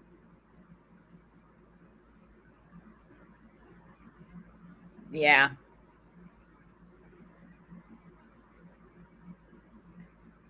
Lizzie met Nance in Boston around 1904. Mm-hmm. Ooh, how many men were available in that age range after the Civil War? Yeah. That's why I'm saying if you wanted a good husband, a good prospect, you got to get up there in high society, you know? Unless you're going to, what's she going to do? Marry a laborer? Come on now. She definitely didn't seem like that type. Nope. I don't think her sister ever married either. But her sister was like 10 years older. So at that point, maybe she just didn't care. She did move out though. So maybe, oh, there, go, oh, there goes my microphone again. Maybe she, um, maybe she was, maybe she was with a man. There are some reports of Lizzie having a suitor letters and things that are not available to the public, but maybe someday. The the thing I heard the other day was maybe the lawyer will like let his notes out because the lawyer might know who did it too. If it was if it was her, he probably does. And that goes back to my if you read the transcripts and you pay attention to what they're objecting to and how furiously they're objecting to it, I always feel like that gives you a clue. Like, mm, why do you have a problem with him asking about what she was wearing? Can anybody describe what she was wearing? And did anybody ever see this other dress before? And why do you care so much? There's no blood on it, right? It's weird. And like I said, the whole the dress they had that did have some blood on it that they're like, "Oh, but it's just, you know, menstrual blood. Take our word for it." No, I'm not taking your word for it. Okay, back to how random were the randos in the house. Could it have been a murder on the Orient Express situation? I'm not sure I follow.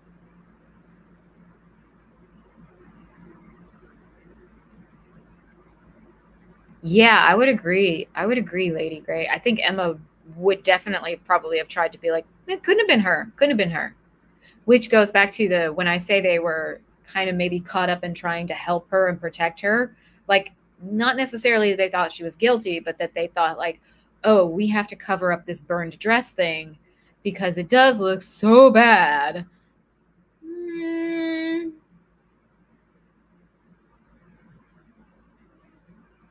Yeah.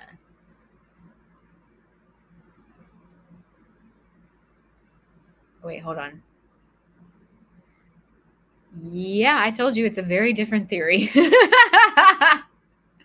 um, I could save that one for last if we really want to, but it is a very different direction. Um, it's just really depressing. Vengeance or a mental break of some sort sounds about right.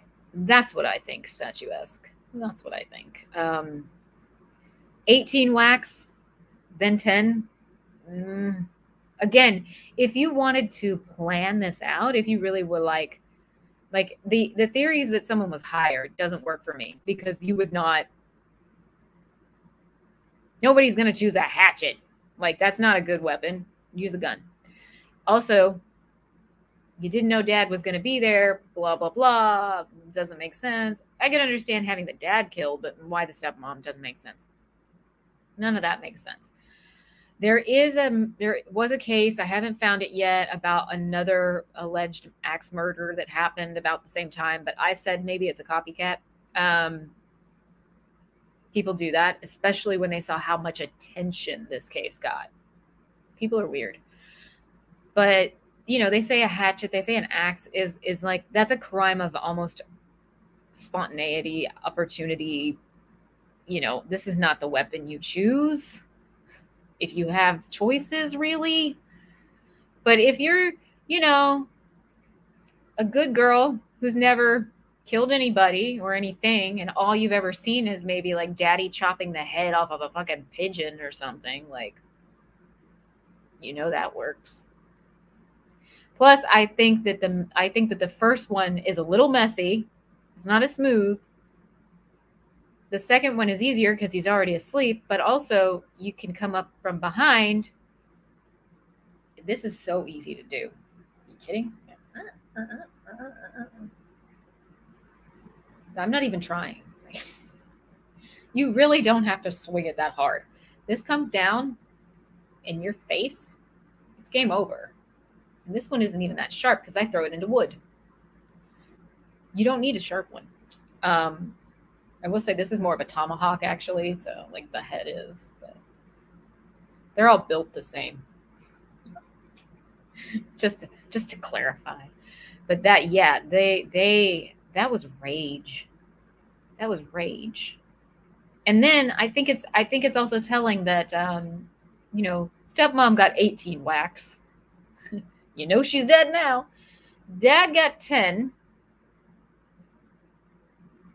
definitely enough, more than enough, but less maybe implies eh, she liked him more.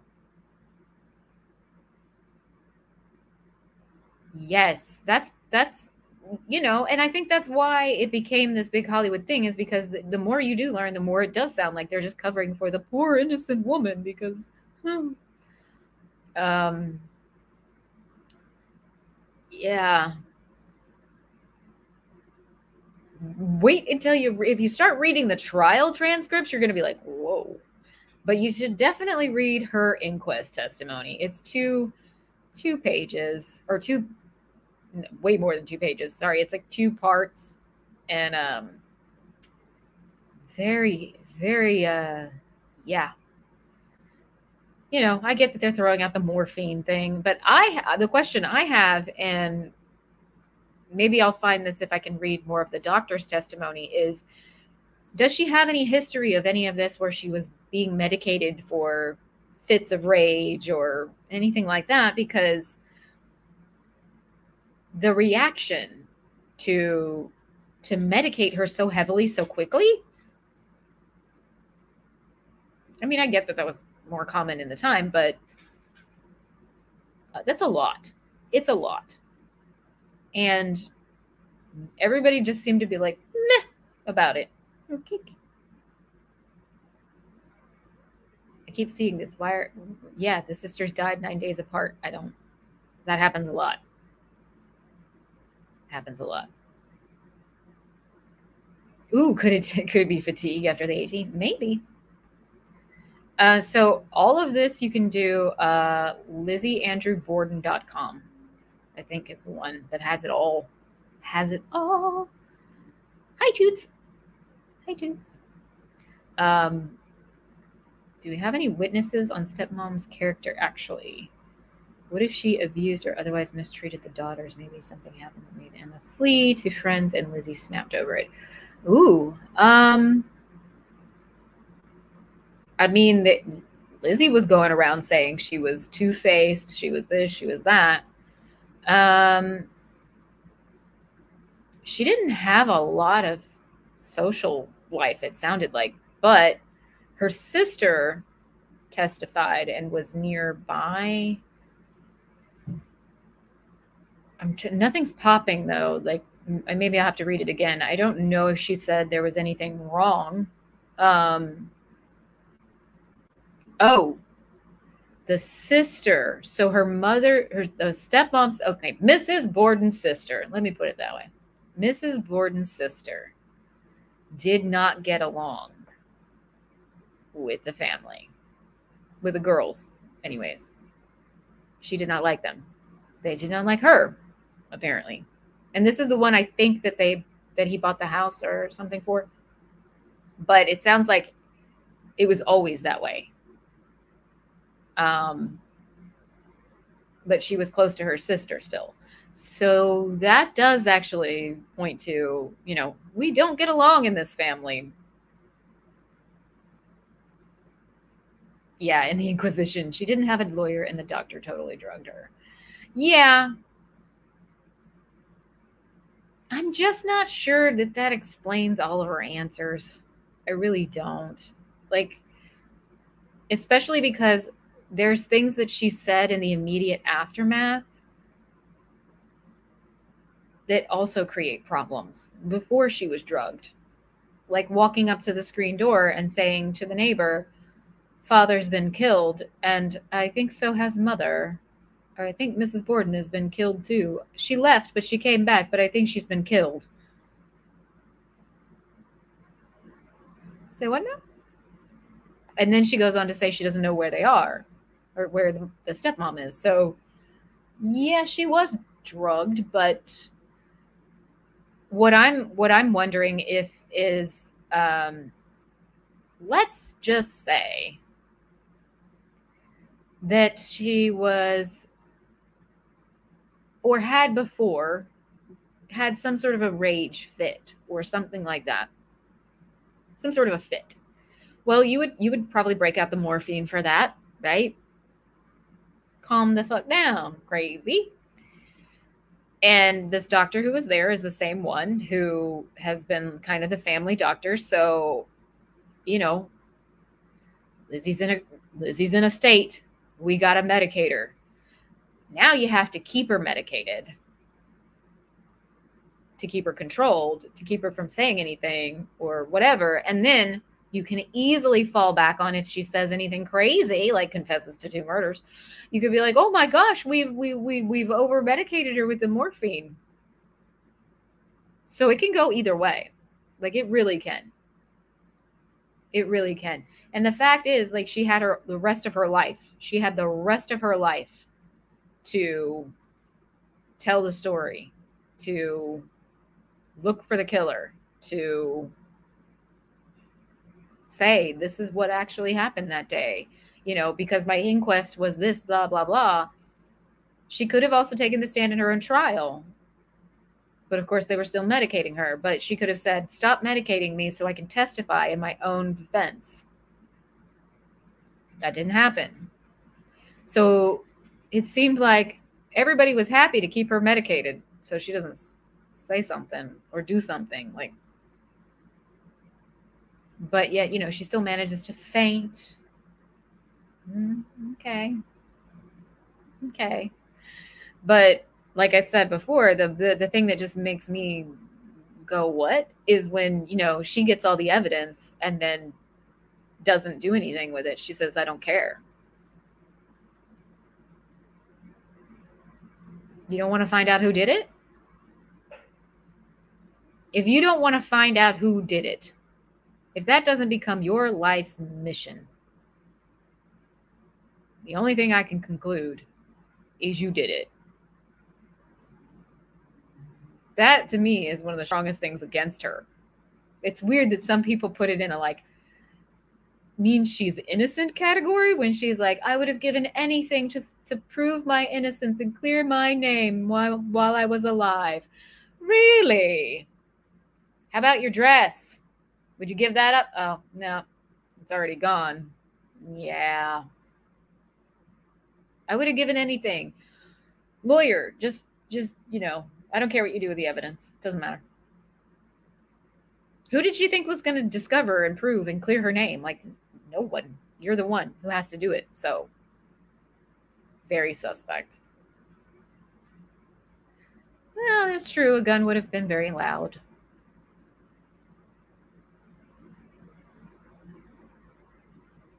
But then again, so this would mean that the person who came to murder them knows that there's other people in the house. So that's where, you know, that comes in.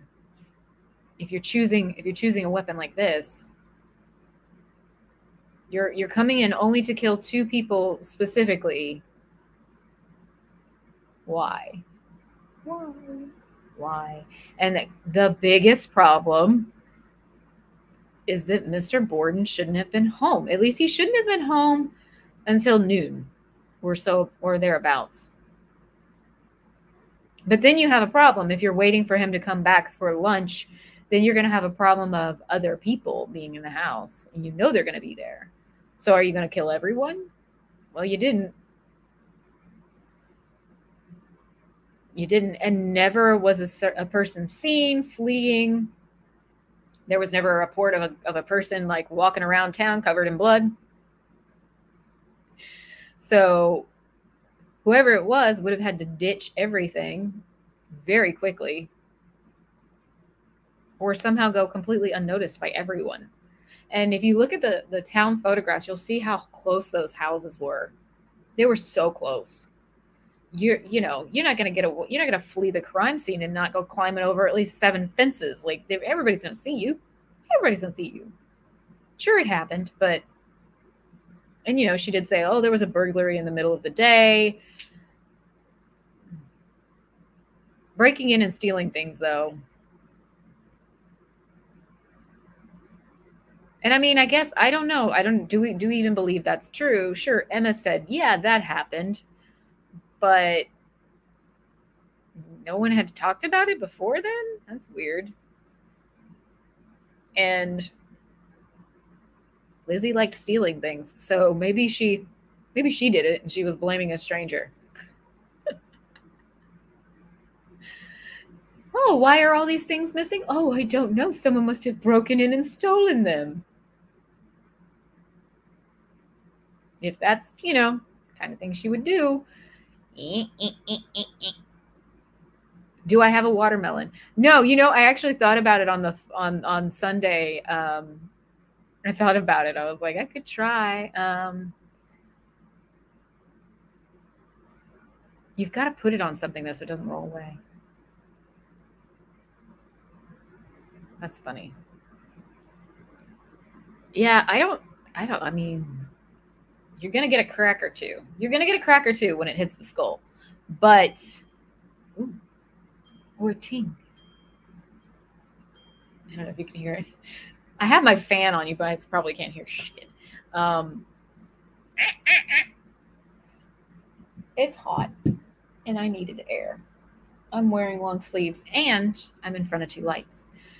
Ooh. Ooh, she could have been addicted to morphine before the killings. Now you're on the same page. Yeah. That's what I'm wondering. Is there any indication that she was being, you know, that she'd ever been on this before? The seven priests and the uncle, though? No, we can't yet because I haven't gotten all those details. I haven't gotten all those details because that I did when I heard that, I was like, yeah, that does sound a little too convenient. The problem is the family that he visited did back up his alibi and say, oh, yeah, he was here in the morning till about yay time, blah, blah, blah. So I'm not saying he doesn't he doesn't have some suspicious qualities. I would say, I mean, I'm not on board with a stranger. I really am not. So, you know, prime suspects remain the people who were in the house, minus Emma, maybe. Unless you want to go the conspiracy route. But these three, these three, big problem. Big problem. I mean, it's you know, you're, the last people to see the the victims alive. Yeah, that usually puts you right in the hot seat. Period. Right, and it's usually someone they know. Everything points to it being someone who knew them and knew the house, especially the house. But I keep going back to who knew that Mr. Borden was in the sitting room having a nap. Allegedly, only Lizzie Borden. Even the maid didn't think he went in there and laid down. She saw him in the dining room or some shit. I don't know. So he went, hmm. ah. At least, yeah, in the old days. That's why I have to look at it because I'm like, did they actually talk to all the seven priests? And they were like, yeah, yeah. There, there it is. The uh, case files. If anybody wants to. Um, this whole website has a lot. Yeah, no one saw anybody disheveled body list. That's why, you know, again, if nobody was all covered in blood, then it had to be somebody who got cleaned up pretty quick. And if you're in the house and you know the house. Ooh, hello, Lori. Lori Hall, y'all, with an excellent fucking theory, maybe stepmom caught her stealing again and was going to tell daddy, so Lizzie killed her. Holy shit. That's not bad. That's not bad at all. That's not bad. Yeah. Or even just accused her of stealing. Ooh, she she wouldn't like that because I mean that's that's motive. It, it it explains it was a kind of a crime of passion, and kind of opportunity, but not exactly very well planned out. I don't think. Um, also, could explain why it was in that bedroom because, you know, again, maybe they had words downstairs or in passing, and then you know, she says, I, I, I'm going upstairs to fix the guest room. Or she doesn't even tell her where she's going. She just goes up there. Lizzie's all in a huff and a puff and is like, I'll show you. Because she did go down to the cellar where the hatchets were. She could have also gone to the barn where there's probably a hatchet. I actually don't know if there was a hatchet by the barn. Um, the police say they found all of them in the in the cellar, and that's where the wood was. So that's even more convenient though. You don't have to walk out the door. Just go downstairs. Oh, thanks, Dana. yeah, you guys, if you want to donate. Oh, because I don't think I put any link in the box, did I? I was going to go back. I didn't even switch to subscriber mode. I forgot. I forgot. Ooh, yeah. It was common. I know it was common. So, again, and it goes back to the whole menstrual cycle thing, too, because um that like there is um is whoever ooh, I got multiple people saying things now. Odd in 2011 22, I presented information regarding Borden murders and it revealed Lizzie was blamed, but did it, but other did it as if whomever did it did not bathe. And then I'm unable to verify it was Emma. I'm not sure I followed that. Who was the seven priests? I know, right? Well, maybe there was a thing. Boy Scout meeting? Too much. Was that too much? Yeah, yeah. Did the uncle come back to visit? No, I don't think so. But so here's the interesting thing he was only ever in communication with Emma, but not Lizzie. But that could also be because the mother died when Lizzie was two. So she probably just didn't get to know the uncle as well. But I think he fucked off back to Illinois or something and never never returned or something like that.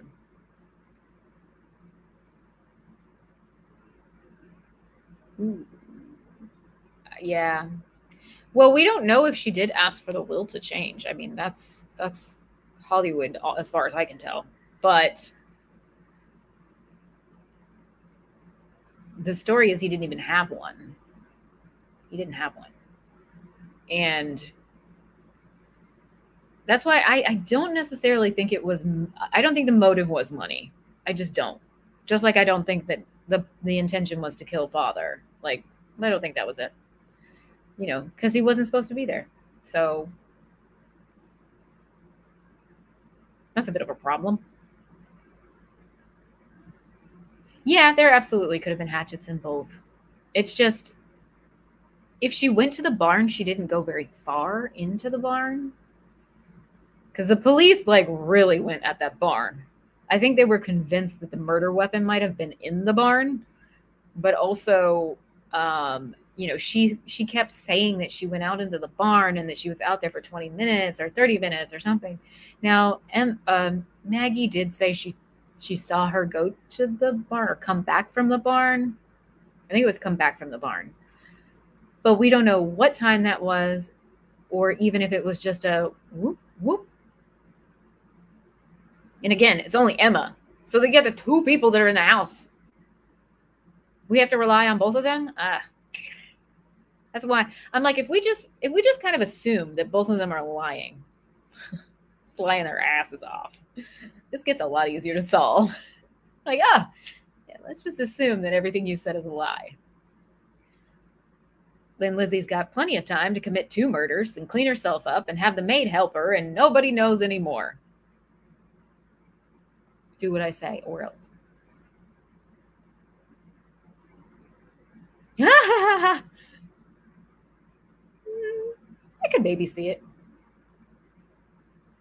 I feel like there is a need for an allegedly icon emoji. Yeah, we do. We need an allegedly warning. Allegedly. Um, Lawn Lumber said the family thought it was being poisoned, maybe a known toxin today that wasn't known then. The, I mean, apparently the coroners say there wasn't any sign of poisoning. There, Lizzie was saying something about the milk. What I think was more likely is it was simply food poisoning. And I don't know if they had the capacity to determine that you know, because if we're talking about salmonella, maybe they didn't know what that was per se, but and so it wouldn't necessarily show up as a poison. It would just show up as, well, you know, everybody was sick because they also complained about this mutton. Yeah. But I don't know if anyone else thought they were being poisoned. I think it was Lizzie saying that. She's the one who was going around saying this and and saying that I think she did say that her father said it to the doctor, but I'm not sure if that's backed up. Because again, she was going around at the last minute saying all these crazy, like paranoid conspiracy things. So either she was actually paranoid for reasons, or she's setting the stage for when something crazy happens. Ta da! Because this is apparently so she's doing she's telling Alice Russell all of this Wednesday night when she also was allegedly trying to procure cyanide Wednesday morning. And and that was interesting because I think they had some what what Scott and Rob were saying didn't jive with what I read in the testimony at all. Like at all they were saying that they didn't know it was Lizzie Borden. One of them said they did. That they knew they did they didn't know at first that it was his daughter. But they had they absolutely recognized her. They absolutely knew and the other person went to the house to see her from like a distance to positively identify her and then it was three people three people were saying yeah, it was her. I recognize her. She came in. It was her. So that's three people saying, yeah, I saw her that day trying to buy cyanide. It wasn't just one, and it wasn't a, well, maybe it was her, maybe it wasn't. So again, you know, testimony varying degrees, but ooh, like if if if she walked into a store and tried to buy cyanide that morning and then goes and tells her best friend, I'm afraid somebody's poisoning us, it's in the milk. She had plans. She was trying to leave a trail. That's why Alice Russell's testimony is actually really weird. Because she was her friend. It makes me think that she panicked that she saw things that day that she didn't understand and didn't want to explain. And then when she when she saw the burning of the dress she was like i think alice russell thinks she did it. That's the vibe i got. And she was one of the first people in that house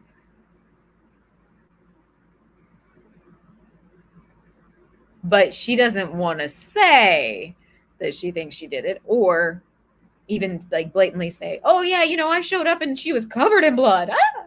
Nope, not going to say that because you stood there and watched her burn a dress. Somebody probably told her you can't tell. No, no, no, no, no, no, no, no. If if she was wearing a bloody dress when you got there and then you got her to change out of it, because that's the other thing. Lizzie says someone suggested I change, but everybody says they didn't suggest that, and she but she did change. So who who when where why? Hmm. Very suspicious. Very suspicious. Yes, yeah, so that's true. I've thought about that. The kitchen meat cleaver could look like an axe, but typically they're much longer. The blade is much longer.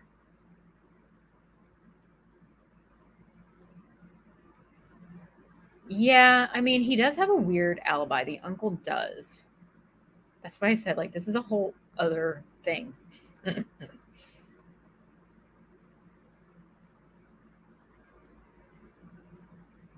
Ooh, the evil stepmom theory. Wait, you got oh Twitter. You can't spam a hashtag. Somebody's reporting you.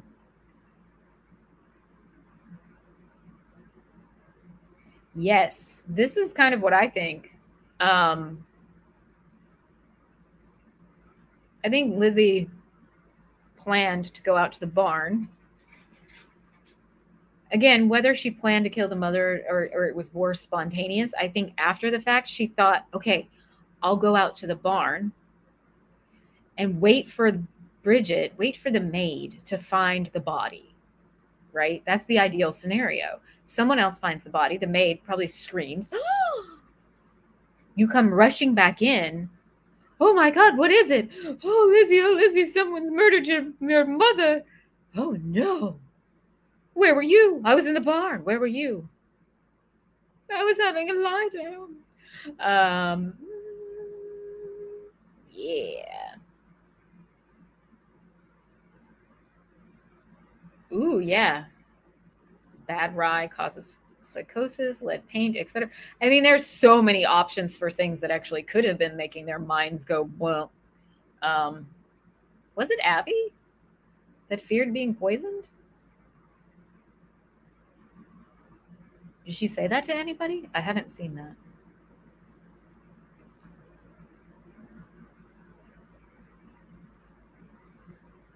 Well, I see what you're saying. But it's not like she's a professional here plotting murder, right? That's why I think it was actually a little more crime of opportunity and then there's the whole mysterious hatchet on a roof thing that I have to find out about.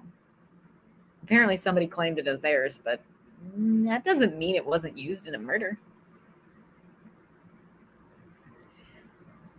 Yep, it is. It is as convoluted as Jack the Ripper. I'm not sure when the other murder was. I have yet to find it. I need somebody to tell me where to look because I've just heard people talk about it. And I'm like, so where can I read about it? Um, it was supposed to be when she was in jail, though. But again, how similar were they? Because, yeah, it might not be that similar. It, this could be this could be something that turned into more, like the Jack the Ripper thing. There were all kinds of murders that they initially people would initially try to say was Jack the Ripper, and they would be like, nope, doesn't match, not at all. And then it becomes that, oh, are these people doing it as a copycat or whatever? I will say this: you you were convinced that she was innocent until listening to Rob and Scott, and you. Now I'm not sure. Wow, that's interesting because I thought I thought people I thought Rob's stream convinced people that she might have been innocent.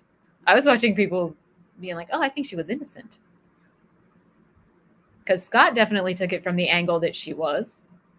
Whether that was just because she was acquitted or whatever, but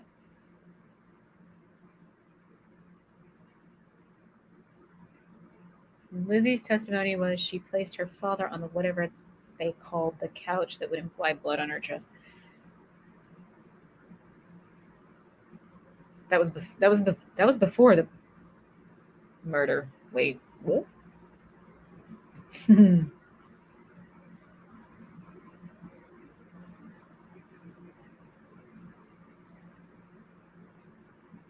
Ooh. Missing someone the police missed too. Yeah. I don't know. Go read the witness statements. They they chase down every goddamn crazy ass lead. Um Okay. Like also, I don't think that hitmen were that popular back then. Were they? I mean, did I miss something?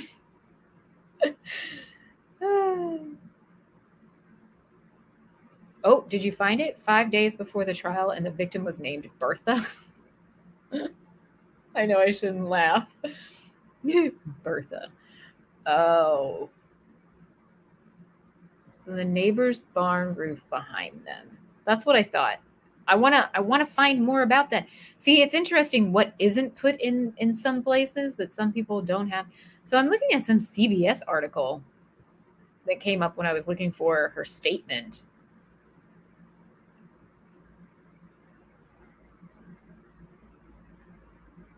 Oh, it looks like it was a special. 48 hours. Of course.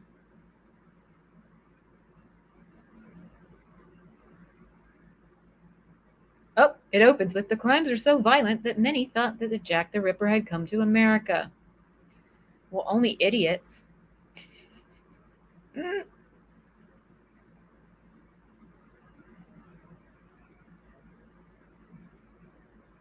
This might be the woman I listened to the other day, but I'm not sure.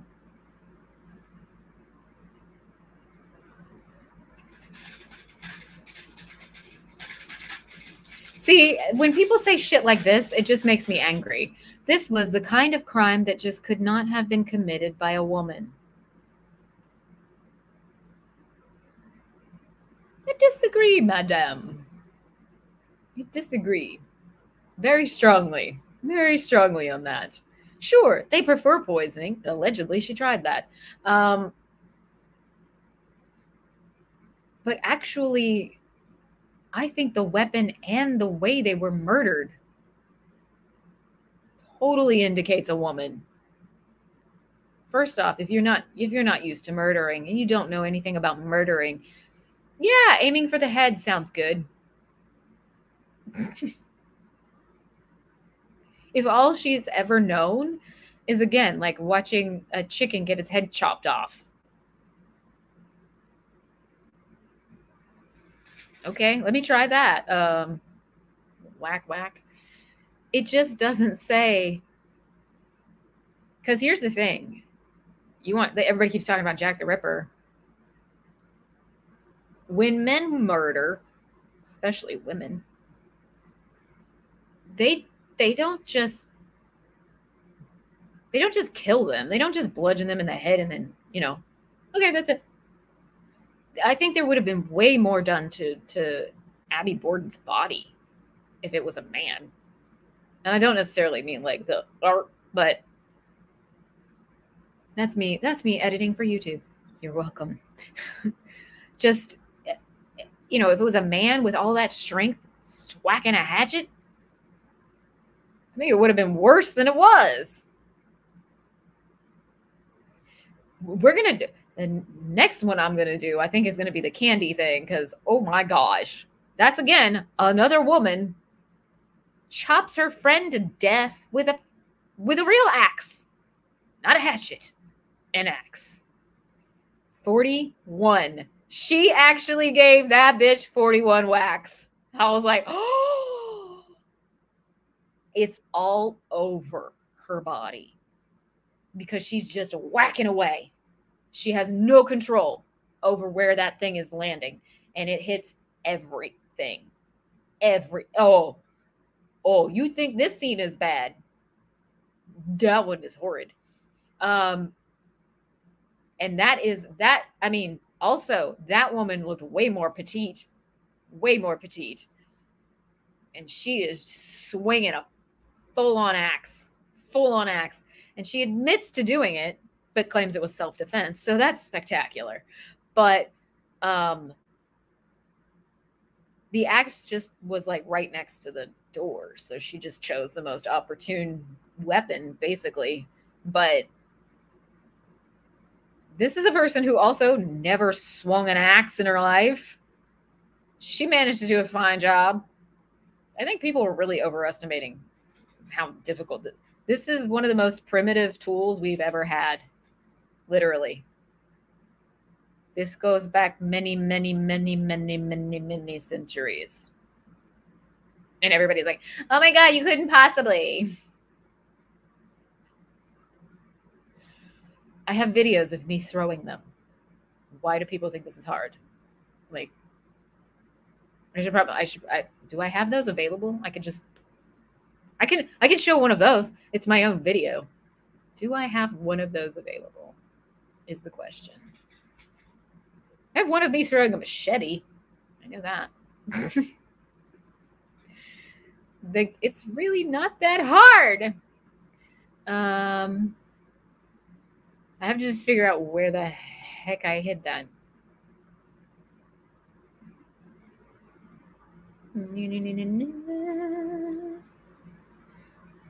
That says katana. It's probably at the end of one of these. Not that. That'll get me banned for life. Ah! no! Do you guys think that was too much? Disney's got me now. They're going to be like, Yeek! copyright strike. I didn't know that was there. No. Uh, there it is. Ooh, that's knives and hatchets. This is, I had to go way back for this. I have to go way back for this. Wait, wait, well, not way back. I had to go, wait. Hold on. I'll figure this out. I'll figure this out. This one doesn't have music, I hope.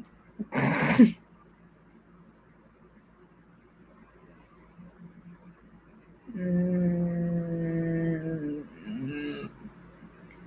This is funny. When I find it, then I lose it. It's fine. when I find it, then I lose it.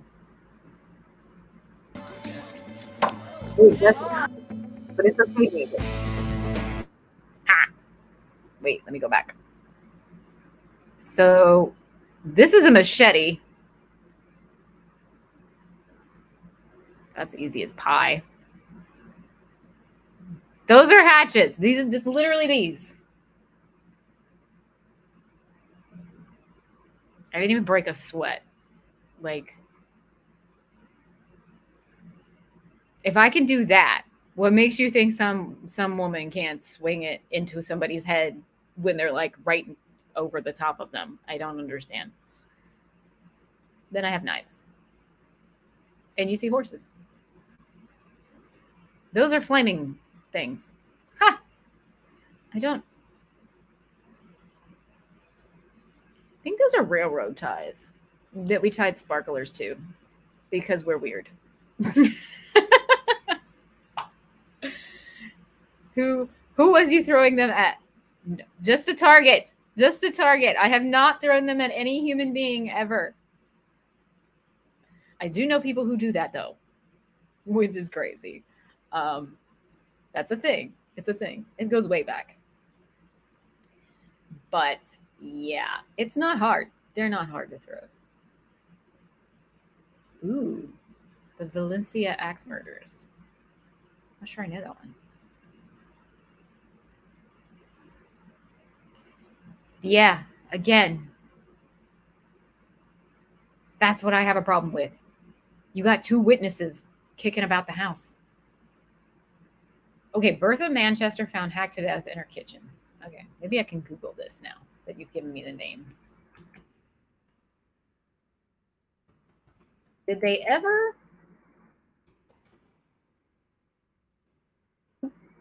Did they ever have a suspect in that?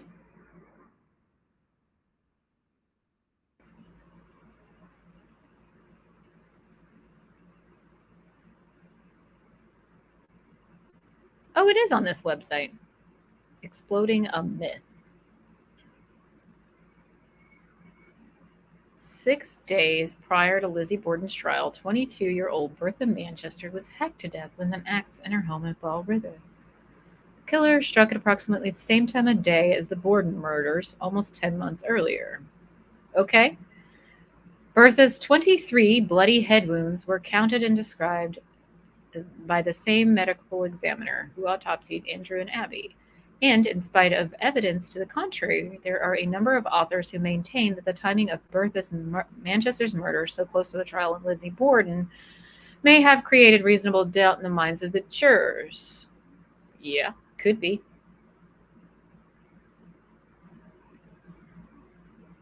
Shall I show it to you? I think I can. This is, I can read from this, right? This is allowed. This is allowed. Oop, let me. Um, certainly Lizzie's good friend, Charles J. Holmes. so convenient name. Mounted a valiant effort to create such doubt. He filled multiple newspaper columns comparing the two incidents. He pointed out that both crimes. Hey, is this the guy that was interviewing her in the other thing? I bet it was. Both crimes occurred within Fall River city limits. Wounds were similar in location and number. The assassin appeared to linger at the scene after the murders. The victims were slaughtered in their homes in the morning hours, and valuable items were left undisturbed. Okay, in contrast, the June 1st, 93 edition of the New Bedford Evening Standard focused on the differences between the two cases. Here we go.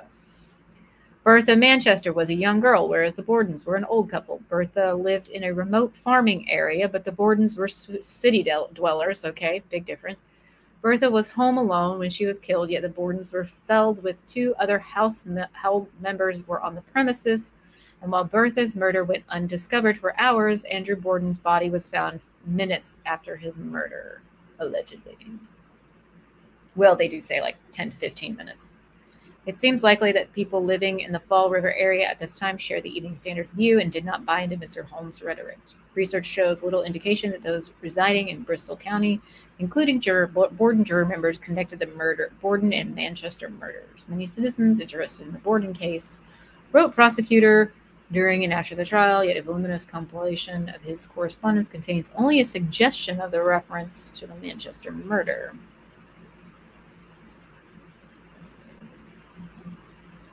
I see by the morning papers that killing people with hatchets is a Bristol, Bristol County habit. That's hysterical. The date of the letter indicates its reference that same year.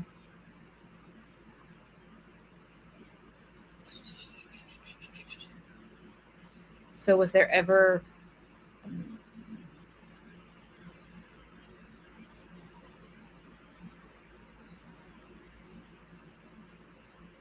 Ooh, so he didn't even use it in defense. That's interesting.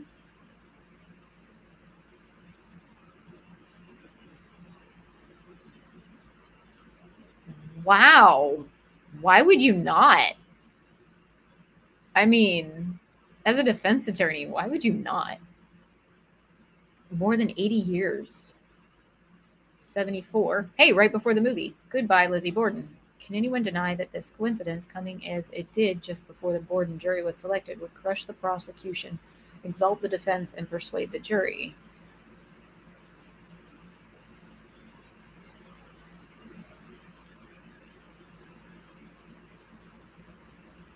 Mm.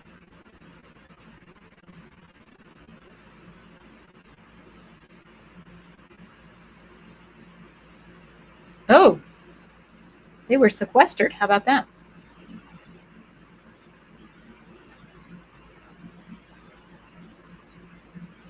This is oh, the suspicion and the death of Bertha Manchester has centered on Jose. I'm not going to try it. Carino, Corino, Carino. Look at all those names. Okay. And in Portuguese labor employed briefly at the Manchester farm. Okay, see. Mm.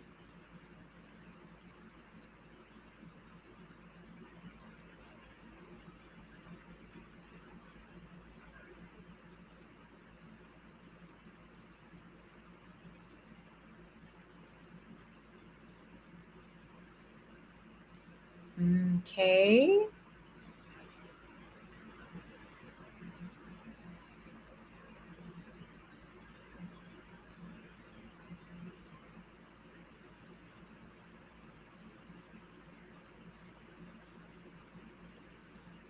So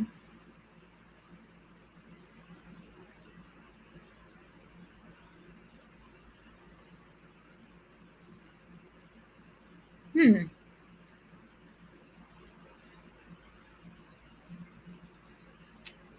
They have they have somebody convicted of that one. And he worked there. Sounds to me like a copycat. Right? Sounds to me like he wanted to kill his his this lady and he was like I'm to do it like that. Doesn't sound like he was did both. I don't know. Definitely interesting. Definitely interesting. But um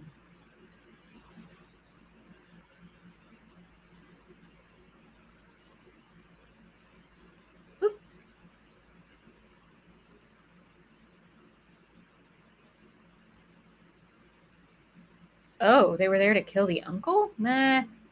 Why would you again, why would you risk that? There's multiple women kicking around the house.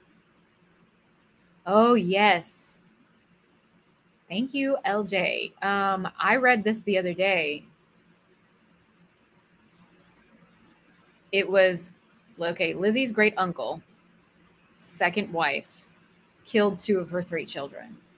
Um, you know, that they're saying like that would be probably considered postpartum depression nowadays, but that, you know,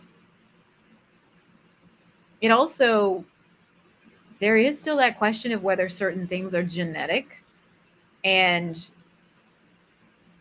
not sure they would be related in any way i guess not but yeah the the borden family has some skeletons in the closet think in 1984 wait what? yeah. And he lived there.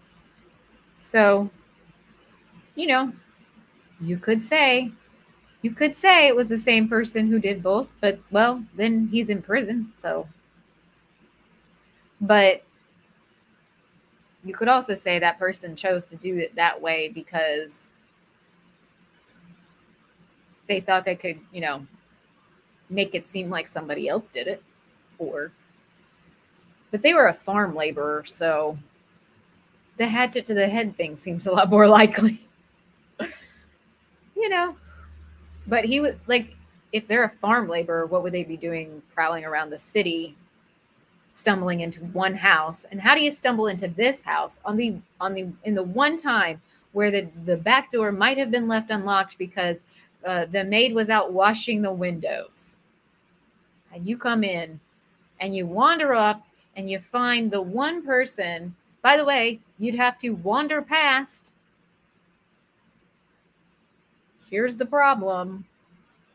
If somebody, if it was a stranger coming in, they would have had to walk past Lizzie Borden to get to the guest room because she kept saying she was in the kitchen, then in the dining room, then in the kitchen, then in the dining room. She didn't go out to the barn until after her dad came home. So, unless you want to you know, unless we're changing that story again, but um, if you come in in the back door to get to the guest room, you have to go through all of those rooms to like get to the stairs to get to the guest room. So you'd have to walk past her at some point. That's the problem. See, you see the problem. The problem is always Lizzie Borden. That's how she becomes the prime suspect. Oh, oh, it's in the Lizzie. Oh, thank you. Am I familiar with the Sylvia Likens case? I am not. I'll have to look that up.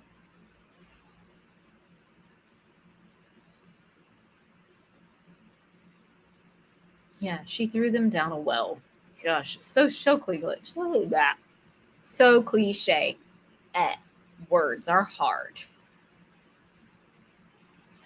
All right, this went way longer again than I intended. Hold your hold your speculation. Hold your speculation in, ladies and gentlemen. we uh we got a lot more. Um wait. I haven't heard this. Pamela says maid told her sister on her deathbed that she changed her story to protect Lizzie. I will believe that because I've read her testimony.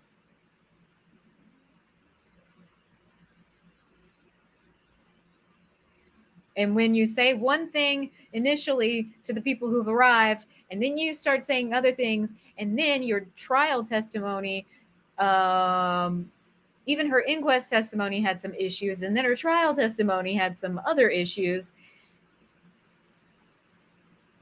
And it just it just comes off as I'm I'm not saying exactly what actually happened it actually comes off as I'm saying what I was told to say. At times, it really does come off as I'm saying what I was told to say, word for word. We we all familiar with that one. We all familiar with that one. What I I think she saw her at the very least covered in blood or with blood on her. I think it's also possible that she walked in literally as Lizzie was hacking at her dad and screamed. And if somebody looks at you and they got one of these in their hand and says, shut your mouth and you live, like, you know, that's it. I mean, yeah, I know I've gone real dark there. I've gone real dark there. But her behavior that day is panicked it's panicked. But I think it's I think it's even easier to believe that that that that several people saw Lizzie with blood on her and Lizzie gave an excuse or reason and they just were like, "Okay, yeah, you go get changed, you get cleaned up, um, and then when you know the doctor gets here, everybody gets here, and then the police get here, and then we'll just say, uh, uh, uh, Oh, I don't remember what she was wearing. It was like a navy blue. I don't know. Lizzie gives them this dress. So they all start trying to describe the dress that she gave them. She gave the police. They can't describe it right.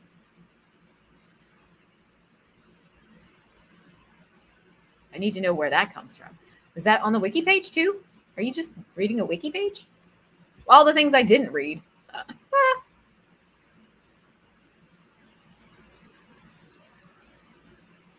Yeah, that's a good one. Yeah. So yeah, Lizzie let it did it or let it happen. Either way. Did the did the mate? I have to look this up now. Shit. Oh. It's all on the wiki page? Didn't know that. Oh yeah, I've heard this one. I like the I like the stealing something idea better, but same Christina, same Christina. Channel Banks. Yes. Ah. Or saw her. Yeah. That's the other thing about the window cleaning and the which windows she's cleaning, when and where, and how do you not see anything? Because at one point, she's literally cleaning the room he dies in. It's before, allegedly. And then there's this whole thing about did Lizzie did Lizzie close the blinds? Oh, there's a lot. There's a lot. Yes, Maggie Whitneyed her testimony. Yeah, yeah, yeah, Lady Gray. That's what I'm getting at. I think so. So if you want, because again, Lizzie did not testify at trial. So if you want to dive in, if you want to go deep, here's where I started. I read Lizzie Borden's testimony from the coroner's inquisition. So it's two parts. It's kind of lengthy, but if you start with that, then you go read Bridget's testimony from the trial. She actually she actually testifies multiple times, so you have to look through the uh, index and you have to find it. But also the witness statements. So that's what the police were taking down as notes in the beginning that's where I thought I caught the first changes in the stories. I was like, oh wait, oh hold on. Um, and that's like right after. So you know, people not remembering things, people changing their stories typically happens as time goes by, not in the immediate aftermath. Right? So we're already changing stories. Then I went and I looked at um I did Emma's, I read Emma's because I was trying to see what she backed up. I read Alice Russell, I read Mrs. Churchill because these are the first people there. Uh, I have not finished Dr. Bowen, and he's like probably the next one I'm going to dive into. But if you read what Lizzie testifies to, and then you read what the maid testifies to, and then you look at what she originally said in some things, you'll you'll start to see it.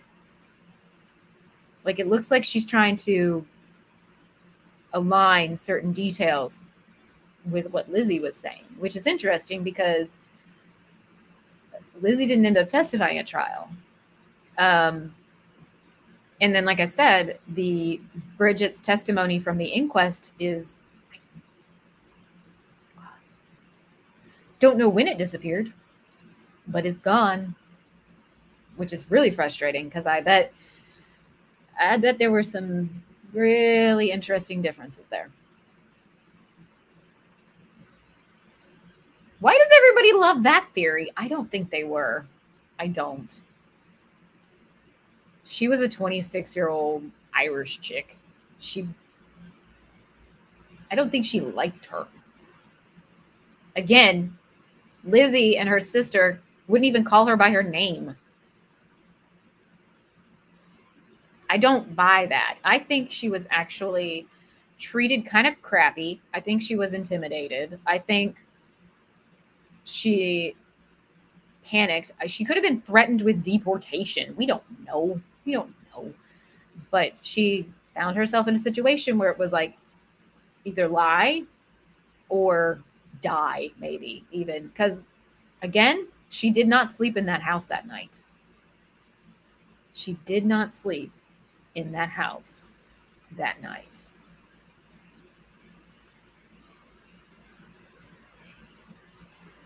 almost like you knew the murderer was still there, right? Right?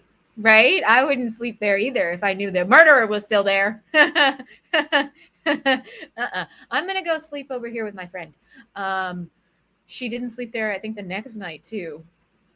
She came back eventually ish, but uh, John ended up staying there as well. So, very I mean, all of the maid's behavior says she freaked the fuck out. Like, she was like, I'm out, I'm out, I'm out, I'm out, I'm out. She also wanted to get out of their employment quickly. She she was gone. She was like, I'm gone. Like, girl saw some shit. And she like, nope. So it, sounds, it seems to me like she believed that Lizzie may have done it. Ah! American Crime.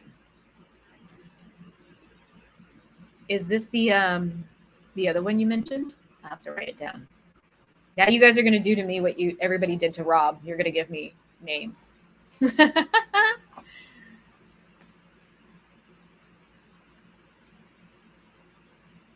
yeah.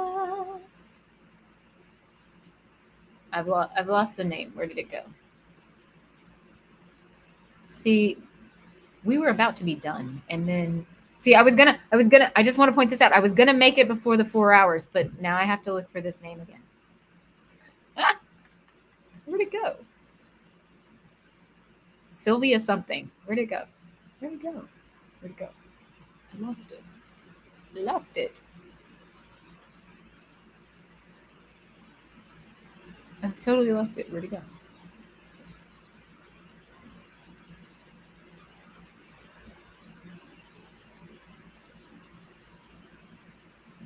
Oh, there it is. Sylvia. I've never heard of it.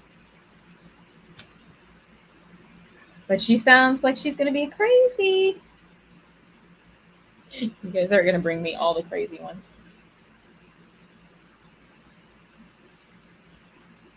On a scale of one to I'll never sleep again, when I Google this. it's all right. I'm now looking at these crime scene photos, like, whatever. It doesn't matter. It's fine. Yep. All right, you guys.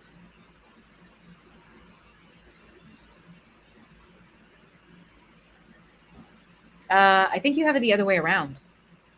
Maggie is supposed to be the Irish slur. Or was there some other Bridget thing? I don't know.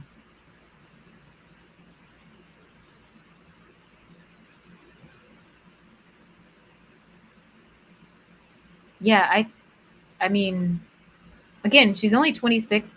She also had no other family in the United States. None you can't get caught up in some freaking murder trial. I think she had a lot of reasons to do as she was told. It's just a matter of what was she told to do. Well, you know, just can you clean up some of that blood on the carpet there? Or, um, no, you didn't just see me covered in blood. I'm going to go change my dress. Shh. I I think I think Lizzie would have made it this the story, made up an excuse, you know. Oh my god, I just walked in and I found him like this. She could have even had that. Could could have been one of these. It could have been one of these. You know, hatchets happening. Hatchets happening. The maid walks in, or she hears the maid coming, and because the door is open, and she just goes, "Oh, I just walked in and I found him like this. Huh. I don't know what happened, you know. Somebody came in and murdered him. and I, I, I, and then like she like touches the body to like try and make the blood look less suspicious, you know, whatever. Um you're you're you're welcome for my I'm I can't move my camera. But she could have even seen her with the weapon in her hand. But as long as she played it down right, she'd have been like, okay. Maybe she even said, I think I saw someone flee out the back door. Maybe. I don't know. Um, yeah. Yeah, exactly. She had 28 wax reasons not to ask. Exactly. I wouldn't ask no questions either.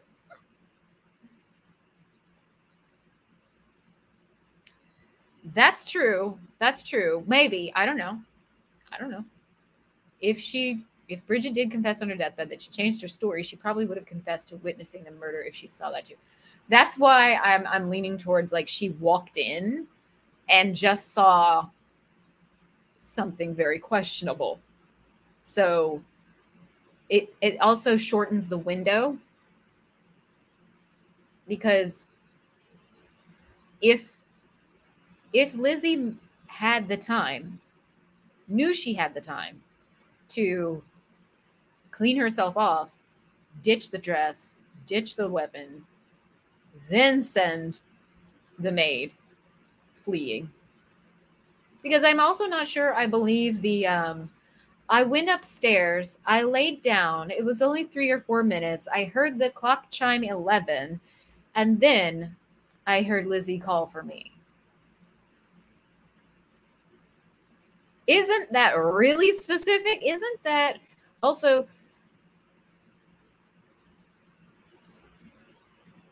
You were only up there for three or four minutes. That doesn't give anyone any time to do anything.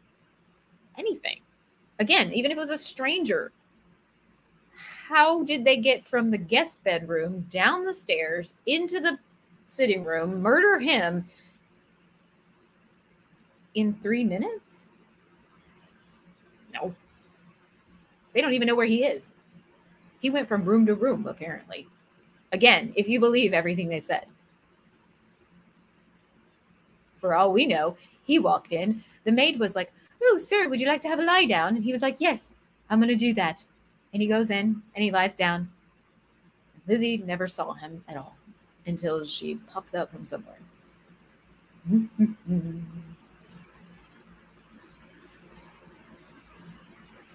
She might have.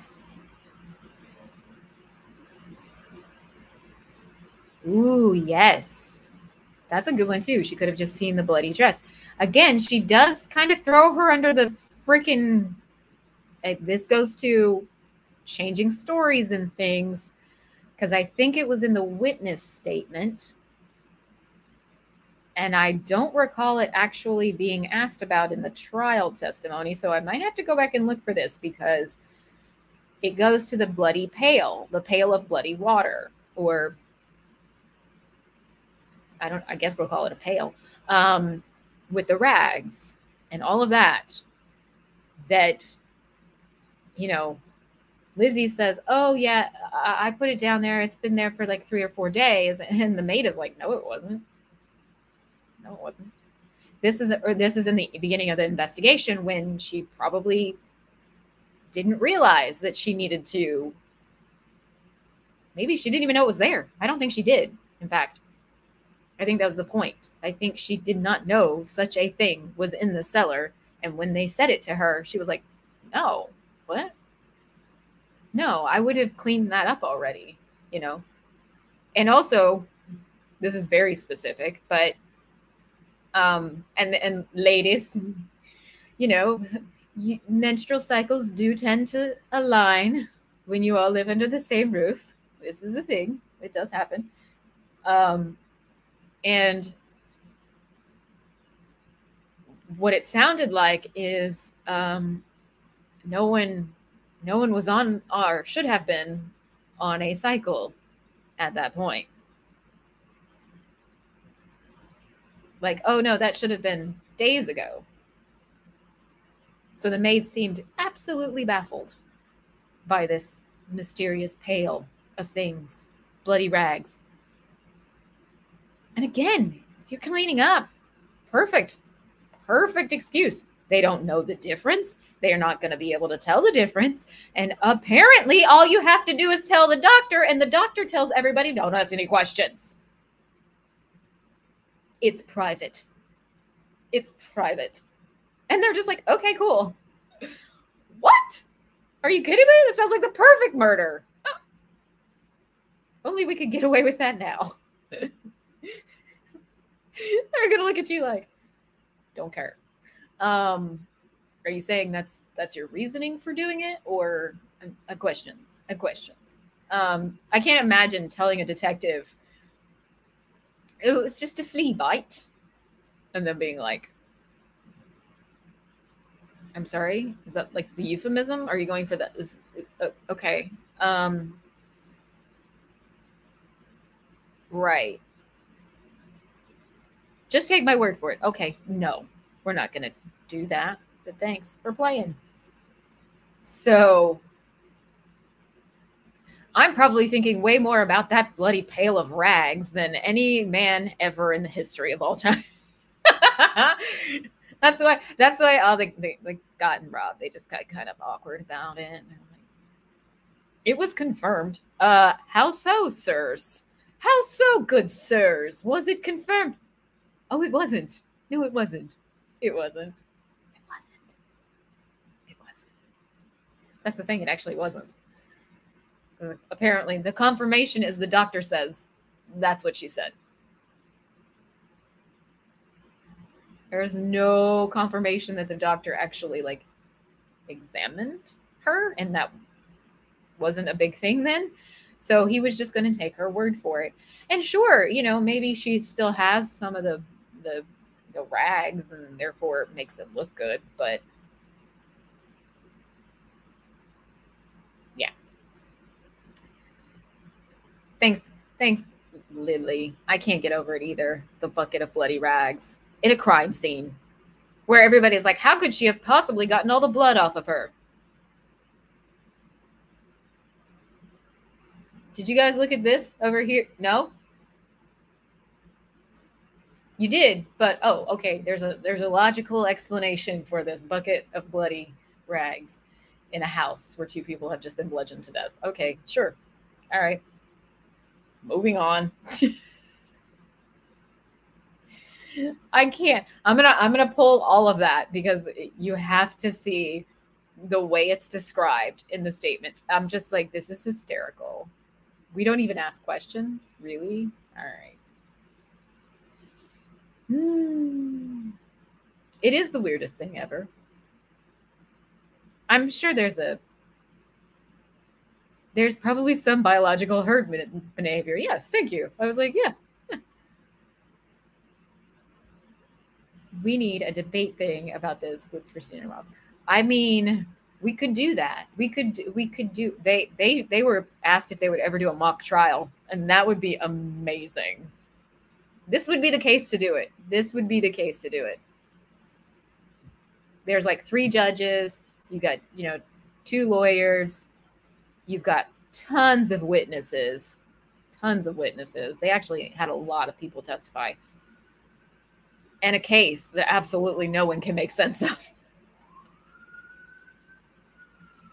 so it would be a great one. It would be a great one. Um, I, I think I'm I'm like I said, I think I'm gonna have to do a whole episode. Now this is gonna turn from two to three at the very least, which is fine. Whatever. Um so Thursday, Thursday, we're gonna wrap this up. We're gonna wrap this up. Thursday, I'm gonna go through Lizzie Borden took an axe. Now, I don't think I can use any screenshots because I know that I can't screenshot off of Amazon because they're, they're they're shitty. So I'll probably just highlight the big things. If I can have all the stuff about the dress and stuff ready to go, I'll do it that day. If not,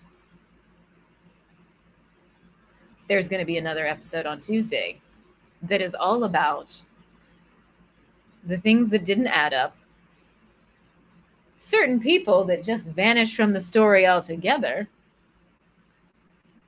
And all the potential mysteries. Like i mean we just learned about this one but it doesn't sound it doesn't sound like it's a good fit actually. Maybe it is maybe not. But i mean i guess has Fall Rivers had any more axe murderings not, it seems not. Ooh. I do use Google Chrome. Are you trying to say that's the secret? I'll try it later. Was this more of a Dr. Curry note or a Dr. Spiegel note? Which one are we talking about? Nobody in this situation is actually, I take that back. There's one detective who kind of sounds like a Dr. Curry, did not did not buy Lizzie Borden's for one second. This one was like, this woman is acting weird, like really weird. This ain't normal.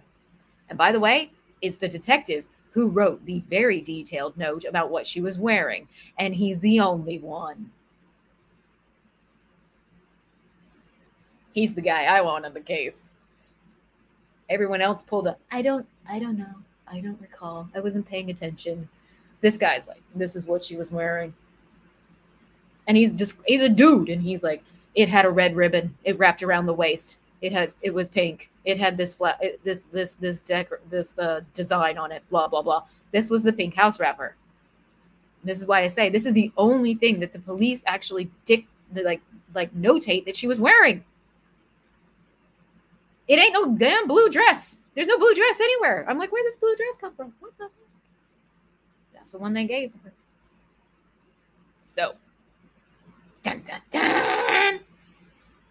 All right. Ooh. Settings and turn off hardware acceleration. I don't know what that means, but I'll try and find it.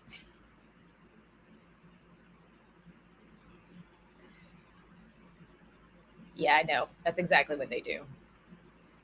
Otherwise, I'll just I'll just I'll just old school it. Ooh, you know what? I could I could literally I did handwrite. Look at this. This is I'm such a nerd.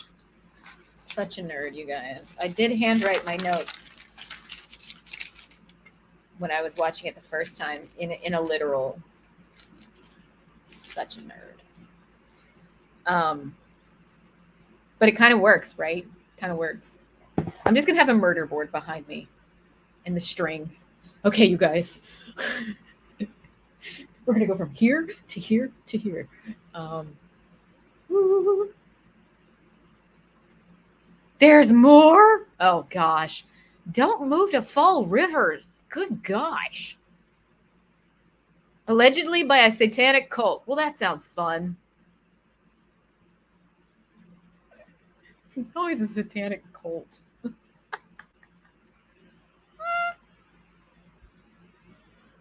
You know, it's almost never a satanic cult. I just want to say that. Um, first off, they have better things to do, and you know they're they're not going to get caught. Come on, if you're making deals with Satan, should be fine. Should be fine. Yeah, we know. Yeah. That's why I was like, the police, like, oh, everything that everything in this case would drive every detective on this planet batshit crazy. In fact, I think that's the one. Uh, I think the the version I found, I'll find it again, that had the uh, pointed out the the coat under the head in this theory, and was also like, there's some serious questions about the dress and things. I think that person actually was a detective, which is probably why I was like, yes, hello, person, you're on the same page as me. What's up with this dress? There's too many issues with the dress. Too many issues. I bet y'all thought Massachusetts was safe. We did blue um, until now. I don't know. It's probably everything is probably better than Florida, right?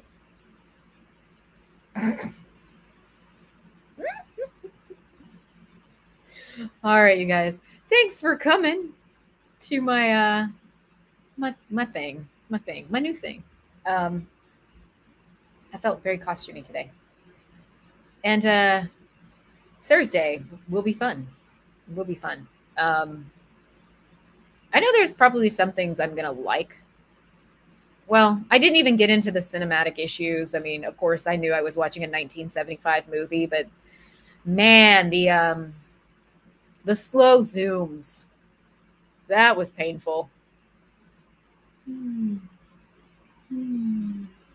Oh.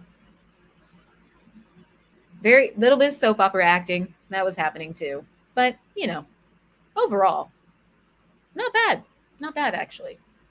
Especially because I don't know what the budget was, but they, I, I will say this they did not film that in Massachusetts. They definitely filmed it here in Los Angeles because at one point I kind of caught the Hollywood Hills in the background. I was laughing. I'm like, you guys, this is because you can't CGI it out, but I can I can see the the dry, crusty mountainside back there in the back over the buildings. Um, it was funny. It's like right in the beginning, I think, or maybe when the crowd is gathering outside. There's one wide shot where I'm like, yeah, I recognize those hillsides there. Cute. So it was one of the studios up here, I'm sure. Ah, Yes, maybe you YouTube look. Now I have to go back and looked like the Universal lot. Wow. Did they exist in the 70s? Oh yeah, maybe. Okay. I would be more inclined to think Warner Brothers. Although I don't know if they had that part over there at that time. Because they started down here, literally, right? Like a mile north of me. So but it's one of those. It's one of those over by the hillside that it's now Warner Brothers. So it could have been. Maybe, maybe they did move out there that long ago. Things I don't know. Yes, thanks for everything. The lace was giving topic wise. Hmm? We we're gonna have fun with this one. It's crazy. So if you want to dive in deep, and read the trial transcripts. They're long, but that's where you're going to need to go when we get into the this is my theory, here's why, and um, here's why all the other ones suck, okay? Like, dress.